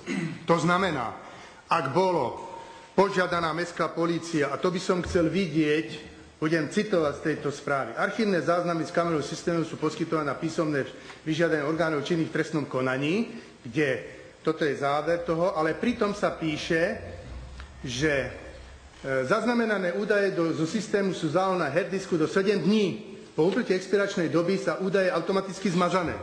No chcem vidieť toho, toho policajta, policajného zboru, kde príde možno nejaké oznámenie za 7 dní, že sa spojí s mestskou policiou. Teda ak telefonicky, ale písomne určite nie. Čiže chcem zdôrazniť, že toto je závažný nedostatok odkladania archivovaných záznamov. Ale v tejto správe som očakával kamerový systém, že bude jasne vyhodnotený. Ja neviem, na námestí bolo toľko a toľko prípadov a čo monitorovací systém? Kamera na veži, čo na Sásovej, čo na Fončorde toto tam malo byť jasne napísané. Vážim si prácu členov mestskej policie. Zakladal som ako poslanec mesta v zmysle zákona mestskú policiu. Zažil som všetkých náčelníkov. Zažil som ich ako predseda komisie pre verejný poriadok a bezpečnosť. Zažil som ich na rokovaniach. Poslanci komisie chodili. Ale jednoznačne v dnešnej dobe očakávam kvalitatívne výsledky Čiže v tejto správe to malo byť tam uvedené. V tej tabulkovej časti, ktorá tam je, poč, po, počet prípadov, počet papúč, príjmy a tak ďalej a tak ďalej, všetko. Ale nenašiel som o, o, o zdroji šetrenia ľudských prostriedkov. To je kamerový systém, jeho vyhodnotenie. To som nenašiel. A teraz vážna vec, čo si myslím, pán primátor, kolegovia, kolegyne, aj pán prednosta, e, pracovníci mestskej polície dlhodobo, dlhodobo istým spôsobom zápasia s odmeňovaním. Zákon obecnej policie tak, ako je postavený. Akom rozsahu im garantuje sociálne zázemie, akom rozsahu im garantuje platové zázemie, pretože toto, čo sme tu povedali, keby mali robiť, tak vždy po takýchto akciách nasleduje aj tá druhá že ten policajt môže ísť ako súkromná osoba po meste a tie tlupy, čo ťahajú po meste, nielen bezdomovci, cigáni, pomiešaní, gáčovia s cigánmi a iní, napádajú jednotlivcov. A keď nie sú to jednotlivci, či sú to mladí, starší, to je jedno, ale sú to možná tie sochy, možná sú to tie zariadenia. A tam je ten problém. Čiže do pozornosti Neporiešilo sa to za tie roky x rokov. Možná, že sa mýlim, že sa ich platové pomery zlepšili, ale ešte raz opakujem. Vážim si prácu každého člena mestskej policie. Mnohých, som, mnohých poznám dodnes, pretože robia dlhodobo. A bude sa mi veľmi ťažko riešiť aj to, čo Zástupca Mestskej policie, magister Slovák, nás požiada, respektíve mňa požiada ako predsedu komisie. Ale v každom prípade budeme musieť tieto veci riešiť. Ďakujem za pozornosť. S faktickou ešte pán poslanec Pirošík. Dve faktické k, ku kamerovému systému, ktorého sa Palo dvakrát dotkol. Jedna môj súkromný názor, že vplyv kamerového systému sa masívne nadceňuje. A posledné štúdie z Veľkej Británie, ktorá je najprekamerizovanejšia spoločnosť, e, dokazujú, že viac kamier nerovná sa viac bezpečnosti, viac ľudí rovná sa viac bezpečnosti a jediným výsledkom viac kamier je, že sme spoločnosťou veľkého brata. To len pre poriadok, my tu stále žijeme v nejakej eufórii, že keď zacapíme nejaké tri kamerky niekam, tak vymizne kriminalita, čo je mýtus. Myslím si, že takto treba premýšľať, aj keď budeme navyšovať nejaké potenciálne zdroje do mestskej policie. Ja, ja hovorím radšej do ľudí ako do kamier, e, e, ale iné chcem. E, chcem sa zastať tej časti správy, ktorá hovorí, že záznam sa musí likvidovať do 7 dní. To nevymyslel pán Pitierka, to vymyslel zákon. Zákon o ochrane osobných údajov, ktorý prikazuje každému prevádzkovateľovi záujme ochrany súkromia nás všetkých zlikvidovať záznam do 7 dní pod hrozbou pokuty 10 miliónov korún. Zákon hovorí v korunách a tak to je. Takže len toto, to ochraňuje naše súkromie. Áno, čiže v tejto veci musí mestská policia ako ktokoľvek ďalší záznam likvidovať do 7 dní, lebo zákon a smernica Európskej únie. Ďakujem. E, pán poslanec Pecník sa ešte prihlásil do rozpravy. Vážený pán primátor, kolegyne, kolegovia, ja len krátko chcem povedať niekoľko poznámok. Nebudem teraz hovoriť o znepokojení z diania na mestskej policii, nebudem hovoriť o agresivite, ktorá je všade prítomná v celej spoločnosti, lebo aj iné policie to nemajú určite jednoduché, to si tiež treba uvedomiť. E, asi zrejme teraz bude nasledovať vystúpenie náčelníka mestskej policie, aby sa mohol vyjadriť komplexne k tým problémom. Ja len by som chcel ešte požiadať, lebo ja som s určitým znepokojením v podstate prijal aj tú správu, ktorú tu príslušníčka mestskej policie povedala a na to reagoval náčelník tými slovami, že vykonal nejaké úkony a tie úkony nedopadli, keď to budem tak parafrázovať na úrodnú pôdu, tak ja by som chcel ešte vedieť v podstate zo strany mesta, že aká tam vlastne bola situácia pre komplexnosť informácií, hej, aby sme to vedeli nejakým spôsobom posúdiť. Ja len toľko, ďakujem. Budete pán náčelník vy, alebo poviem ja, inšpektorát bezpečnosti práce prešetroval tú záležitosť, ale podľa môjho názoru nie kompetentne, lebo nevypočuli pána Slováka. Mm, pán načelník, pán načelník, dávam vám slovo. Vyjadriť sa, bolo tu viacero otázok a podnetov znesených, tak aby ste mohli obhájiť svoju prácu a svoju správu. Ďakujem, pán primátor, za slovo. Naozaj bolo tu veľa tých podnetov a ja teraz neviem, na ktoré môžem ako prvé reagovať, ale začnem asi od konca. Inšpektorát práce jednoducho konštatoval, že naozaj došlo tu zo strany pána Slováka porušeniu a správny postup, ktorý sme zvolili, e, respektíve postup, ktorý sme zvolili, vyhodnotil Inšpektorát práce ako správny. Keď sme e, toto správanie vyhodnotili ako vulgárne správanie, čím došlo k porušeniu, hrubému porušeniu pracovného poriadku mesta Banská Bystrica, kde vlastne mal nasledovať okamžité skončenie pracovného poriadku, nakoľko v pracovnom poriadku mesta Banská Bystrica sa hovorí, že za hrubé porušenie pracovnej disciplíny je okamžité skončenie pracovného pomeru, čo vlastne vo svojej správe aj e, inšpektorát práce konštatoval s tým, že e, počas šetrenia my sme predkladali, že ako to budeme riešiť, s tým, že naozaj inšpektorát práce bol v tom, že takto sa ten prípad aj uzavrie. Žiaľ, tento prípad nebol takto uzavretý. Bol uzavretý tak, že e, viaceré porušenia zo strany pána Slováka, ospravedlňujem sa, že hovorím o niekom, kto tu nie je, ale naozaj viaceré porušenia zo strany zástupcu náčelníka boli s oneskorením vyhodnocované, respektíve bolo, e, bol som dotazovaný e, opätovne, či stále trvám na tom istom, na mojom podaní pre pána primátora, pri mojom návrhu na disciplinárne riešenie môjho zástupcu. Tým pádom eh, došlo k tomu, že lehoty, ktoré sú na to určené zo zákona, boli eh, premeškané a tým pádom nebolo možné voči pánovi zástupcovi vodiť to, čo sme deklarovali inšpektorátu práce, že bude okamžité skončenie pracovného pomeru. Eh, nechcem sa vyjadrovať na činnosť útvaru, ktorý to o tom rozhodol.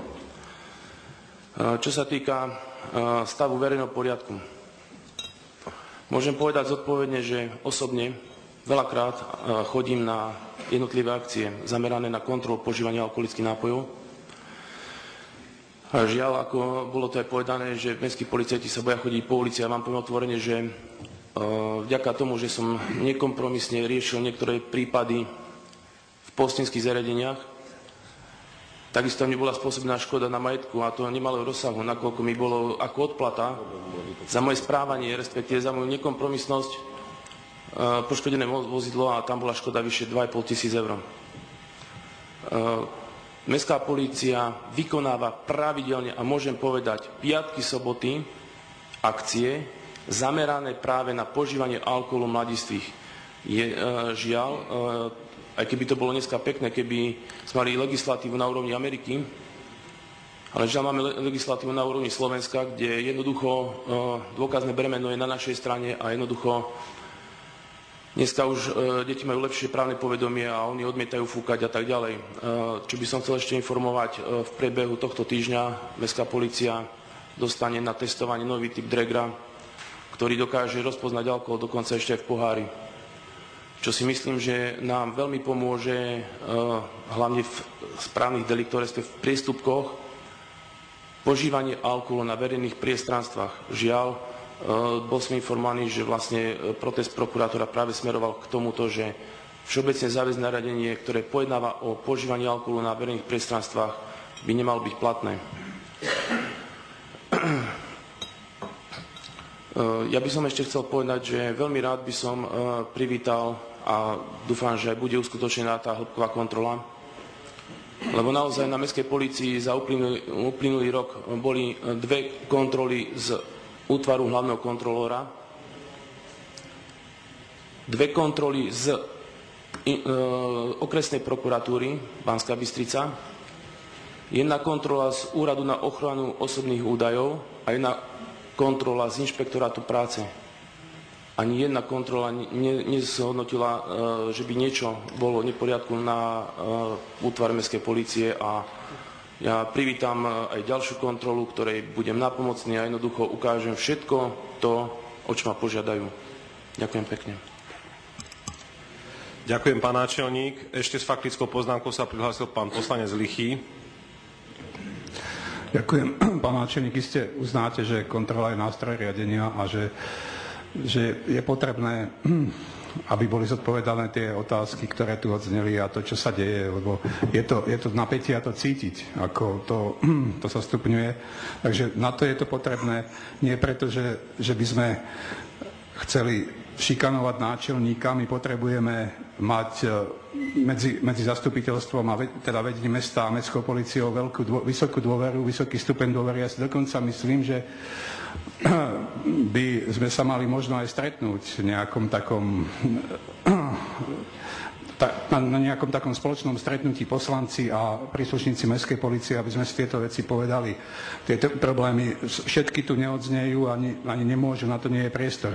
Takže vlastne očakávam, že po tej, že, že si vyčistíme stôl, po tej hĺbkovej kontrole si povieme, čo, ako ďalej a, a ak, ako sa nastavia vzťahy a aby sme si navzájom vedeli pomôcť. Čiže v tomto je. Tu, tu nikto nepovedal nejaké, nejakú kritiku, že mestská policia en blok, že je zlá. Skôr, skôr naopak, že si vážime tú prácu tých radových mestských policajtov a, a tých ľudí, ktorí sa starajú o bezpečnosť tohto mesta. Ďakujem. Ešte s faktickou poznámkou pán poslanec Pavol Bielik. No, musím sa ešte raz opýtať. Pán Načení, neodpovedali ste mi. Prečo bola trikrát správa odložená? Prečo v tabulkovej časti hovoríte o deviatich eh, neoprávnených a deviatich sťažnostiach, keď v texte píšete 13 sťažností? A prečo ste nebol na zasadnutí komisie, kde vy ako náčelník policie túto správu aj s ostatnými pracovníkmi ešte by ste tam mali prísť v tímovej práci, v týme a mali ste to tam obhajovať. Takže vy, vy vlastne ste odblokovali aj poslancov, aby sa pýtali na tejto komisii, aj keď nie som členom tejto komisie. To sú zásadné veci. Trikrát odložená, čítame, narokovanie a tak ďalej. Vy ste na to vôbec neodpovedali a venovali ste sa tomu, čo už malo byť dávno doriešené. No a ešte na Marko toho jednu vec. Máte vynikajúci marketing, výstupy mediálne. Ak budú také výstupy aj v praxi, v meste, skutočnosti, to znamená, že tí občania pocítia tú mestskú policiu, tak asi bude spokojnosť a myslím, že bude to fajn. Ešte sa prihlásil pán poslanec Turčan do rozpravy. Nech sa páči. Ďakujem pekne. Ja som bol ako prvý rečník v tejto diskusii a nebolo mi odpovedané na moju otázku, tak ťa poprosím, pán náčelník, keby si vedel zdôvodniť, lebo je tu kopec dezinformácií aj cez médiá a tak ďalej. Každý sa snaží zistiť, čo sa v piatok udialo, tak ťa poprosím taký relevantný pohľad z pohľadu Mestskej policie. Ďakujem pekne.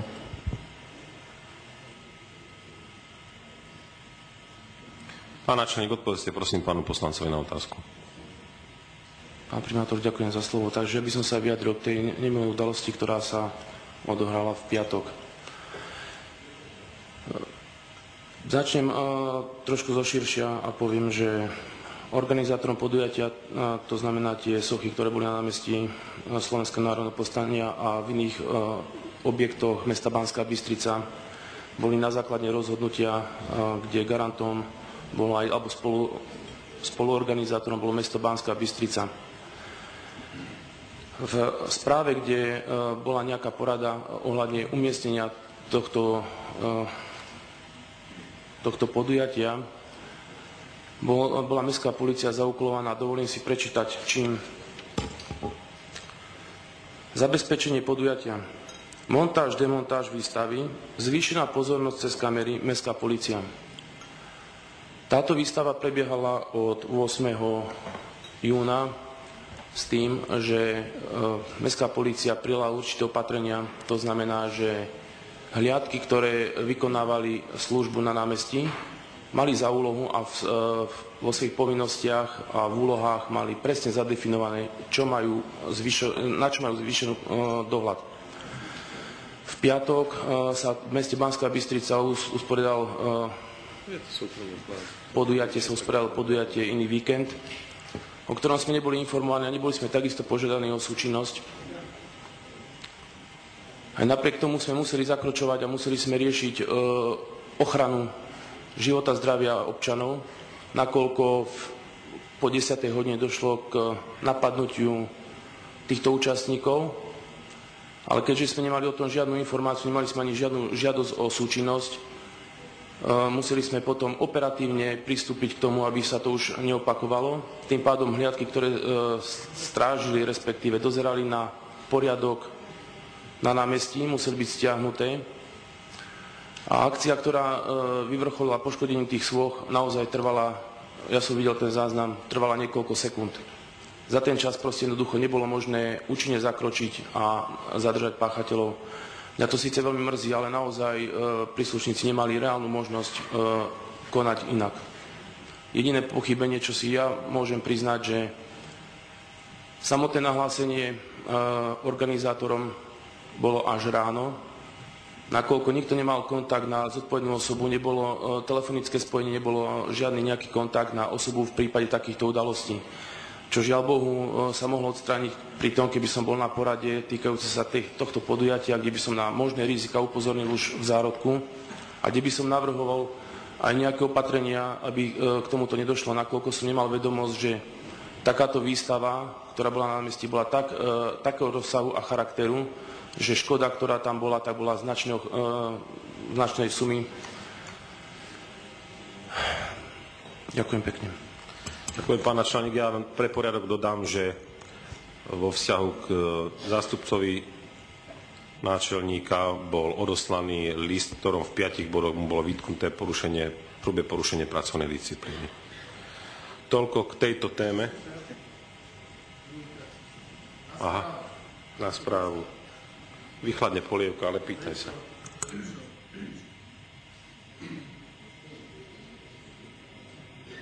Pán poslanec Bielik, Pavol Bielik, nech sa páči, má slovo.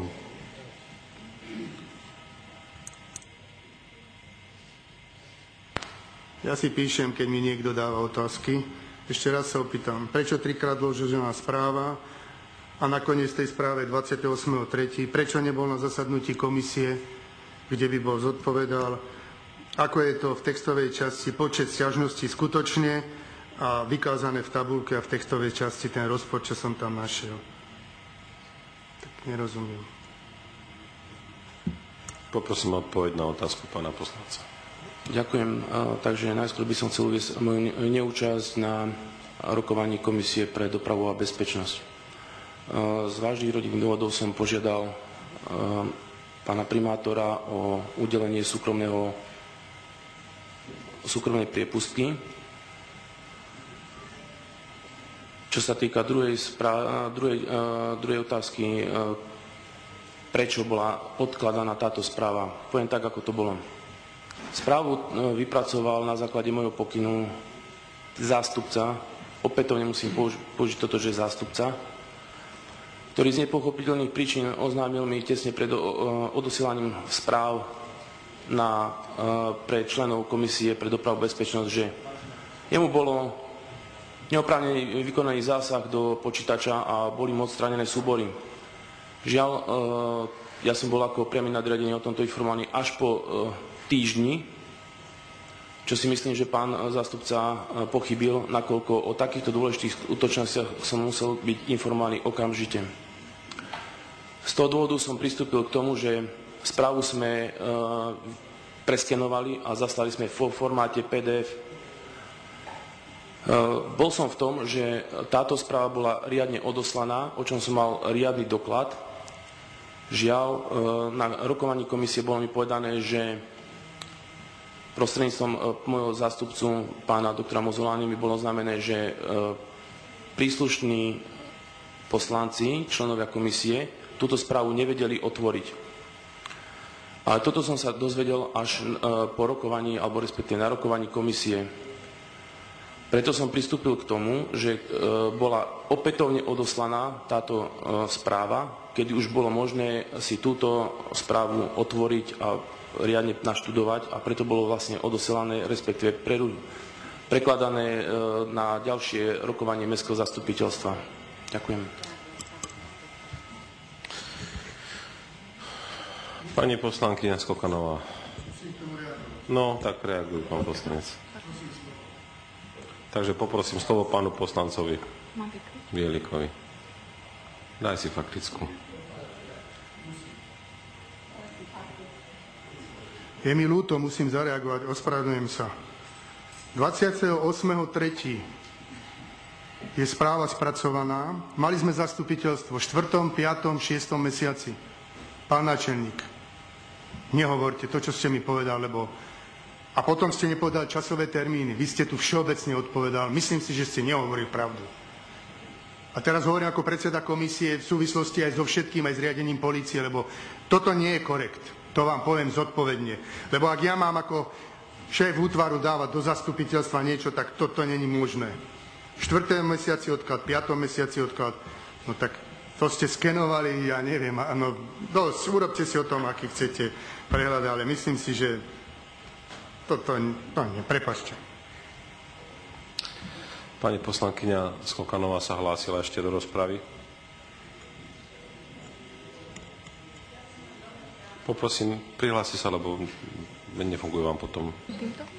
Nech sa páči. Dobre. Už len veľmi krátko. Uh v niektorých samozprávach e, fungujú tzv. noční havrani.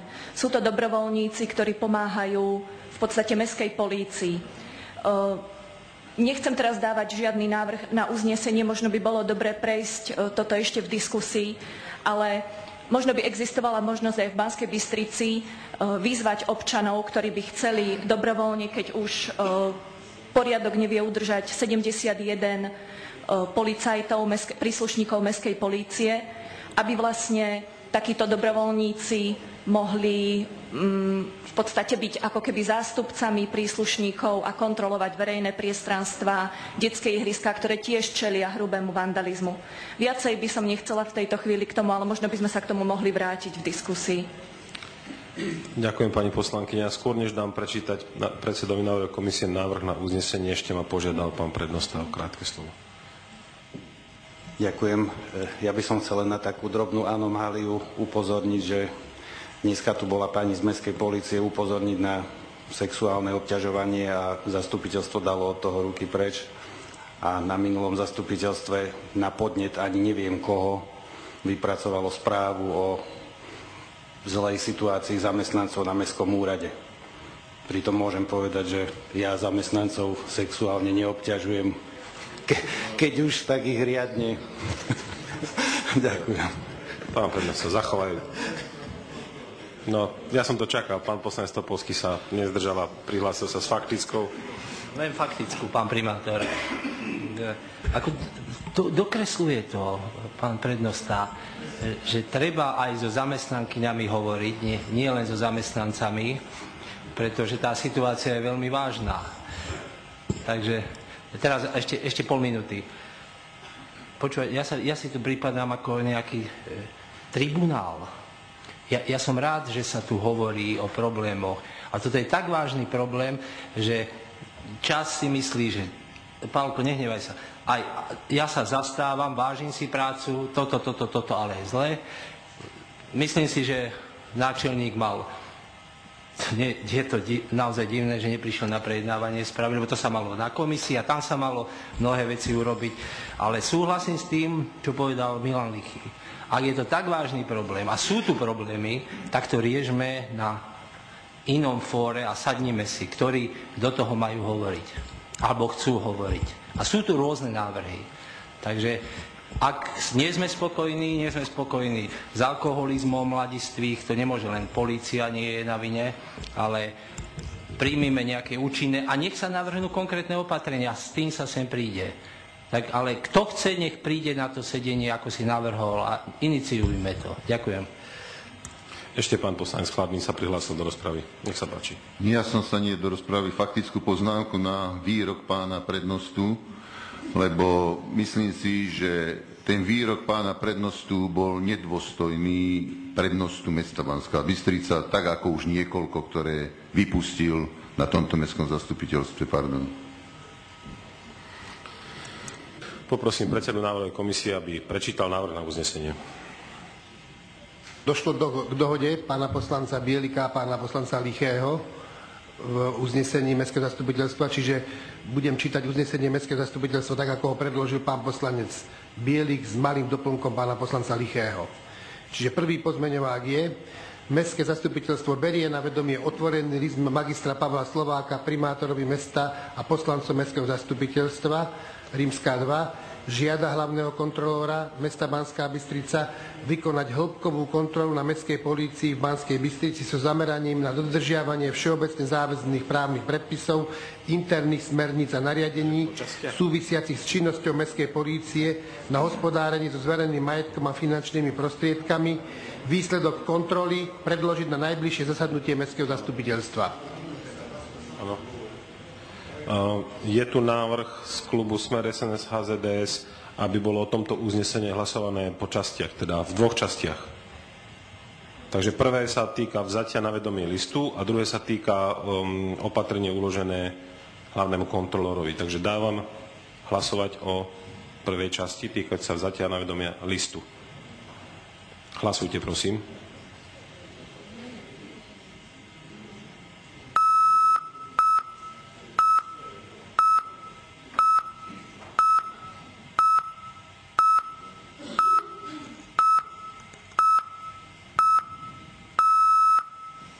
Za 11, proti 0, zdržalo sa 12. Konštatujem, že toto uznesenie nebolo schválené. Poprosím druhú časť, týkať sa uloženia úlohy hlavnému kontrolórovi. Hlasujte, prosím.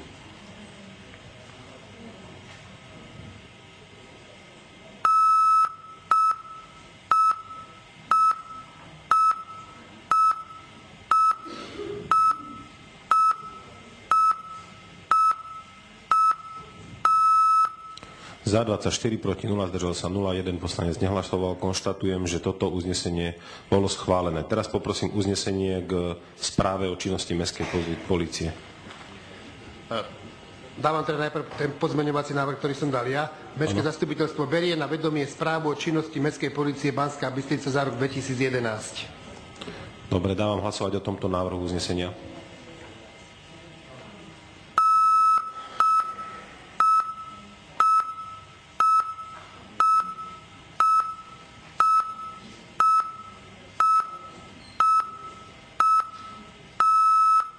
Za 24 proti 0, zdržal sa 0, jeden poslanec nehlasoval. Konštatujem, že toto uznesenie bolo schválené.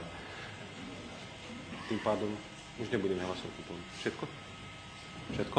Dámy a páni, vyhlasujem polhodinovú prestávku a prajem vám dobrú chuť k obedu. Pokračovať budeme 14.30.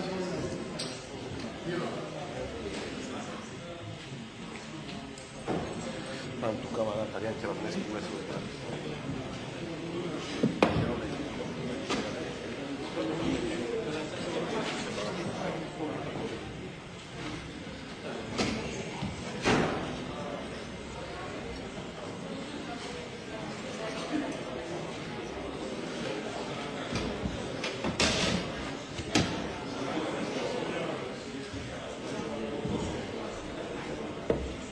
Vážené dámy, vážení páni, pokračujeme bodom číslo 17. Ešte by som poprosil, keby ste pozasúvali karty, aby sme zistili, či sme uznášania schopní. A keď opticky usudzujem, že áno. Stlačte, volá čo? Sú protichod, protichodné požiadavky. Budeme musieť...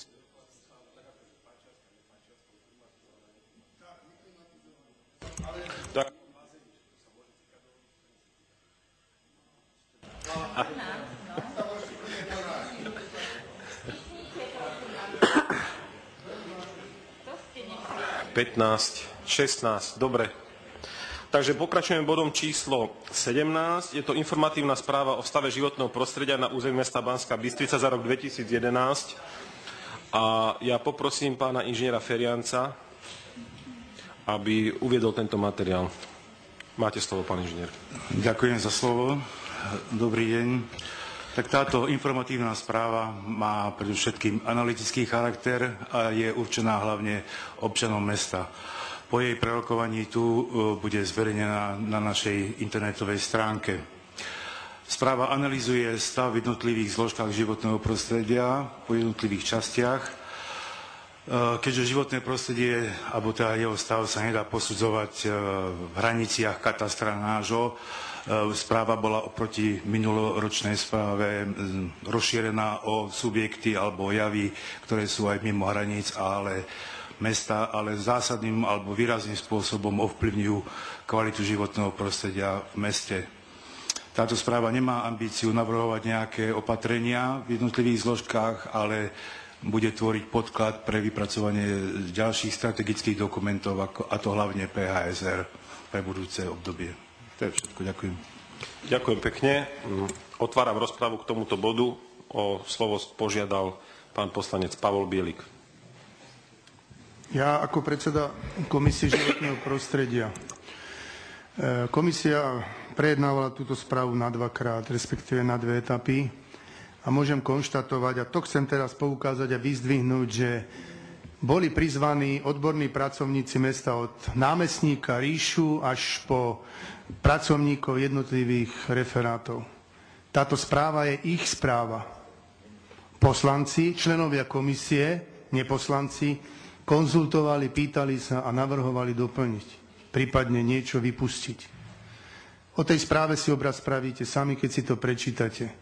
Chcem skutočne poukázať na to, že ako predseda komisie, ktorý pripravuje medzi rokovania zastupiteľstva materiály, boli rešpektované naše požiadavky Komisie Mestského zastupiteľstva. Rozsah správy je dosť veľký.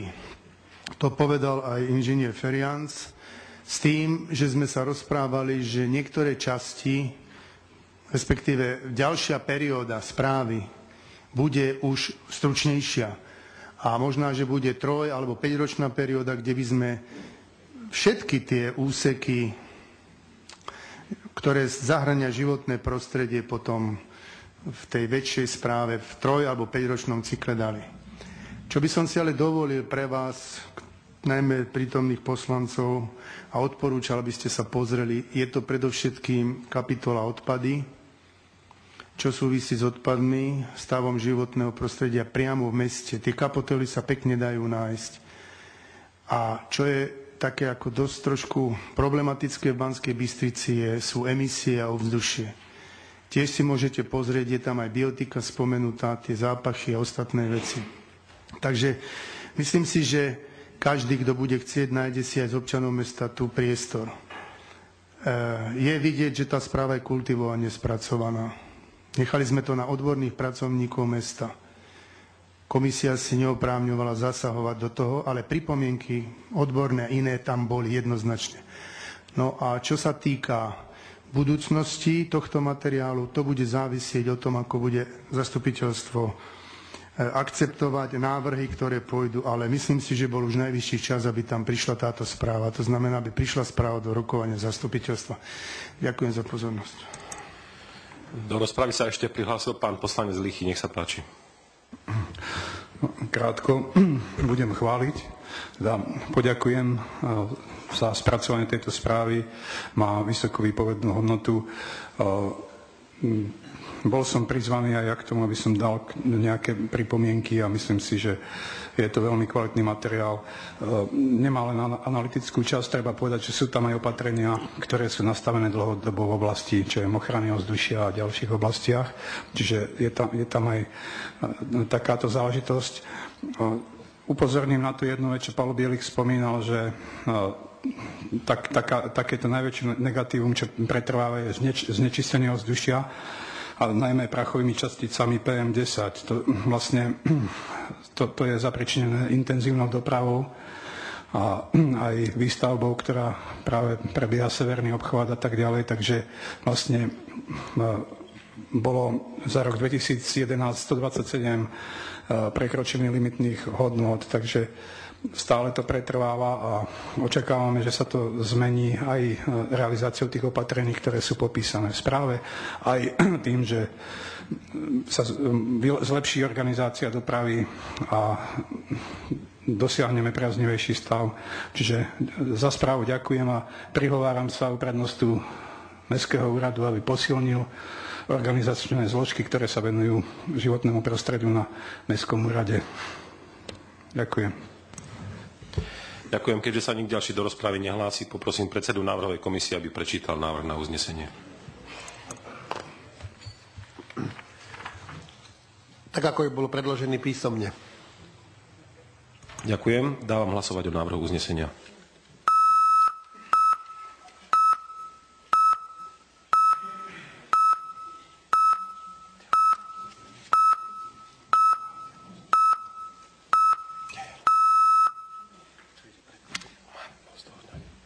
Za 22, proti 0, zdržal sa 0, 1 nehlasoval. Konštatujem, že návrh na uznesenie bol schválený. Zavolajú, tak ja neviem.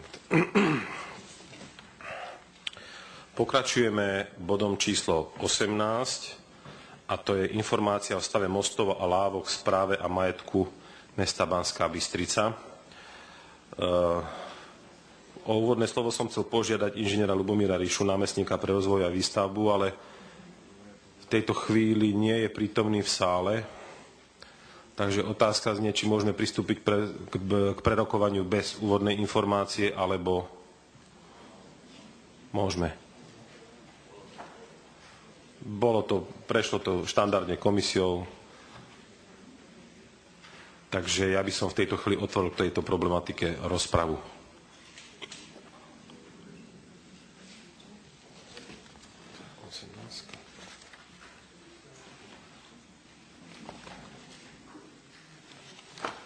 Pán poslanec Smedo sa prihlásil, nech sa páči. Ja len tak stručne. E, daná správa bola prejednávaná na e, dopravnej komisii. Máme v Banskej Bystrici 46 mostov, sa mi vidí, neviem, okolo 60 lavíc. Tak nakoniec to správe máte všetci.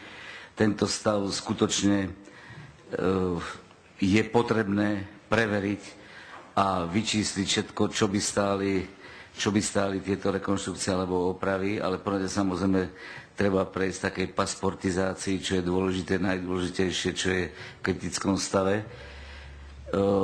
Nechcem o tom ako dlhodobo rozprávať, alebo dlho nieko siahlo, ale chcem povedať, že táto správa je skutočne dobre spravená, treba s nej vychádzať a treba hlavne tie kritické mostné cesty, mosty, ktoré máme, mostné súpravy, do budúcna riešiť, pretože e, stav je taký, ako je. Máte to nakoniec správe napísané. Tak len toľko. Ďakujem pekne.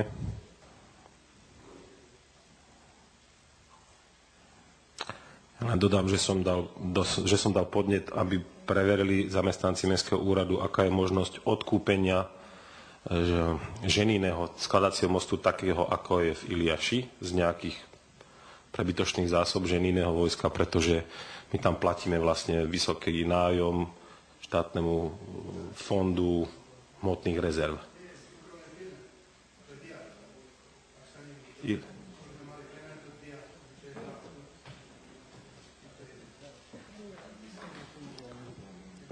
Prihlás sa, prosím. Pán poslanec Smedo. Hej. Otvoril som rozpravu, ale potom predsa len poprosím pána námestníka, aby povedal tromi vetami aspoň stručne. E, pán poslanec Smedo sa prihlásil. Ja som chcel k tomu Iliaskému mostu asi to, že my máme vypracovanú projektovú dokumentáciu, neviem, je tam tesne pred no. E, stavným povolením, ten veľký most, ktorý je naplánovaný, pretože najkritickejší most na území mesta je Iliaský most, a ako ty vravíš, platíme skoro milión korún ročne ten nájom. Tu treba perspektívu uvažovať, či ten veľký most, ktorý je naplánovaný za 100 miliónov oprava, či to neprehodnotí, lebo taký most podľa mňa tam není ani treba, možno, že menší, a skutočne behom pár rokov, ak mesto bude schopné buď z úverových peniazí alebo z fondov prvé sa pustiť do toho Iliaského mostu, ktorý by podľa mňa aj polovičná, polovičná veľkosť, ako je naplánovaná, úplne stačila, lebo tam je katastrofálna situácia s tým mostom už niekoľko rokov. I napriek tomu, že sme dali nový ten most, treba zodpovedne povedať, že ho ničia tí, ktorí chodia do lomu, tam máme lom, ano. druhý sme v podstate nespustili tam, ktorý tam ešte chcel urobiť pán Greško, ale aj tak tá situácia je neúnosná. No, chodte sa previesť po tom moste, ktorý má dva alebo tri roky, ale je to jednoducho problém, ktorý treba z mostov riešiť najakútnejšie. Ďakujem za informáciu. Predsa len zaradím spätný chod a poprosím pána námestníka, aby pre informovanosť poslancov povedal aspoň tromi vetami k tej správe o stave mostov a lalvok. Áno, ďakujem pekne. Um, Milan, môžem ťa ubezpečiť, že Iliasský most je zaradený na prvom mieste v riešení týchto havarijných stavov na viacerých mostoch, ale na uvedenie e, stručnej informácie, ktorú sme horko ťažko spracovali v podobe, aká je, ale je potrebné o nej hovoriť, že na území mesta je 41 dá sa povedať, mostných objektov a 16 lávok, ktoré sú, nechcem povedať, že v dezolátnom stave, ale bude ich treba postupne riešiť. Preto tento materiál sme si dovolili cez komisie a rádu dať aj do Mestského zastupiteľstva, aby sme v rozpočte na budúci rok mohli už tie najakútne problémy s mostami a lavkami riešiť. Ďakujem. Ďakujem pekne, pán námestník. Takže z mosta do prosta poprosím predsedu návrhovej komisie, aby prečítal návrh uznesenia k tomuto bodu. Uznesenie tak, ako bolo predložené. Ďakujem, dávam o ňom hlasovať.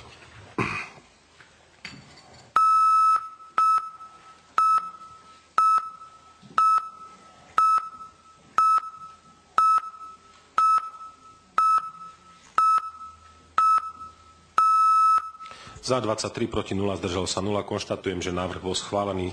Pokračujeme bodom číslo 19 a ním je rámcový plán predkladania materiálov na rokovanie Mestského zastupiteľstva v Banskej Bystrici na druhý pol rok 2012. Prosím predkladateľa tohto materiálu inžiniera Petra Jakubca, vedúceho oddelenia organizačno-právneho o úvodné slovo. Vážený pán primátor, poslankyne, poslanci, materiál predkladáme na základe schváleného uznesenia 320 z roku 2012 E, s tým, že bol prerokovaný v Mestskej rade 12. júna a bolo k nemu prijaté uznesenie, kde bolo odporúčené prerokovať ho na Mestskom zastupiteľstve. V návrhu sú premietnuté veci, ktoré predložil hlavný kontrolór mesta, útvar hlavného architekta, Mestská polícia, námestník pre služby, stavebný odbor a oddelenie, e, ekonomický odbor a naše oddelenie organizačno-právne pri e, časovom e, rozhodovaní sa o to, o to, e, akým spôsobom navrhnúť plán rokovaní, sme vychádzali aj z toho, že okrem tých troch navrhnutých zastupiteľstiev a troch mestských rád Predpokladáme, že sa uskutoční ešte jedno, jedno mimoriadne mestské zastupiteľstvo v prípade, že ministerstvo schváli vyradenie tých dvoch základných škôl zo siete, kde takisto sa zrejme prerokujú aj nejaké ďalšie veci. Toľko na úvod, materiál ste dostali, takže ďakujem za pozornosť. Ďakujem pekne. Otváram rozprávu k tomuto bodu programu. Ako prvý sa prihlásil pán poslanec Topolský. Nech sa páči, máte slovo. Dobre. Ďakujem, pán primátor. Ako obsahovej stránke nemám e, žiadne pripomienky. Ja by som len e, k frekvencii zastupiteľstiev. E, ak si pamätáme, ktorí tu už derú viac nohavice, že boli aj také, do, také zastupiteľstva, že sme mali každý mesiac ak sme pozerali tie termíny, tie termíny naozaj teraz sú tak dobre postavené, že si dobre pamätám 25. septembra, potom 6. novembra a decembri ne, ne, 13. alebo 11. a chýba tam október.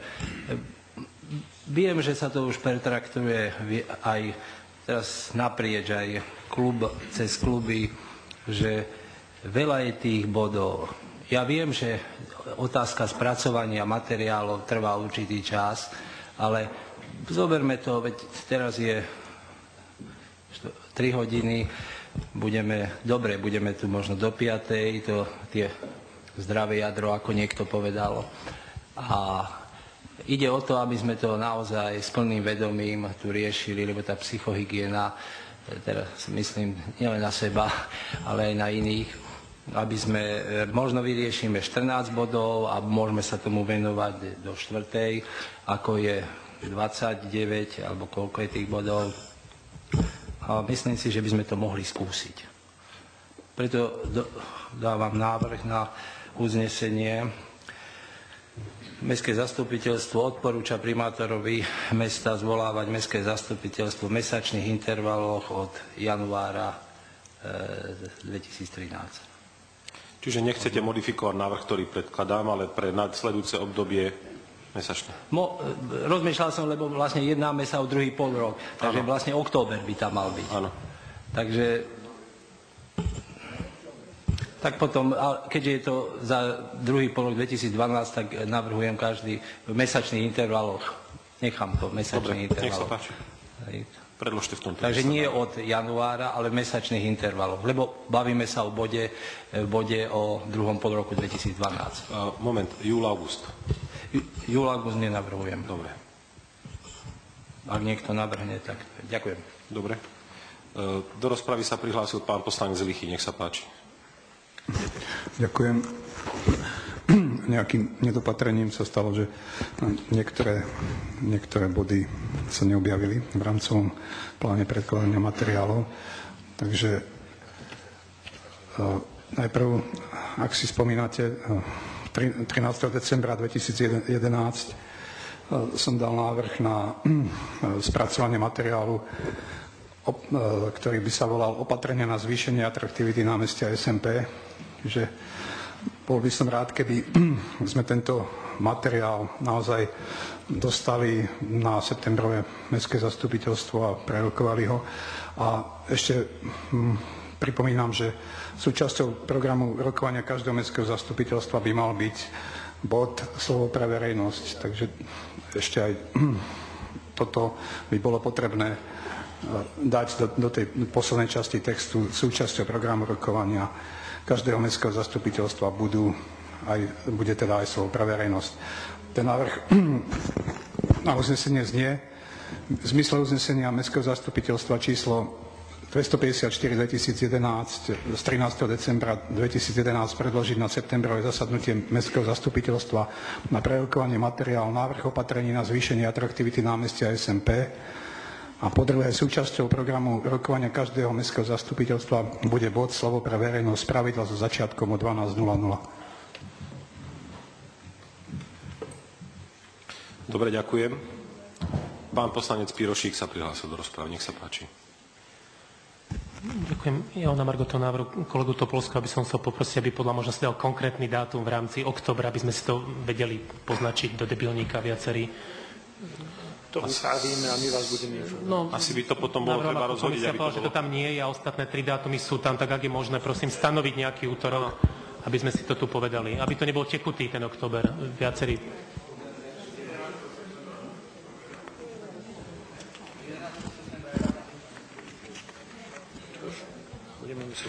Nemôžeme to nechať na úrad, lebo tie, ten materiál hovorí fixné dátumy a teda aj program. Ideálne by ste mali povedať, čo sa má robiť v tom októbri. Ja mám za to, že keď v septembri sú tri body, e, dokopy to zabera si 30 minút, tak oktobrové netreba, ale v tejto chvíli by som bol rád, ak by ste povedali ten dátum, lebo viacerí si potrebujú naplánovať svoj čas a ten materiál hovorí fixne, kedy v septembri, kedy v novembri a kedy v decembri, preto prosím, aby sa povedal, kedy v októbri. Ďakujem.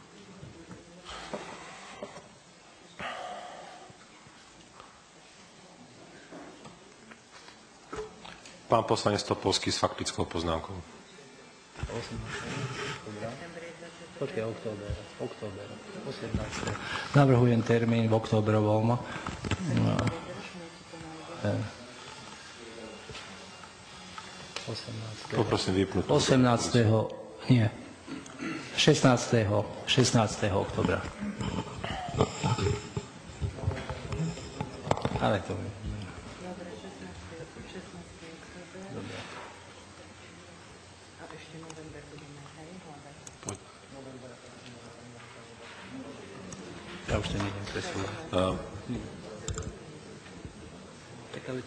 Pán prednosta ma požiadal, aby mohol vystúpiť v rozprave k tomuto bodu. Nech sa páči, máš slovo. Vážení poslanci, poslankyne, chcel by som vás možno poprosiť, aby ste prehodnotili túto požiadavku, lebo predsa len z hľadiska toho, ak chceme ozaj niečo robiť a postíhať to, tak tá frekvencia, komisia, rada, zastupiteľstvo a teda je pomerne vysoká na to, aby sme tie materiály tam pripravovali. Dneska napríklad sme tiež s frekvenciou, posledné zastupiteľstvo bolo pred necelým mesiacom a máme tu 29 bodov. Vidíte, dneska sami diskusie k niektorým bodom, ku ktorým ani nemuseli byť také dlhé boli, takže neviem, či práve to, či sa stretneme každý mesiac, alebo raz za 1,5 mesiaca má vplyv na to, dokedy tu sedíme. Ako myslím si, že keď si už človek ten jeden deň zastupiteľstva vyčlení, že potiahneme dokonca vyriešime všetky veci, tak potom je lepšie tú prípravu nechať takú, aby sme ozaj zase do toho ďalšieho zastupiteľstva veci pripravili ako treba. Ďakujem za pochopenie a ústretovosť.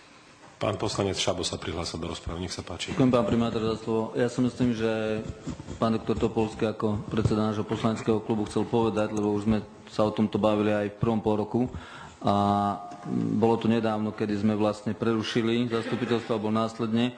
Asi chceme vyjadriť e, nejakú takú požiadavku, že 10 mm, krát v kalendárnom roku. Hej. Tým pádom sa necháva tam pauza nejaký júl, august, ale keď sa to nastaví od možno začiatku roku alebo nejakým spôsobom, aby to nebolo nejak v kolízii Mestská rada, komisia a podobné veci. Hej, teraz možno ťažko do toho vstupovať, len bola požiadavka povedať dátum, skutočne tam vhodnejšie, ale hm, ťažko.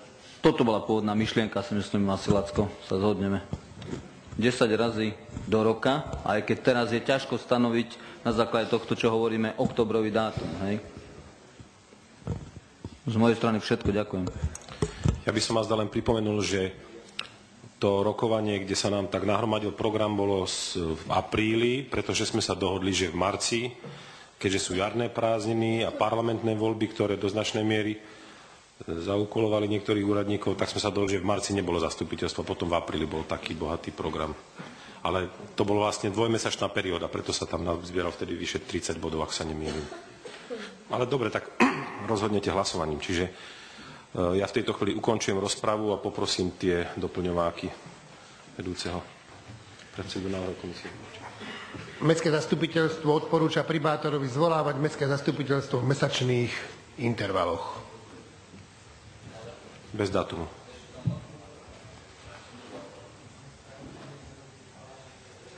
No, v situácii, kedy schválujeme uznesenie, už by som nemal dávať príležitosť na diskusiu, ale ak pán poslanec Kašpar chce povedať niečo, čo nám zásadne otvorí oči, tak čujme. Spravím sa, že trochu neskôr, ale myslím si, že pre dobro všetkých. E, veľmi dobrý návrh, určite treba to každý mesiac, len e, keď vidíme tie termíny, že je to koniec septembra, začiatok novembra, pomedzi to ešte je tam možno trojtýždňový, dvoj, trojtýždňový interval, tak ja by som navrhol aj ten septembrový termín, ak je možný posunúť o dva týždne dopredu, čiže na 11. septembra, alebo cez prázdniny, cez leto sa nám nazhromažďujú oveľa viac vecí, čiže môj návrh je taký, ak sa dá, ak to umožňujú iné okolnosti, ktoré sú, viem, že tam je aj Mestská rada a iné veci, ak sa to dá posunúť, tak ak má byť oktobrový dátum, tak by bol aj ten dobre septembrový posunúť aspoň o dva týždne dopredu na toho 11. Dobre, keď sa dohodneme. Keď to schválime. Pán poslanec. Môj návrh bude, ak, ak teda no. to dobrý aj vy ako tak pozmeňujúci návrh, aby septembrový termín bol zmenený na 11. september. Dobre, pán poslanec Pirošik, keď sme teda ako ešte otvorili debatu, tak dám priestor aj vám, aby ste povedali. Nechcem to komplikovať, ale len pre poriadok pripomínam, že jedno zastupiteľstvo znamená 100 tisíc korún, to len taká poznámka počiaru. Budem tu toľkokrát, koľko kolegovia rozhodnú, že sa treba stretať. Ale od 13. ide jarmok, teda dním mesta, alebo ako sa to teraz bude volať. A ja len, aby to organizačne nejako do toho nevstúpilo. Pre mňa osobne nie je problém prísť útorok, ešte nebudú stánky s Burčiakom, ale ešte raz dám do pozornosti, že príde veľký časový šrumec, lebo je jarmok dva dní na to. To je celé, čo sa mi žiada povedať. A to uznesenie, ktoré predseda návrhovej komisie čítal, že každý mesiac ten materiál, o ktorom rokujeme, sa volá materiál na, druhé, na druhý pôrok, čiže potom je legitimná otázka primátora, že či aj júl a august, lebo my tu teraz ako keby takýmto uznesením schválime, že aj júl a august. Ešte raz, materiály na zastupiteľstvo na druhý pôrok ideme schváliť, že každý mesiac, kolegovia, tak ja len aby ste nezabudli prísť v júli a auguste, práve si to ideme schváliť. No ešte pán poslanec Chladný chce vystúpiť, takže keď... Tak potom... Prosím vás pekne, zbytočne si komplikujeme život, nechajme to tak, ako je to naplánované, ale majme na vedomí to, že od 1. januára 2013 bude zhruba tých 10 zastupiteľstv v roku 2013. Ale nekomplikujme to už zbytočne, tri sú naplánované a na tri máme a pokoj. Ak bude treba, bude mimoriadne zastupiteľstvo a hotovo. Ďakujem za konštruktívny názor pána poslanca Chladného. Dobre, takže ešte máme nejaké doplňováky. Poprosím predsedu návrhovej komisie.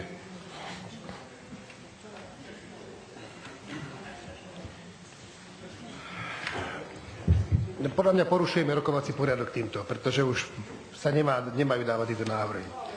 No ale dobre. Ja budem čítať to, čo je. Mestské zastupiteľstvo odporúča primátorovi zvolávať mestské zastupiteľstvo v mesačných intervaloch. Ale ja to mám toto tu, ja nebudem čítať iné. Ja tu nie som na to, aby som ja riešil vaše... Dobre, čiže odznelo návrh na uznesenie, prosím, hlasujte o tomto návrhu.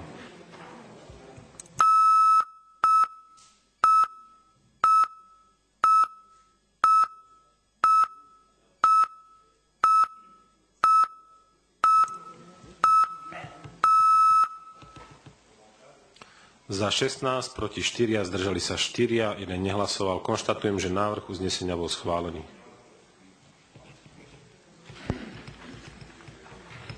Druhý návrh uznesenia. E, iný návrh termínov 11.9.2012 a 16.10.2012. To znamená dve, dva posúvy oproti pôvodnému návrhu. Ja nebudem vaše uznesenia tvoriť. Robte si ich vy. My sme tu na to, aby sme príjmali vaše návrhy a nie na to, aby sme menili. My tu nie sme na to. A to sa nedá predošle opraviť, keď hlasujeme.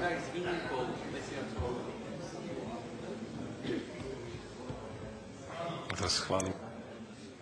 Toto je potom návrhovej komisie robíme naozaj opice. Sme tu na to, aby sme my čítali, čo vám dáte. Ale samozrejme sa to nedá. Mm. Takže e, návrh na uznesenie v plnom znení bol predložený v takomto znení. Návrh termínov 11.9.2012, termín zastupiteľstva 16.10.2012, termín zastupiteľstva v júli, v auguste sa nebude zasadať. Podľa mňa to je nezmysel, pretože môže byť v júli, v auguste, v auguste môže byť mimoriadne zastupiteľstvo, keď už ideme o to, o tých vyradení tých škôl. Ja by som to teraz úplne nechal túto vec voľne, ale keď to chcete, tak to pre mňa dávajte. Ja vám za to nezahlasujem. Odznel návrh na uznesenie, hlasujte prosím.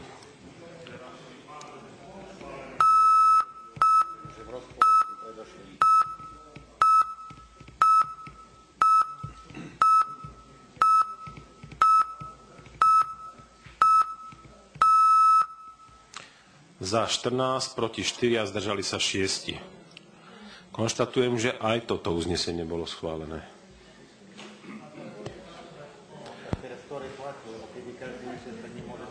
A to je odporúčacie, to je iné.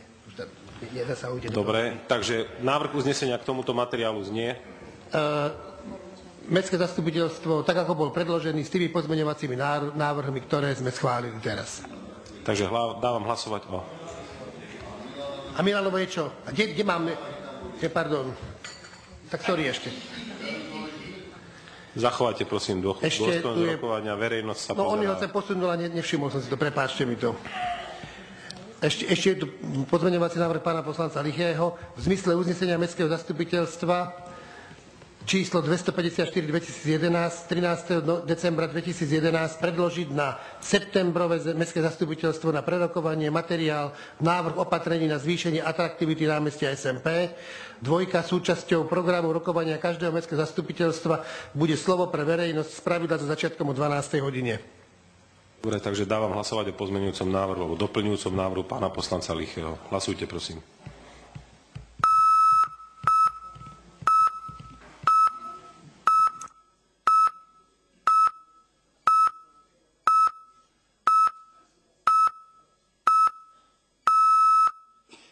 Za 25, proti 0, zdržalo sa 0. Konštatujem, že návrh bol jednohlasne schválený. Poprosím teraz súhrné uznesenie k materiálu. No a teraz ten pôvodný návrh s tými pozmeňovákmi, ktoré sme schválili. Dávam hlasovať o návrhu uznesenia.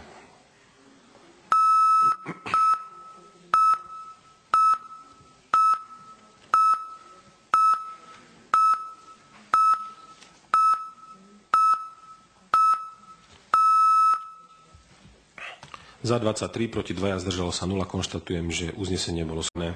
Pokračujeme bodom číslo 20. Schválenie prostriedkov na spolufinancovanie projektu z fondov Európskej únie, regionálny operačný program, bod 2.1 infraštruktúra sociálnych služieb, sociálno-právne ochrany detí a sociálnej kurately, projekt Kotvička.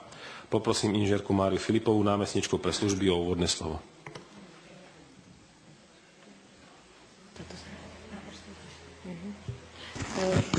V rámci tohto, e, vlastne v tejto výzvy e, sa jedná o projekt, ktorý je v rámci e, operačného programu Zamestnanosť a sociálna inklu, teda infraštruktúra sociálnych služieb a sociálno-právnej ochrany a jedná sa o vlastne komunitné centrum alebo komunitné aktivity, ktoré sa v kotve robia a sú to vlastne prostriedky, finančné prostriedky na rekonštrukciu rekonštrukciu toho zariadenia, ktoré v rámci jednej výzvy, ktoré sme už predkladali, sme boli neúspešní a tu sa e, vlastne redizajnuje to, čo je pripravené na túto výzvu.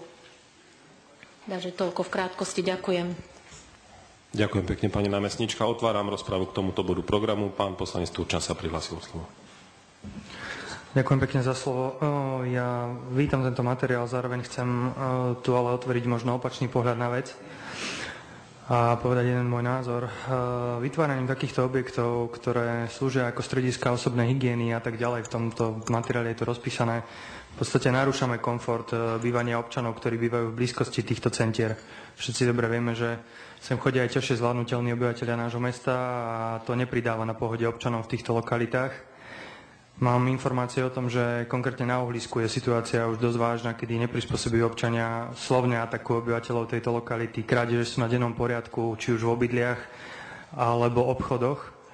Čiže toto je možno druhá stránka veci a iný pohľad na zriadenie takéhoto objektu v centre e, jedného z našich sídlisk. E, nemám konkrétne riešenie v tejto chvíli, možno apelujem opäť na mestskú policiu, aby bola nápomocná, v podstate snažila sa zjednať nejaký poriadok. Toto sú veci, ktoré ja mám priamo od ľudí, čiže nie je to nejaká moja domnenka, jednoducho na uhlisku viem, že je takáto situácia. Tým, že im zriadíme v podstate hneď v centre toho sídliska uh, opäť niečo takéto, nejaký, takýto, takéto centrum, kde sa budú schádzať rôzne rôzne skupiny obyvateľov mesta Banská Bystrica. Myslím si, že im moc nepomôžeme e, a na nálade im asi moc nepridáme. Ďakujem pekne. Keďže sa nik ďalší nehlási do rozpravy, ukončujem rozpravu k tomuto bodu programu a poprosím predsedu návrhovej komisie, aby prečítal návrh na uznesenie. Návrh na uznesenie, tak ako bolo predložené. Ďakujem, hlasujte prosím.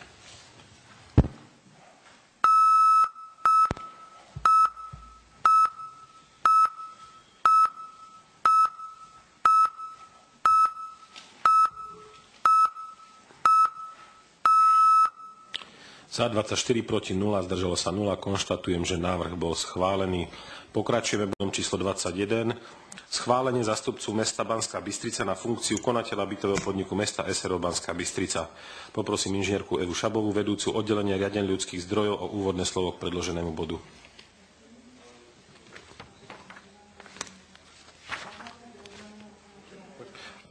Prepačte, ja vás preruším, ale musíte hovoriť do mikrofónu, pretože nebudete na zázname potom. Na základe oznámenia konateľa spoločnosti bytového podniku mesta Banská Bystrica SRO, inžiniera Tomáša Novanského, o jeho vzdaní sa funkcie konateľa bolo následne vypísané výberové konanie na funkciu konateľa bytového podniku primátorom mesta. Zástupcu mesta na funkciu štatutárneho orgánu bytového, mesta, bytového podniku mesta Banská Bystrica SRO, konateľa spoločnosti v zmysle ustanovenia paragrafu 11 odstavec 4 písmeno 1 zákona číslo 369 o obecnom zriadení znení neskorších predpisov schvaluje Mestské zastupiteľstvo na návrh primátora mesta. Uznesením číslo 515 z roku 2012 zo dňa 29. 5. 2012 Mestské zastupiteľstvo zriadilo výberovú komisiu na výber kandidáta na obsadenie funkcie konateľa bytového podniku mesta Banská Bystrica SRO. Komisia na svojom zasadnutí dňa 12.6. skonštatovala, že v lehote stanovenej lehote predložil prihlášku iba jeden uchádzač. Po otvorení obálky komisia skonštatovala, že prihlásený uchádzač, inžinier Jan Šabo, splnil všetky náležitosti prihlášky a komisia odporúčila primátorovi mesta predložiť návrh na schválenie inžiniera Jana Šaba za zástupcu mesta Banská Bystrica na funkciu konateľa bytového podniku mesta Banská Bystrica SRO. Ďakujem. Ďakujem pani inžinierka. Vzhľadom na to, že pána poslanca Šaba myslím, že dobre poznáme, nevidím dôvod, aby sa tu predstavoval. Konec koncov materiál, ktorý spracoval ako svoju víziu rozvoja, máte v materiáloch, takže ja by som v tejto chvíli otvoril rozpravu. Nech sa páči, pán poslanec Katriniak sa prihlásil. Nadviažem na to, čo sme hovorili na prvom mestskom zastupiteľstve, respektíve na minulých mestských zastupiteľstvách a to, o čom sme rokovali aj s vtedy nominovanými predsedami poslaneckých klubov. Hovorili sme o tom mimo iného, že nie je šťastné riešenie, keď je poslanec aj šéfom tejto firmy. Legálne to je, my voči tomu nemáme výhrady. To znamená, o legalite tam nie je reči. Či je to legitímne, to, to, to si už musí každý zodpovedať sám. My sa v klube domnívame, že legitímne to nie je. Že tam je niekedy problém, keď je človek aj vo firme, aj poslancom, môže tam niekedy dôjsť k tak, takému nejakému zdvojenému, zdvojeným záujmom, ale ako, ako pre, preto náš klub pravdepodobne všetci klube túto nomináciu nepodporíme, preto, tak, tak sme sa rozhodli na našom rokovaní poslaneckého klubu v nedeľu, tí, čo sme boli prítomní.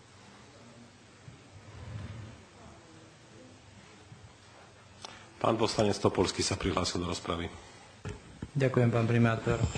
Mm, Teraz e, sa dívam na kolegu poslanca Šaba, že nie je ako poslanec, ale človek, ktorý robil zástupcu konateľovi v bytovom podniku. Ak sa prihlásil len on a nikto iný sa neprihlásil, čo, ak si dobre pamätám, tak pán poslanec Novanský si zaplakal, že, len, že to je tak neatraktívny podnik, že sa tam len jeden prihlásil, čo je ako jeho osobný problém, ale keď sa len jeden prihlásil a že je naviac e, poslanec a člen nášho klubu, ja si myslím, že skôr ide o tie profesionálne a odborné e, vedomosti a vlastnosti. Takže ak si Jan, e, Pálko povedal, že Eh, je tam nejaká pochybnosť, bolo by dobre na základe čoho je tá, či to je v etickej rovine, morálnej rovine alebo legislatívnej rovine, o to viac ho môžeme kontrolovať. Ďakujem. Pán poslanec Katreniak s faktickou poznámkou. Eh, ja som hovoril o tých dvoch rovinách, čo je legálne, že to je v zákone to v poriadku. Legitimita to znamená, to je o tom, že či, či je to dobré či je dobre nastaviť takýto stav, keď poslanec zároveň mestskej, šéfom mestskej firmy.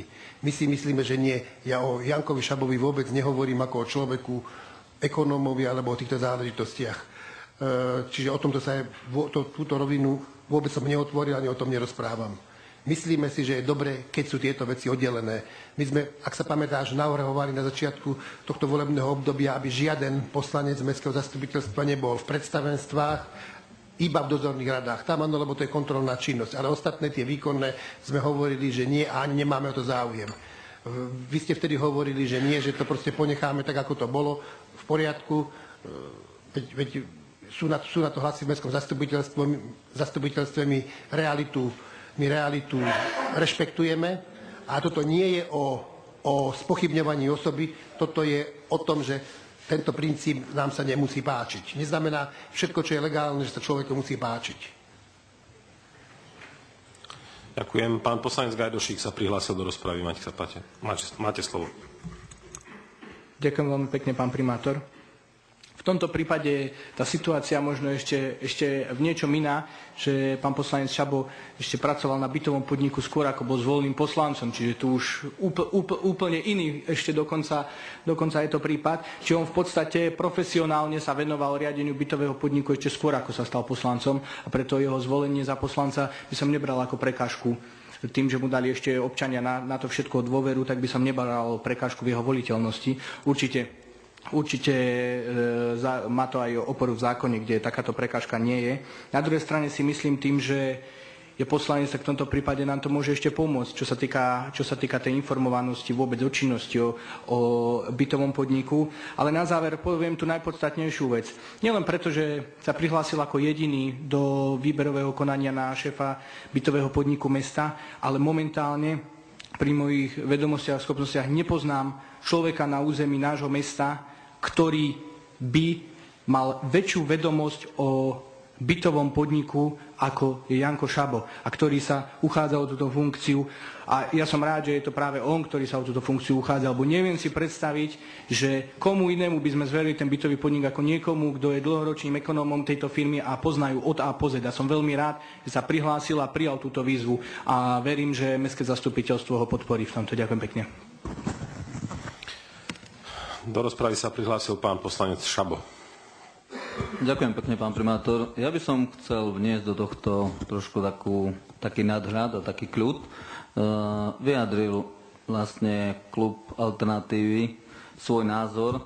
Ja chcem povedať jednu vec. Uh, materiál, ktorý obdržala komisia, ktorú vlastne je aj v materiáli, hlavne tej koncepcii, nechcel som, aby ste to ponímali, že to je nejaké strohé, Zamýšľal som sa nad tými bodmi, ktoré som tam uvedol. Je to stručné, ale dovolím si povedať až jedno jednoznačné. Na druhej strane chcem, aby sme si všetci v sále, ale odmyslite si teraz, že to hovorím ja, e, je tu reálne ohrozený chod bytového podniku v tomto smere. Treba si uvedomiť, že treba podpisovať určité zmluvy, výzvy, opatrenia, všetko, čo so štandardným hospodárením štandardnej hospodárskej organizácii, teda právnickej osoby, e, celý ten chod, čo sprevádza. Čiže nechám to na rozhodnutí poslancov, myslím všetkých, čo sedia v tejto sále.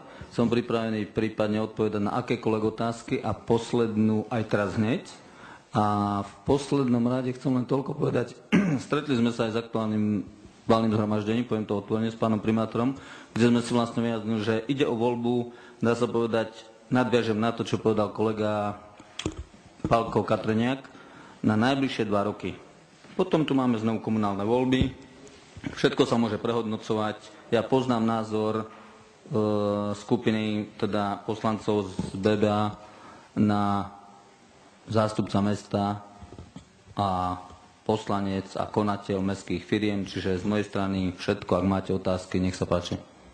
Ďakujem. Ďakujem. Do rozpravy sa ešte prihlásil pán poslanec Kašper. Nech sa páči.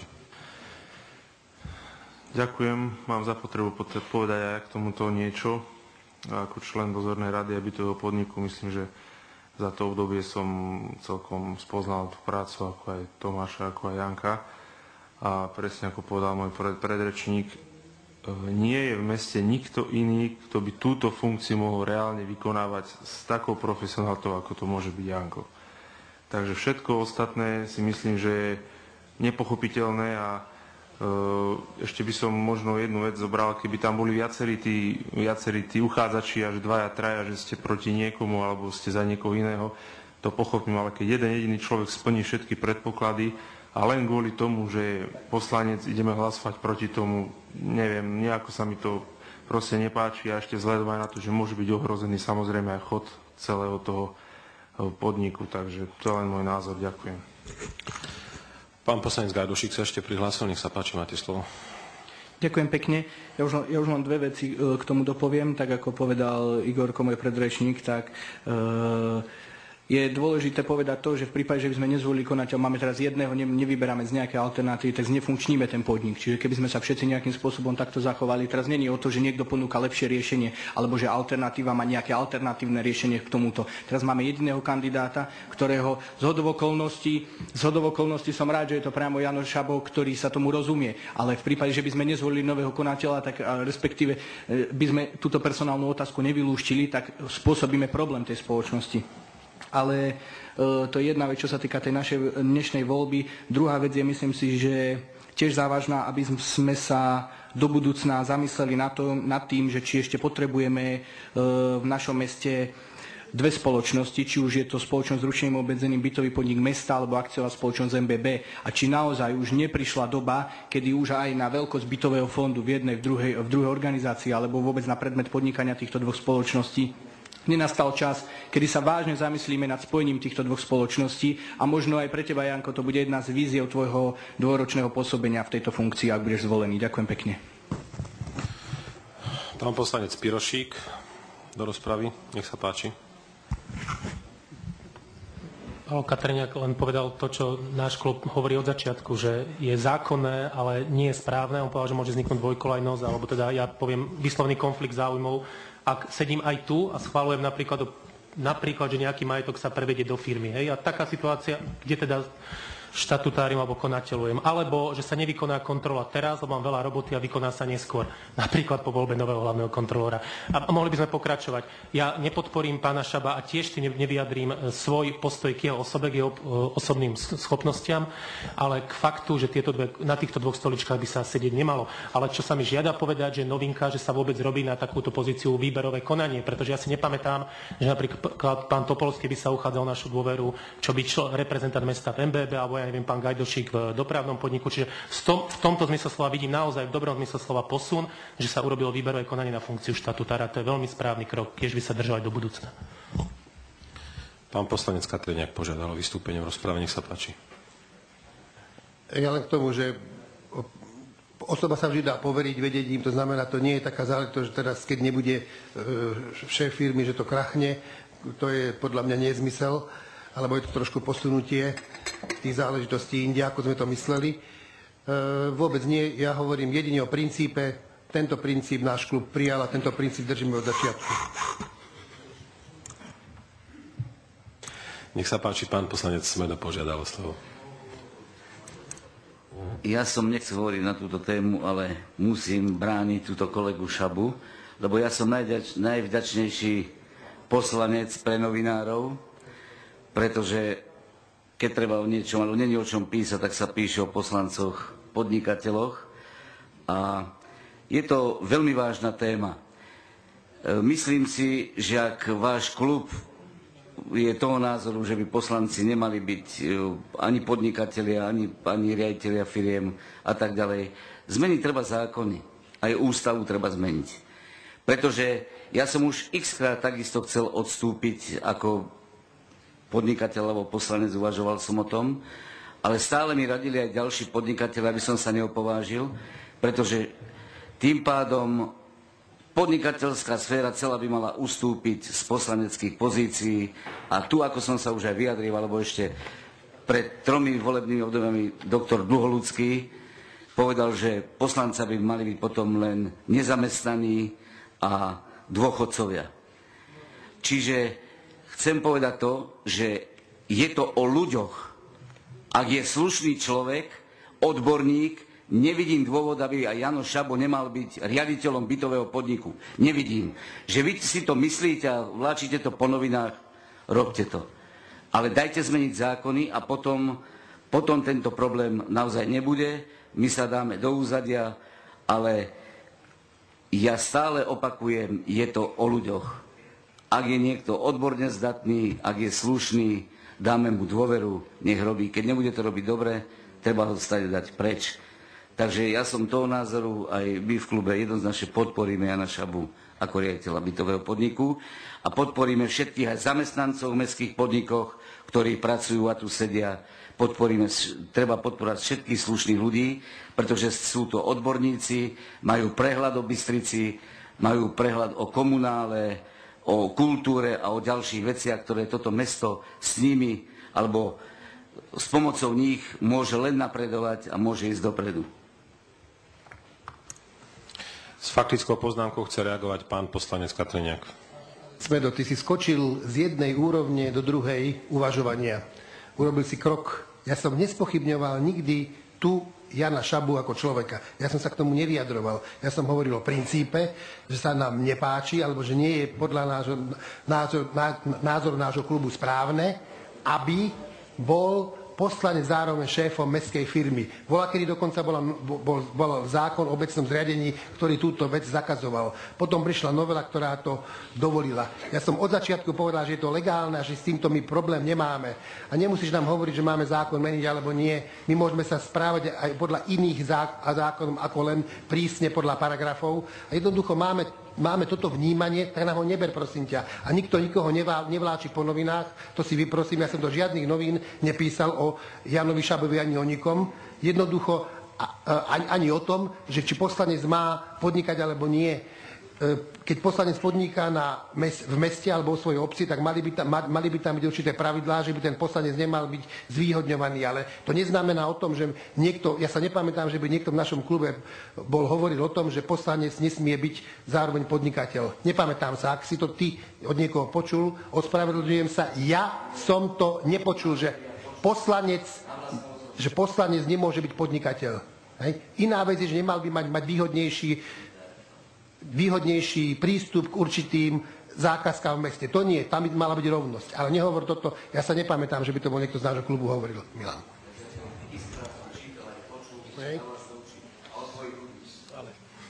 Ja hovorím o sebe.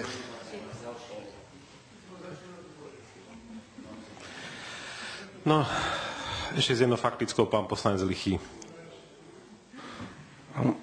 Takže pokiaľ, pokiaľ to tak bude, tak médiá sa tomu budú venovať, lebo nejaký konflikt tam vždy hrozí a musí tam byť maximálna transparentnosť, to sme si však Milan už povedali, ale ty sám si pamätáš na to, že v roku 1999 alebo 2000 boli boli traja poslanci mestského zastupiteľstva konatelia mestských firiem a zanikol im mandát, lebo vtedy platil zákon, že nesmú byť e, poslanci konateľmi mestských organizácií.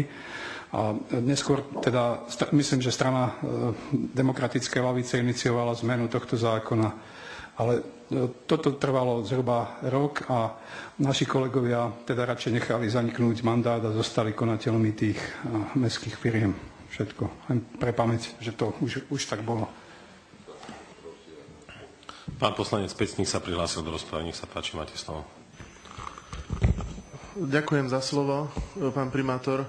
Kolegyne, kolegovia, ja myslím, že ako túto vec netreba veľmi politizovať hej, pretože ide o odbornú stránku veci. E, nakoniec e, neviem, či aj pán poslanec Katrediak nebol v predstavenstve MBB niekedy, hej, ale to, to nechcem ako, možno, že on sa k tomu vyjadrí. E, len chcem povedať toľko, že rozprávajme sa v rovine odbornej, Jano Šabo je naozaj odborník na správnom mieste. Ja fakt nevidím niekoho iného, kto by mohol takúto vec robiť za týchto okolností. A už len to, že sa ako jediný prihlásil do konkurzu, prosím vás.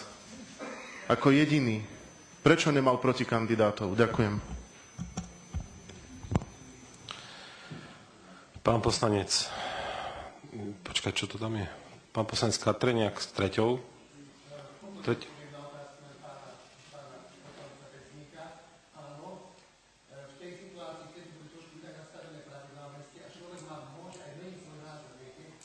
hovorím, že všetky názory, ktoré som bol v zastup- za, za 19 rokov v mestskom zastupiteľstve, čo som, že všetko bolo 100% a že, že každé to rozhodnutie bolo správne. Jednoducho človek sa v niektorých veciach vyvíja a môže si pomyslieť, tuto, či to bolo správne alebo nie. Ale tie pravidlá trošku boli vtedy iné a vtedy tá spoločnosť vznikala, MBB pod nejakým pod nejakými okolnostiami vonkajšími, pomerne rýchlymi, pretože e, mesto bolo zadlžené a vtedy nám pán, pán primátor Králik oznámil, že hrozí exekúcia mestu a že teda vyzerá to byť zle, ak tie, ak tie pozemky, ktoré sú na troskách, boli nevložíme do, do spoločnosti, tak to vyzerá, že tá spolo, tá, to mesto sa zrúti a že to jednoducho bude, bude, pretože tie pozemky budú zobraté, pretože sme boli príliš zadlžení za funkčného obdobia pána primátora Presperína. To znamená, vtedy sa prijalo také nejaké núdzové riešenie, že vzniklo MBB ako firma, ktorá zobrala pozemky, tie pozemky, ktoré boli, ktoré boli vlastne m, ako keby najzaujímavejšie pre, pre exekútora. Veľmi dobre si to presne pamätám, ako to vtedy bolo a dohodlo sa vtedy politicky, že sa to predstavenstvo nejako bude kreovať. A veľká skúsenosť vtedy ani s týmito akciovkami, aj seročkami nebola, takže je to pravda, ale vysvetľujem len, že tieto dôvody som mal, ale nebudem už viacej tomu hovoriť, myslím, že som dohovoril. Ja naozaj nespochybnem osoby a skôr naopak mám z druhej strany pocit, že vy tu spochyb, chcete spochybniť osoby, ale tu nejde o spochybňovanie osob. My hovoríme o princípe a nie o osobách, ktorí sa nám nepáči. A už len ešte raz opakujem, máme na to nárok, aby sa nám nejaký princíp nepáčil. To znamená, prečo nám to beriete? S faktickou poznámkou chce reagovať pán poslanec Gajdošík, nech sa páči. Ďakujem veľmi pekne za všímavosť svojho kolegu Pecníka. Čiže ja by som teba zhrnul. Pokiaľ sú hlasy v tomto zastupiteľstve na to, ako napríklad v roku 2004 a skupina okolo pána Katreniaka, aby sa dostal do predstavenstva, tak vtedy to nie je problém. Pokiaľ má už klub BBA menšinu v zastupiteľstve, tak vtedy je už problém, keď sú poslanci z iného klubu zvolení do predstavenstva alebo do vedenia niektorej spoločnosti. Pre mňa je toto proste flagrant, flagrantná blbosť. To neexistuje, aby keď máte dostatok kamarátov v zastupiteľstve, ste sa nechal navoliť do predstavenstva a keď tam nemáte ako poslanec a teraz po tých rokoch poviete, že vy nesúhlasíte s tým ako poslanec, lebo viete, že takú šancu teraz nemáte, lebo proste je vás menšina. Nemôžete kritizovať teraz, že Jano Šabo ako jediný, ktorého by aj tak primátor poveril pravdepodobne vedením tej spoločnosti, lebo komu by ju inú zveril, to tvrdíte, že s tým nie je problém. A teraz kritizujete, že poslanec pritom sám ako poslanec ste vo predstavenstve, keď ste mal dosť kamarátov na to, aby vás tam zvolili zastupiteľstve. To je nonsens proste. A tu ste bol priamo prichytený pri tom, že sú to blbosti a neprincípy. Ďakujem veľmi pekne. Pán poslanec Pirošík chce reagovať faktickou poznámkou. To bola faktická? Mhm, čiže v zmysle rokovacieho poriadku bude musieť dať slovo pánu poslancovi Pecníkovi. Ďakujem, pán primátor, ja naozaj len krátko. Prosím vás, netraumatizujme teraz sa tu navzájom takýmito vecami. Ja som povedal, čo som povedal, lebo som cítil, že sa chceme rozprávať principiálne a, a vidím, že miestami sa asi nechceme rozprávať principiálne, lebo princípy sú princípy. Uh, ale fakt nechcem už, aby sme sa ďalej traumatizovali. Pristúpme k potvrdeniu alebo nepotvrdeniu, už proste jednoducho niečo spravme. Bytový podnik treba, aby niekto viedol naozaj si myslím, že Jano Šabo je správny človek na správnom mieste a ak budeme vzájomne z toho vytlkať nejaký politický kapitál, tak sa z toho nikam nepohneme. Tu treba túto vec rozseknúť, vyriešiť a poďme na ďalšie body programu, lebo ešte ich tu zo pár vidím a to ma traumatizuje viac ako nejaké politikárčenie teraz. Takže ďakujem. S faktickou pán poslanec Chladný sa prihlásil faktickou ukončenie k tomuto bodu diskusie, prosím vás pekne, lebo to je už trapné. Dobre, čiže dávam hlasovať o procesnom návrhu o ukončení diskusie, ktoré podal pán poslanec Chladný.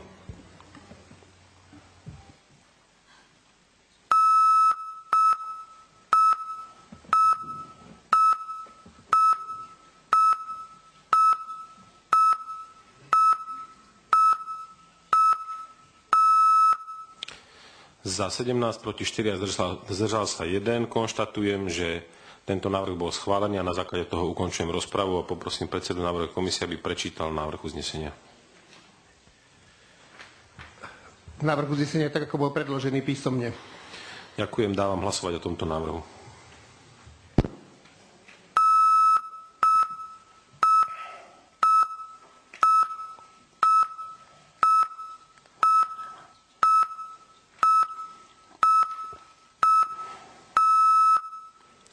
Za 19, proti 1, zdržali sa 5. Konštatujem, že návrh bol schválený.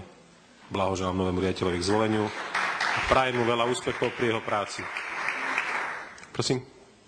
Nech sa páči, máte slovo. Poprosím slovo pánu poslancovi Šabovi.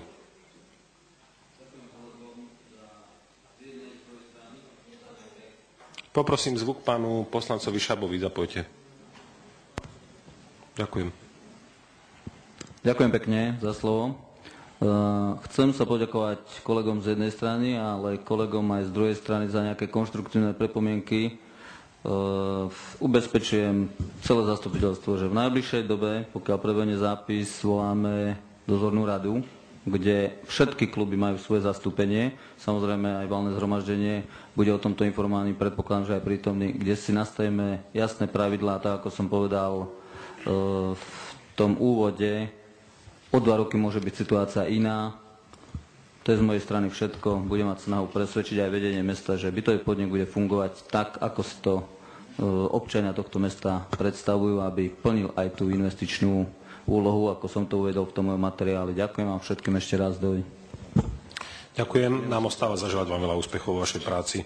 Pokračovať bude bodom číslo 22 a ním je správa hlavného kontrolóra o výsledku následnej finančnej kontroly číslo 2 lomeno 2012 hospodárenia s finančnými prostriedkami v rozpočtovej organizácii CVČ Havranské 9 Banská Bystrica za rok 2011. Poprosím predkladateľa tohto bodu Ivana Petroviča, hlavného kontrolóra mesta Banská Bystrica o úvodné slovo k uvedenej správe. Ďakujem za slovo. Správa hlavného kontrolóra o výsledku následnej finančnej kontroly číslo 2 lomeno 2012 hospodárenia s finančnými prostriedkami v rozpočtovej organizácii Centrum voľného času Havranské 9 Banská Bystrica za rok 2011. Cieľom kontroly bolo zistiť, či postup zamestnancom kontrolovaného subjektu pri hospodárení s finančnými prostriedkami a nakladaní s majetkom v jeho správe bol v súlade s platnými všeobecno záväznými právnymi predpismi a internými predpismi. Kontrolná skupina konštatovala, že postup kontrolovaného subjektu bol pri hospodárení s finančnými prostriedkami a pri nakladaní s majetkom v jeho správe v súlade s platnými všeobecno záväznými a internými predpismi. Kontrolnou skupinou zistené porušenia platnej legislatívy zásadným spôsobom neovplyvňujú celkový stav hospodárenia kontrolovaného subjektu. Z vykonanej kontroly kontrolný orgán vypracoval na 11. mája 2011 správu o výsledku následnej finančnej kontroly. Správa bola prerokovaná s kontrolovaným subjektom dňa 5.6.2011. Ďakujem. Ďakujem za stručné uvedenie materiálu hlavnému kontrolórovi. Otváram rozpravu k tomuto bodu programu. Pán poslanec Chladný sa prihlásil, nech sa páči, máte slovo. Vážený pán primátor, ja len upozorňujem k tejto správe v bode 6. Prenájom nebytových priestorov a uzatváranie nájomných zmluv je presne ten problém s bytom na centre voľného času Havránska, len aby ste to zobrali na vedomie. Ďakujem veľmi pekne. Ďakujem za upozornenie, pán poslanec. E, Kedy sa nikdy neprihlásil do rozpravy, poprosím návrh uznesenia predsedu návrhu komisie. Návrh uznesenia tak, ako bol predložený písomne. Ďakujem. Dávam hlasovať o návrhu uznesenia. Hlasujte, prosím.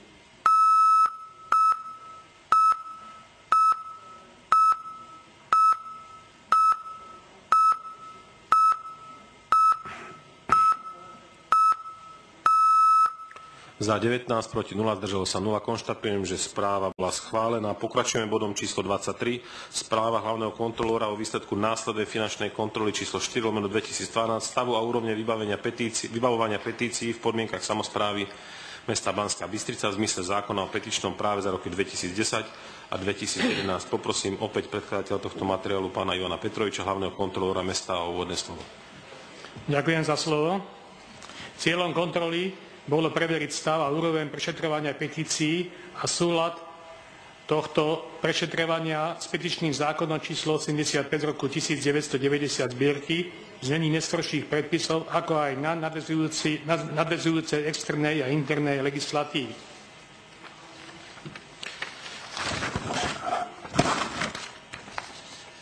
V predchádzajúcom období bola, vykonaná, bola vykonaná kontrola vybavania petícií číslo 10 z roku 2007, ktorá bola ukončená protokolom, v ktorom sa konštatovali pochybenia najmä v oblasti príjmania a evidencie petícií, ako aj v nekompletnosti archivovaných podkladov.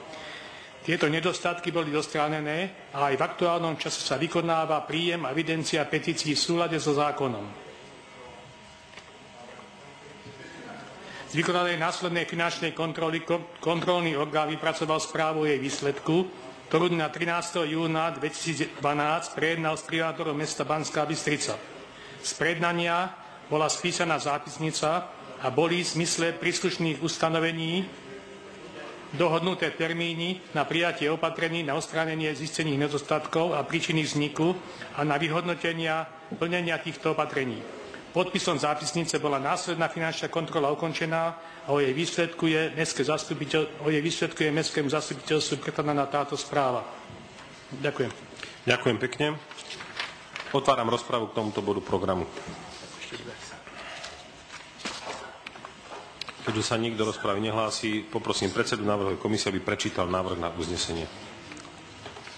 Návrh na uznesenie tak, ako bol predložený písomne. Ďakujem. Dávam hlasovať o tomto návrhu uznesenia.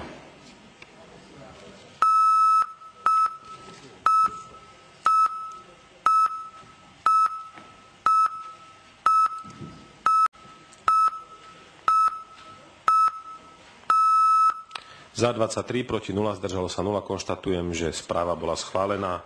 Bod číslo 24, návrh, návrh plánu kontrolnej činnosti hlavného kontrolóra mesta Banská Bystrica na druhý pôrok 2012. Do tretice opäť poprosím hlavného kontrolóra pána Ivana Petroviča o úvodné slovo k návrhu plánu kontrolnej činnosti. Ďakujem za slovo.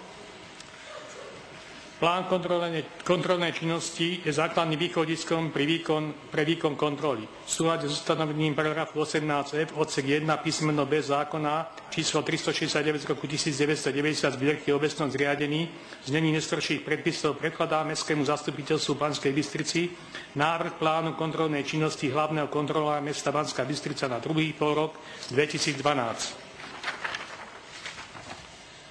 Zameranie kontrolnej činnosti hlavného kontrolóra v druhom roku 2012. Za vlastná kontrolná činnosť. Za prvé, výkon následnej finančnej kontroly. Jedna jednotka. Následná finančná kontrola nakladania s majetkom obchodných spoločností mesta Banská Bystrica týkajúceho sa areálu na partizánskej ceste Banskej Bystrici.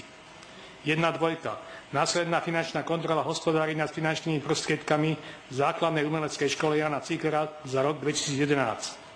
Jedna trojka. Následná finančná kontrola nakladania s, s finančnou hotovosťou, príjmov a výdavkov a vedenia hlavnej pokladne Mestského úradu Banská Bystrica za vybraný štvrt rok 2011. Za druhé ostatné kontroly. Dva jednotka. Kontrola plnenia uznesení Mestského zastupiteľstva prijatých v roku 2011 2.2. Kontrola stavu a úrovne vybavovania sťažností na Mestskom úrade Banská Bystrica v roku 2011. 2.3. Kontroly vykonávané na základe prijatých uznesení Mestského zastupiteľstva Banskej Bystrici. 2.4 kontroly vykonávané z vlastného podnetu na základe poznatkov, o ktorých sa hlavný kontrolór dozvedel pri výkone svojej činnosti. Za B. Príprava a tvorba materiálov pre mestské zastupiteľstvo.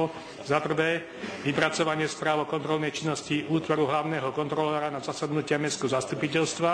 A za druhé, vypracovanie stanoviska k návrhu rozpočtu mesta, mesta Banská Bystrica na rok 2013 a roky 2013 až 2015. Ďakujem. Ďakujem pekne za uvedenie materiálu. Otváram k nemu rozpravu. Keďže sa do rozpravy nik neprihlásil, ukončujem rozpravu a poprosím návrh uznesenia. Predsedu návrhovej komisie. Návrh uznesenia tak, ako bol predložený. Ďakujem, dávam hlasovať o návrhu plánu kontrolnej činnosti hlavného kontrolóra mesta na druhý pôrok.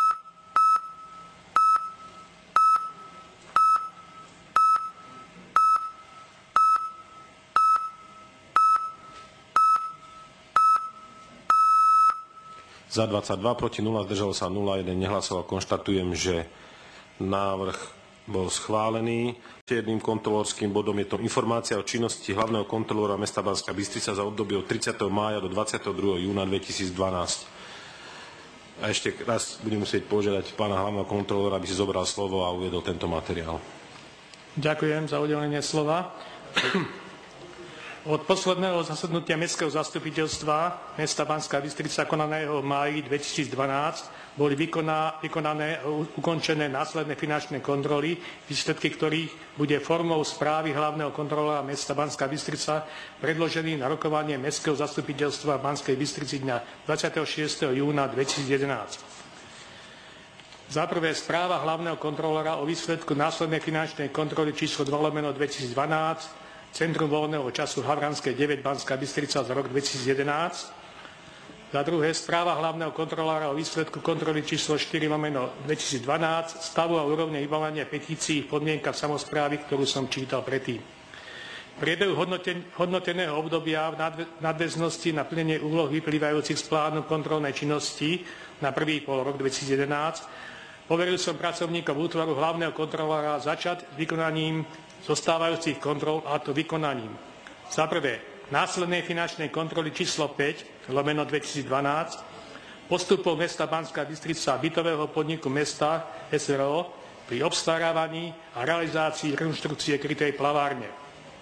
V 21. týždni mesiaca máj 2012, čím tak bolo splnené uznesenie číslo 383 z roku 2012 Mestského zastupiteľstva ktorým bolo uložené hlavnému kontrolórovi predmetnú kontrolu vykonávať zahájení mesiaci máj.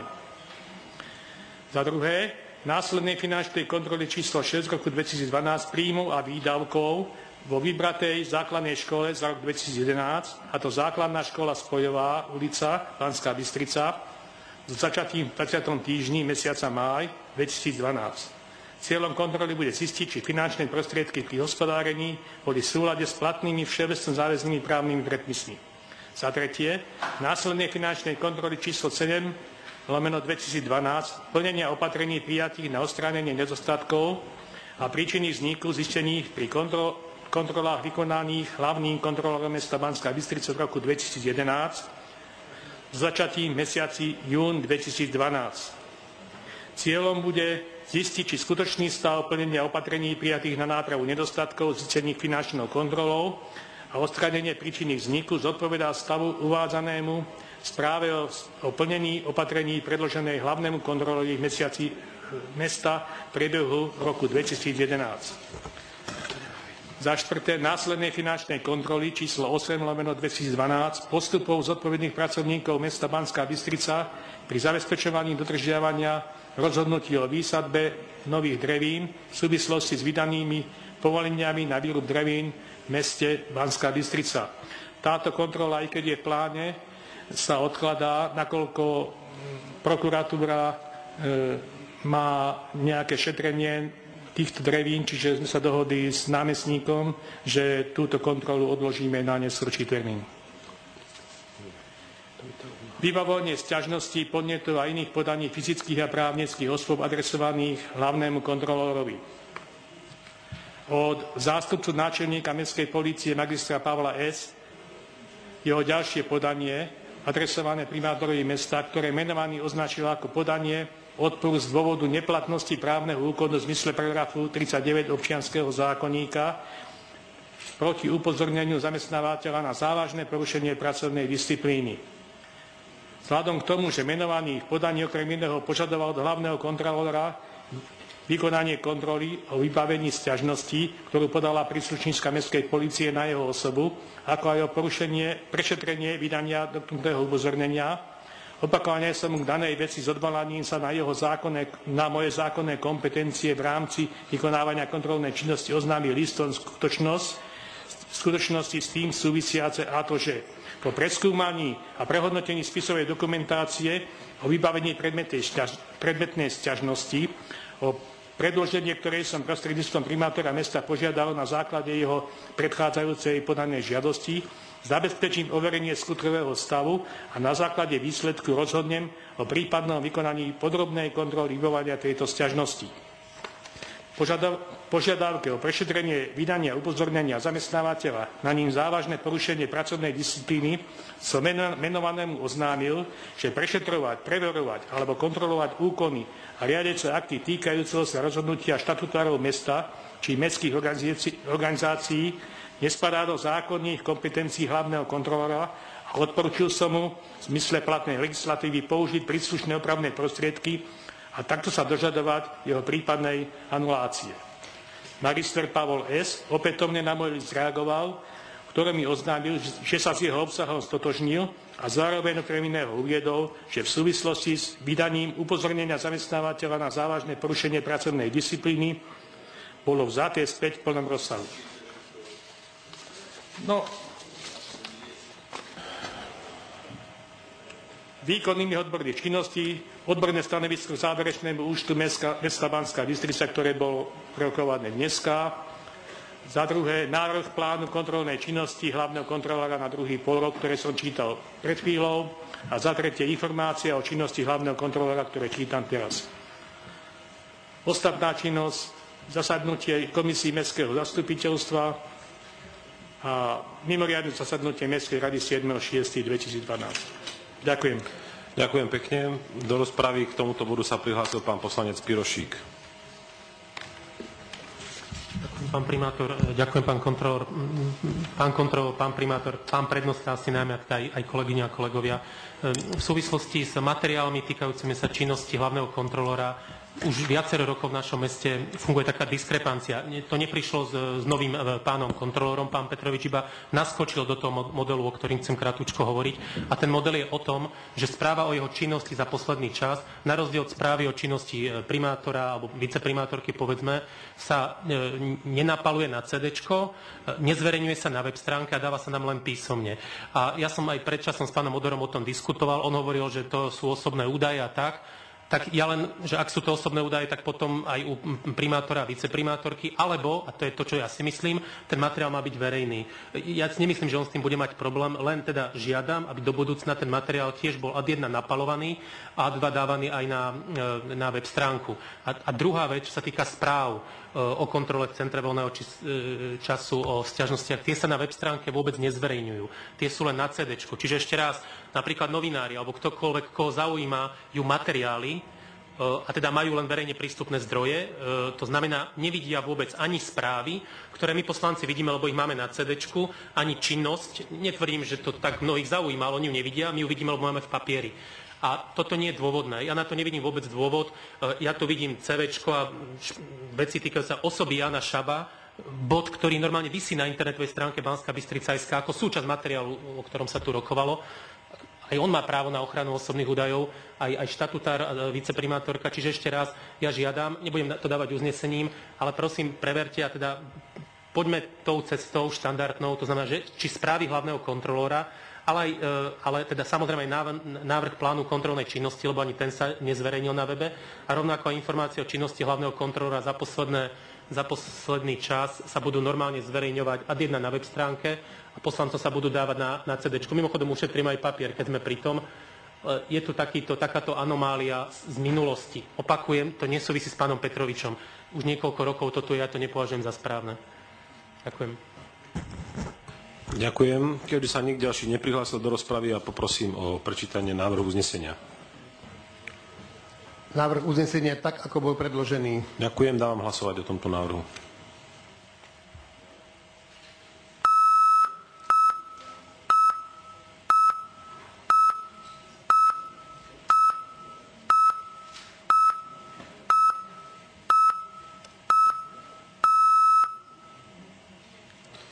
Za 20 proti 0, zdržalo sa 0. Konštatujem, že návrh bol schválený. Ďalším bodom je informácia činnosti primátora mesta za predchádzajúce obdobie od 29. mája do 25. júna. Uh, materiál ste obdržali na nosičoch. Ak je záujem o rozpravu k tomuto bodu, pán poslanec Topolský sa prihlásil. Nech sa páči. Ďakujem, pán primátor ja by som sa len, zaujímam aj jeden bod, takú pohľad primátora.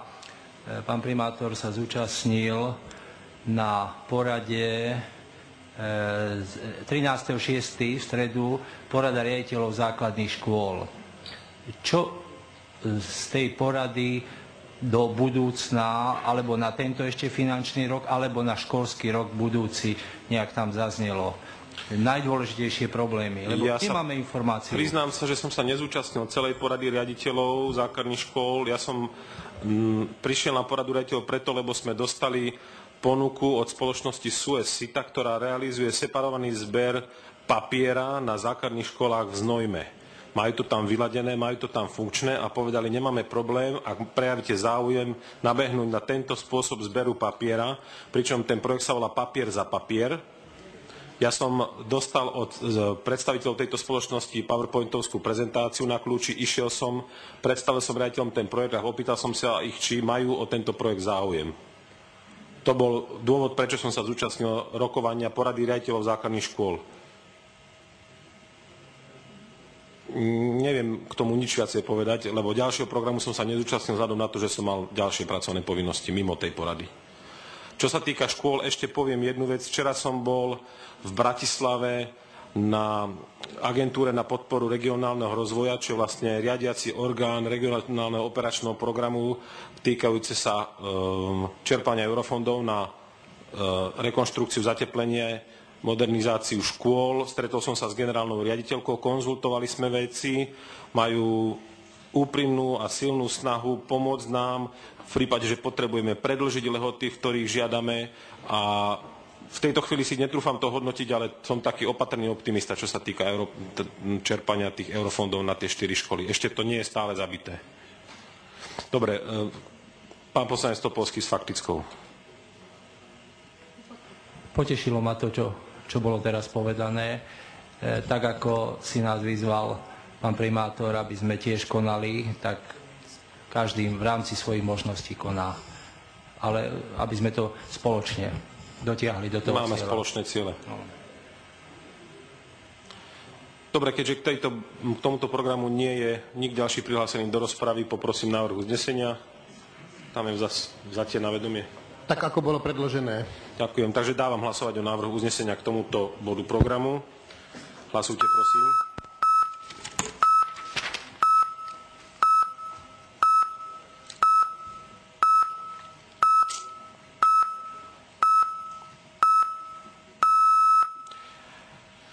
Za 19 proti 0 zdržal sa 1. Konštatujem, že uznesenie bolo schválené. Pokračujeme bodom číslo 27. Informácia činnosti zástupkyne primátora mesta za predchádzajúce obdobie od 35. do 25. 6. Informácie sú súčasťou materiálov, ktoré ste obdržali na CD, takže ja v tejto chvíli otváram rozpravu k tomuto materiálu. E,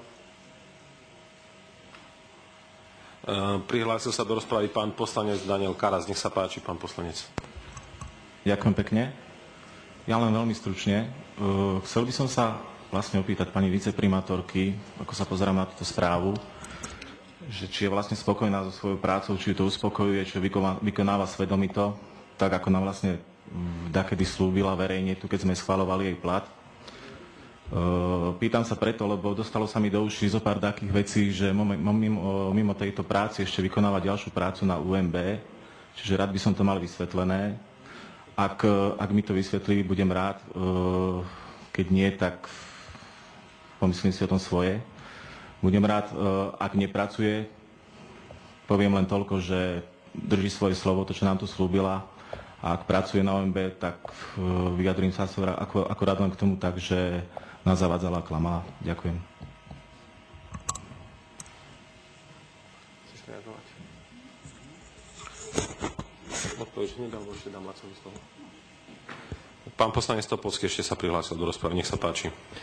Ja by som chcel po, poprosiť, požiadať pani viceprimátorku, aby nepísala tie úvodné legislatívne body. To už sme mali napísané, nás e, zaujíma konkrétne tie, čo druhá časť sa tvorí. To je zbytočné tam písať. Ušetríme miesto. Neviem, či sa rozumieme. Pani viceprimátorka. Nech sa páči. Dávam ti slovo. Na Univerzite Mateja Bela e, vykonávam e, čiastočne činnosť, e, ako vediem diplomové práce študentov a vediem jednu prednášku z didaktiky geografie. E, túto činnosť vykonávam tak, aby nebola ohrozená moja hlavná činnosť viceprimátorky. Keďže som do funkcie nastúpila uprostred istého cyklu vyučovacieho, nebolo by seriózne z mojej strany, keďže nemám za seba náhradu v špecializácii didaktika geografie plnohodnotne vedeného docenta, Takže nechcela som nechať, ako sa povie na holičkách, svoje pracovisko, kde som 30 rokov učila svoju činnosť viceprimátorky vykonávam plnohodnotne. Nie som si vedomá, že by som niečo zanedbávala na úkor toho, že vediem jednu prednášku z didaktiky geografie na tejto škole Svoju činnosť viceprimátorky vykonávam 7 dní v týždni, takže čo sa týka vedenia diplomových prác, robím to elektronicky v čase svojho osobného voľna. Ďakujem. Ďakujem za vysvetlenie pani viceprimátorke. Keďže sa nik ďalší nehlási do rozpravy, poprosím o návrh uznesenia. Návrh na uznesenie tak, ako bol predložený Ďakujem. Dávam hlasovať o tomto návrhu.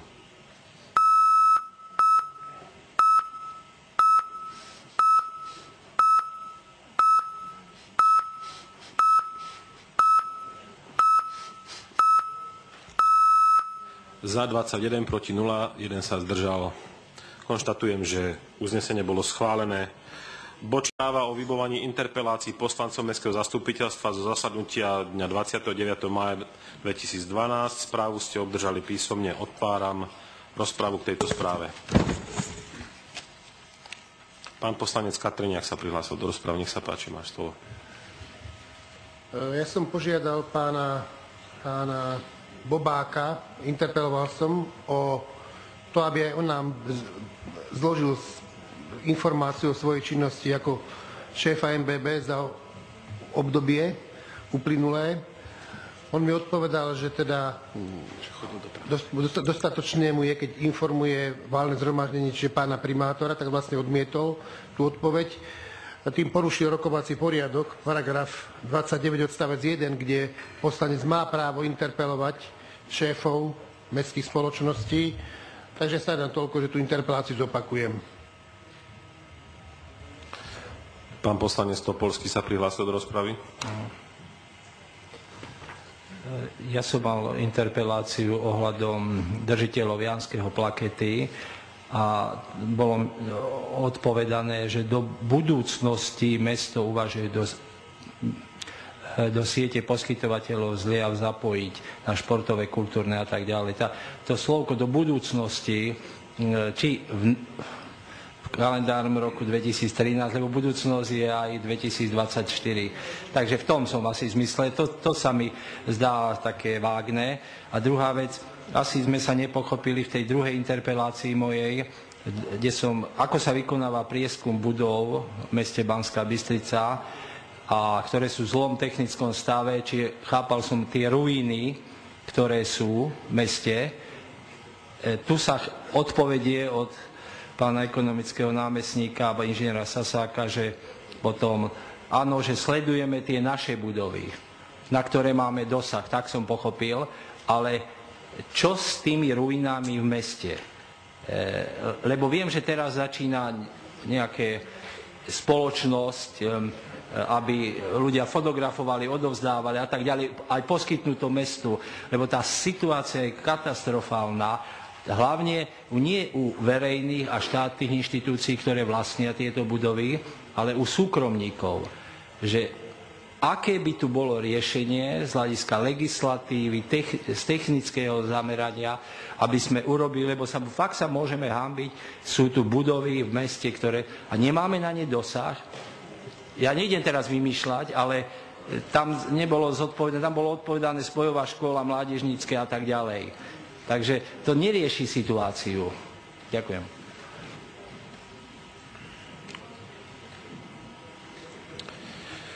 Do rozpravy sa prihlásil pán poslanec Lichy. Nech sa páči. Ďakujem. Interpeloval som o veci predloženia trasy linky autobusu MHD číslo 26 zo zastávky Tatranská na zastávku Pieninská.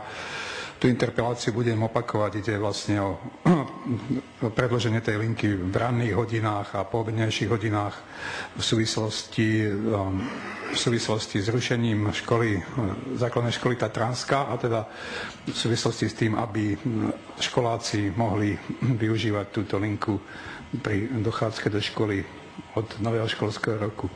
Ak dôjde teda zrušeniu základnej školy. Takže v tom zmysle to budem opakovať. Ďakujem. Do rozpravy sa prihlásil pán poslanec Škantár. Nech sa páči. Ďakujem pekne. Aby som len jednu vec. E, dostali sme podnet zo strany občanov, e, respektíve takú otázku, e, či by nebola nejaká možnosť z pohľadu budúcnosti platiť na Mestskom úrade kartou. Čiže ten platobný styk do elektronickej podoby previesť. Pán prednosta, môže odpovedať, prosím ťa. Bude sa platiť kartou, čo nevidieť, dokonca od nového roka, myslím, že už aj zo zákona, ale tomto období riešime bankovú banku, ktorá bude spravovať mestské financie, takže len čo to bude, tak sa otvorí terminál. Ďakujem. Mm, takže ukončujem rozpravu k správe o vybavovaní interpelácií. Myslím, že poprosím návrh na uznesenie. Správa o vyvovaní interpelácií. Dobre, dávam hlasovať o návrhu uznesenia. Hlasujte, prosím.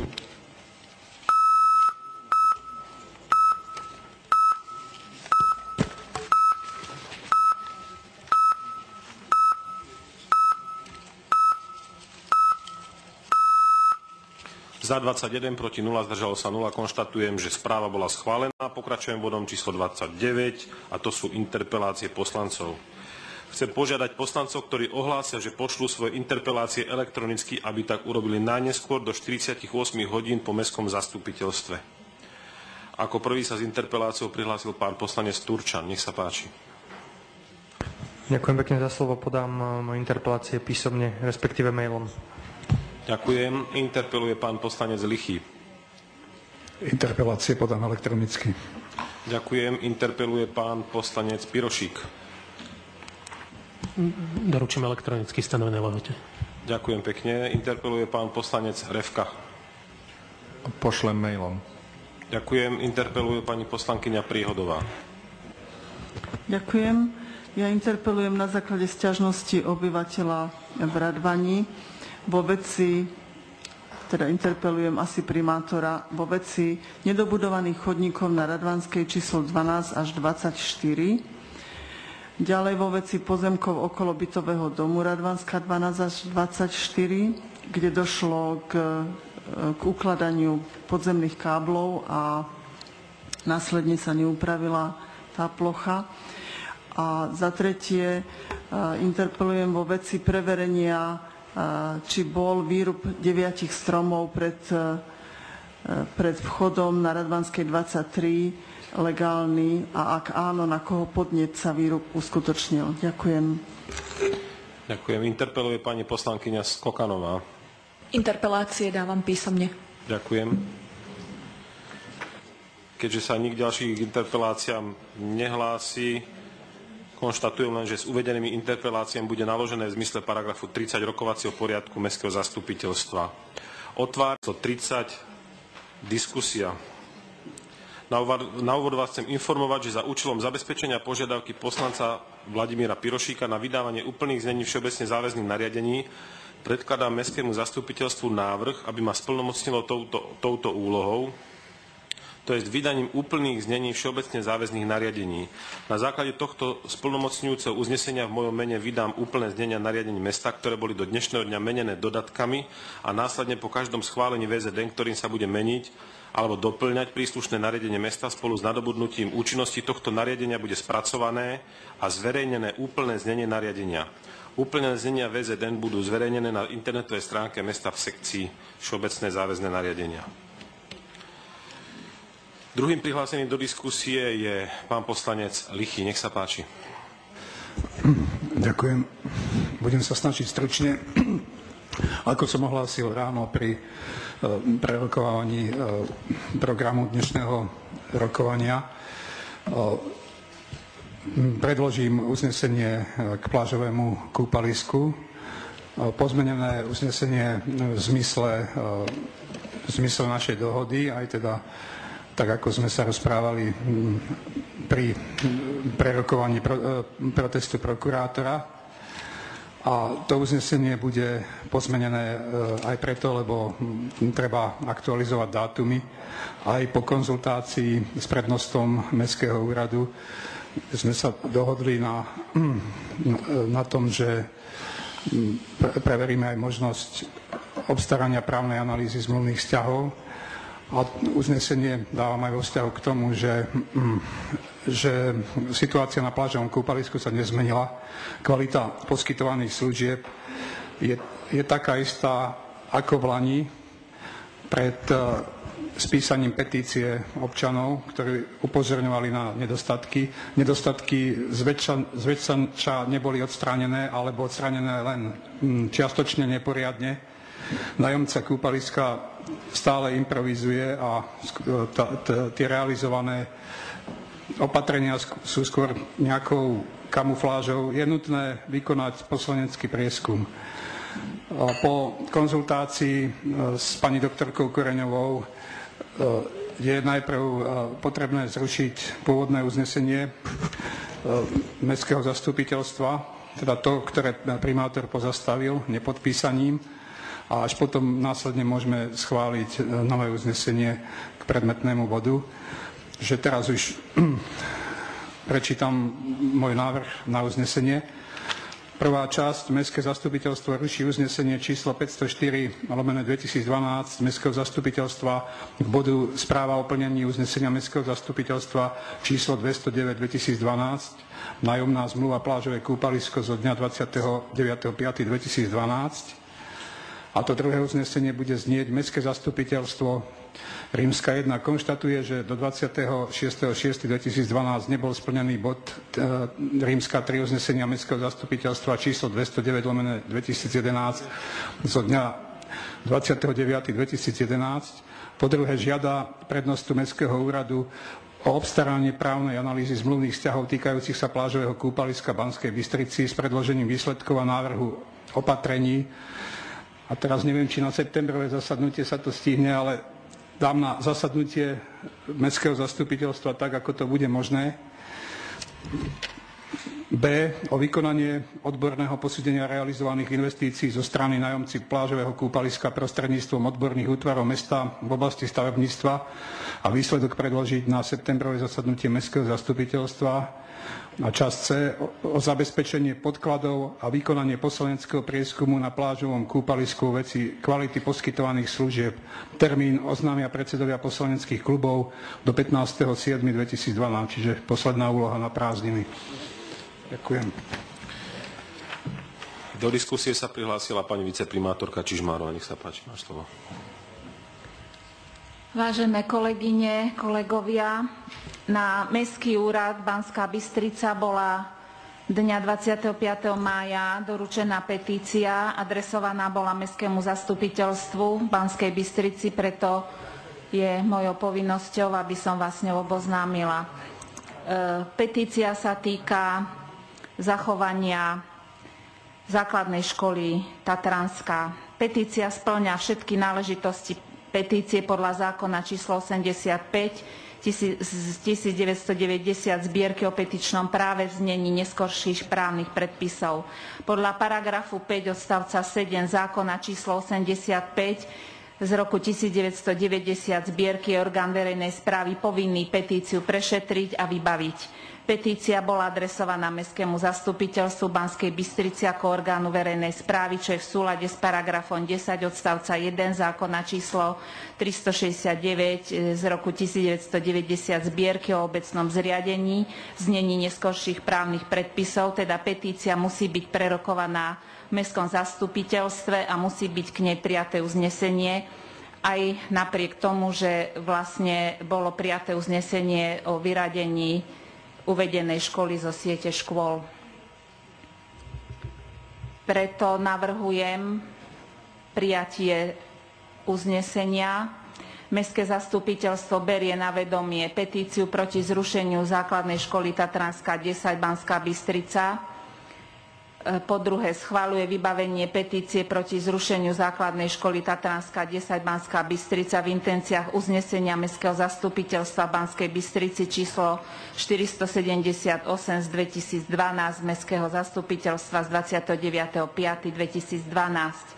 Po tretie, žiada primátora mesta o spracovanie a doručenie oznámenia o vybavení petície v zmysle zákona číslo 85 z roku 1990 zbierky o petičnom práve v znení neskorších predpisov v zmysle tohto uznesenia. Ďakujem. Do diskusie, Do diskusie sa prihlásil pán poslanec Smedo, nech sa páči. Ja som sa prihlásil, ale nie k tomuto bodu. Do diskusie. Ja by som vás chcel všetkých pozvať v mene Slovenského hemofilického združenia športových hviezd Mufuzy na podujatie, ktoré bude 5.7. v Kremničke. Budú tam športové hviezdy na čele s hokejistami Mišom Hanzušom, Tomášom Tatarom, Bližnákom, Sekerom, plus futbalisti Hamšík, Walter Gargano, Kocian a ďalší na športový deň, ktorý začne o 11. hodine vyvrcholí zápasom medzi týmito hviezdami o 16. hodine. Bude tam celé dopoludne, dá sa povedať, pre deti, bude gulášu, pitia. Všetkých vás srdečne pozývam. Tým, ktorým som nedal plagáty, sa ospravedlňujem, lebo som ich mal málo, ale budú rozvešané a bude reklama k tomu robená v mass médiách aj v meste. Ďakujem vám, ste vítaní. Ďakujem pekne za pozvanie, pán poslanec Smedo. Eh, ja ešte by som chcel do diskusie jeden bod. Um, týka sa stanovisku k návrhu spoločnosti VAV Invest na spoluprácu v projekte nájomné byty Belveder bývanie pre mladých. Ja sa domnívam, že uznesenie, ktoré bolo prednesené k tomuto bodu, nebolo formulované celkom e, logicky, alebo nebolo formulované celkom šťastne a preto to hlasovanie dopadlo tak, že že vlastne sme k tomu zaujali stanovisko, ktoré bolo v rozpore s tým, čo odporúčali komisie, ktorým tento návrh išiel. Chcem vás informovať, že som sa predminulý týždeň stretol s pánom poslancom, pardon, späť, pánom podnikateľom Petrom Valachom a on povedal, že už to nie je v takej fáze, ako to bolo, keď nám to v tom mm, zmysle posielali, tu, ten návrh, že on v tejto chvíli od nás de facto nepotrebuje nič, len môj podpis na memorandu o spolupráci, čo bude postačujúca garancia pre financujúcu banku. Ja som ho teda požiadal, nič som mu neslúbil, ale požiadal som ho, že sa rád s týmto memorandum oboznámim a zvážim, či je v záujme mesta podpísať, alebo nie je v záujme mesta podpísať toto memorandum. E, do dnešnej dňa som ho nedostal. Vymenili sme si na Facebooku repliky. Ja som mu napísal, že teda čakám na memorandum. On povedal, odpísal mi, že je v pošte, takže čakám na memorandum, ktoré je v pošte. Z toho dôvodu si nemyslím, že by bolo treba otvárať to hlasovanie, aj keď priznám sa, že podľa môjho názoru zrejme nie celkom šťastné formulovanie bolo to, že súhlasíme s tým, že sme proti. Tí, čo hlasovali za, boli proti, tí, čo hlasovali proti, boli vlastne za. Ale nejdem to v tejto chvíli riešiť. Informácia je taká, že čakám, čakám na memorandum od pána podnikateľa Valacha. Z mojej strany všetko. Keďže sa do diskusie nik ďalší neprihlásil, dovolte, aby som bodom číslo 31 ukončil rokovanie Mestského zastupiteľstva. Ježiš Mária, prepašte, som prepracovaný, zabudol som uznesenia k diskusii. Ďakujem za upozornenie. Takže poprosím predsedu návrhovej komisie, máme tam tuším 4. Uznesenie, myslím, že to má primátor. E, navrhol. Mestské zastupiteľstvo splnomocňuje primátora mesta na vydanie úplných znení platných všeobecne záväzných nariadení mesta Banská Bystrica. Dávam hlasovať o tomto návrhu.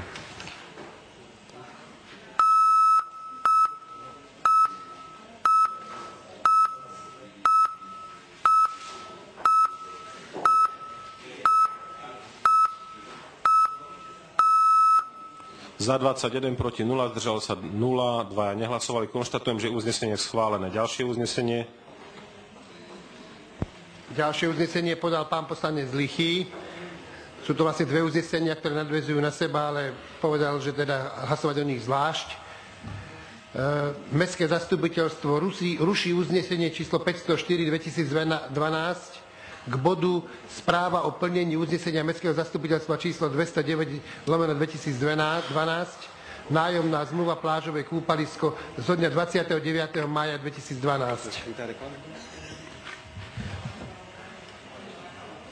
Takže dávam hlasovať o tomto návrhu uznesenia.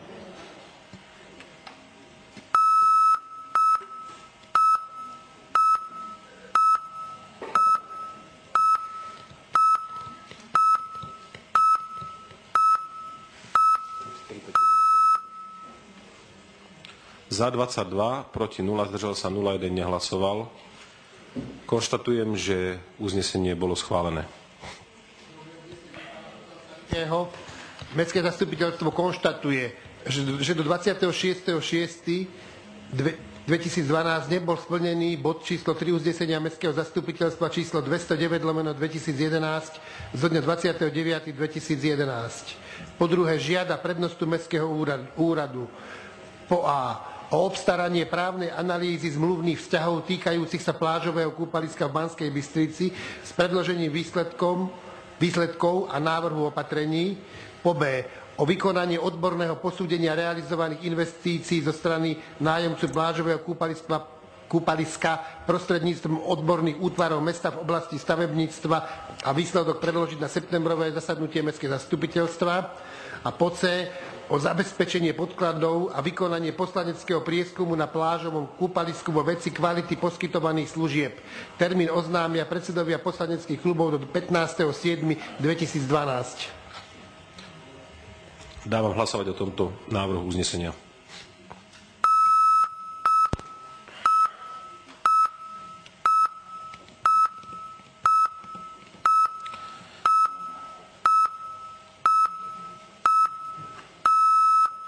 Za 23, proti 0, zdržalo sa 0. Konštatujem, že uznesenie bolo schválené. Prosím ďalšie uznesenie.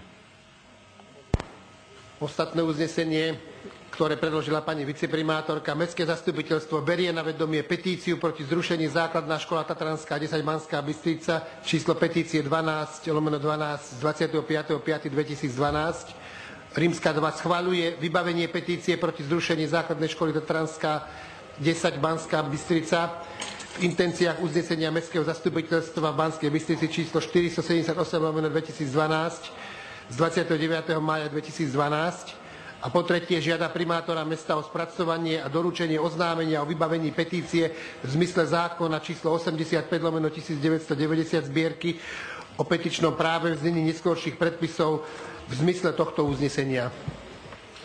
Dávam hlasovať o tomto uznesení.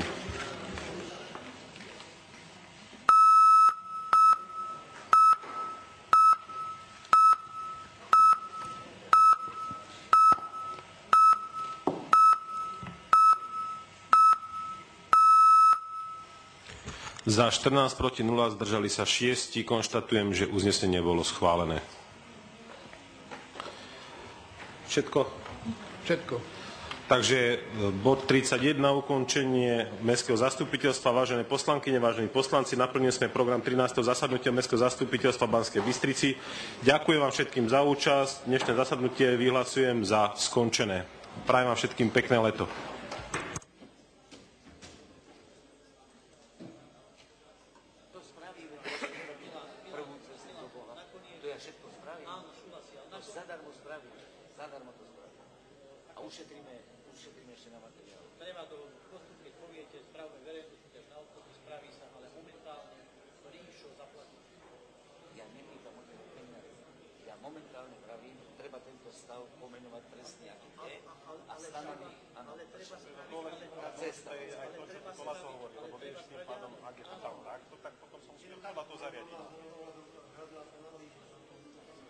Máš pravdu, veď on to presne povedal. Vieš čo, o čo ide? Laco, Laco, keď pôjde o peniaze, tak budeme čakať 10 rokov.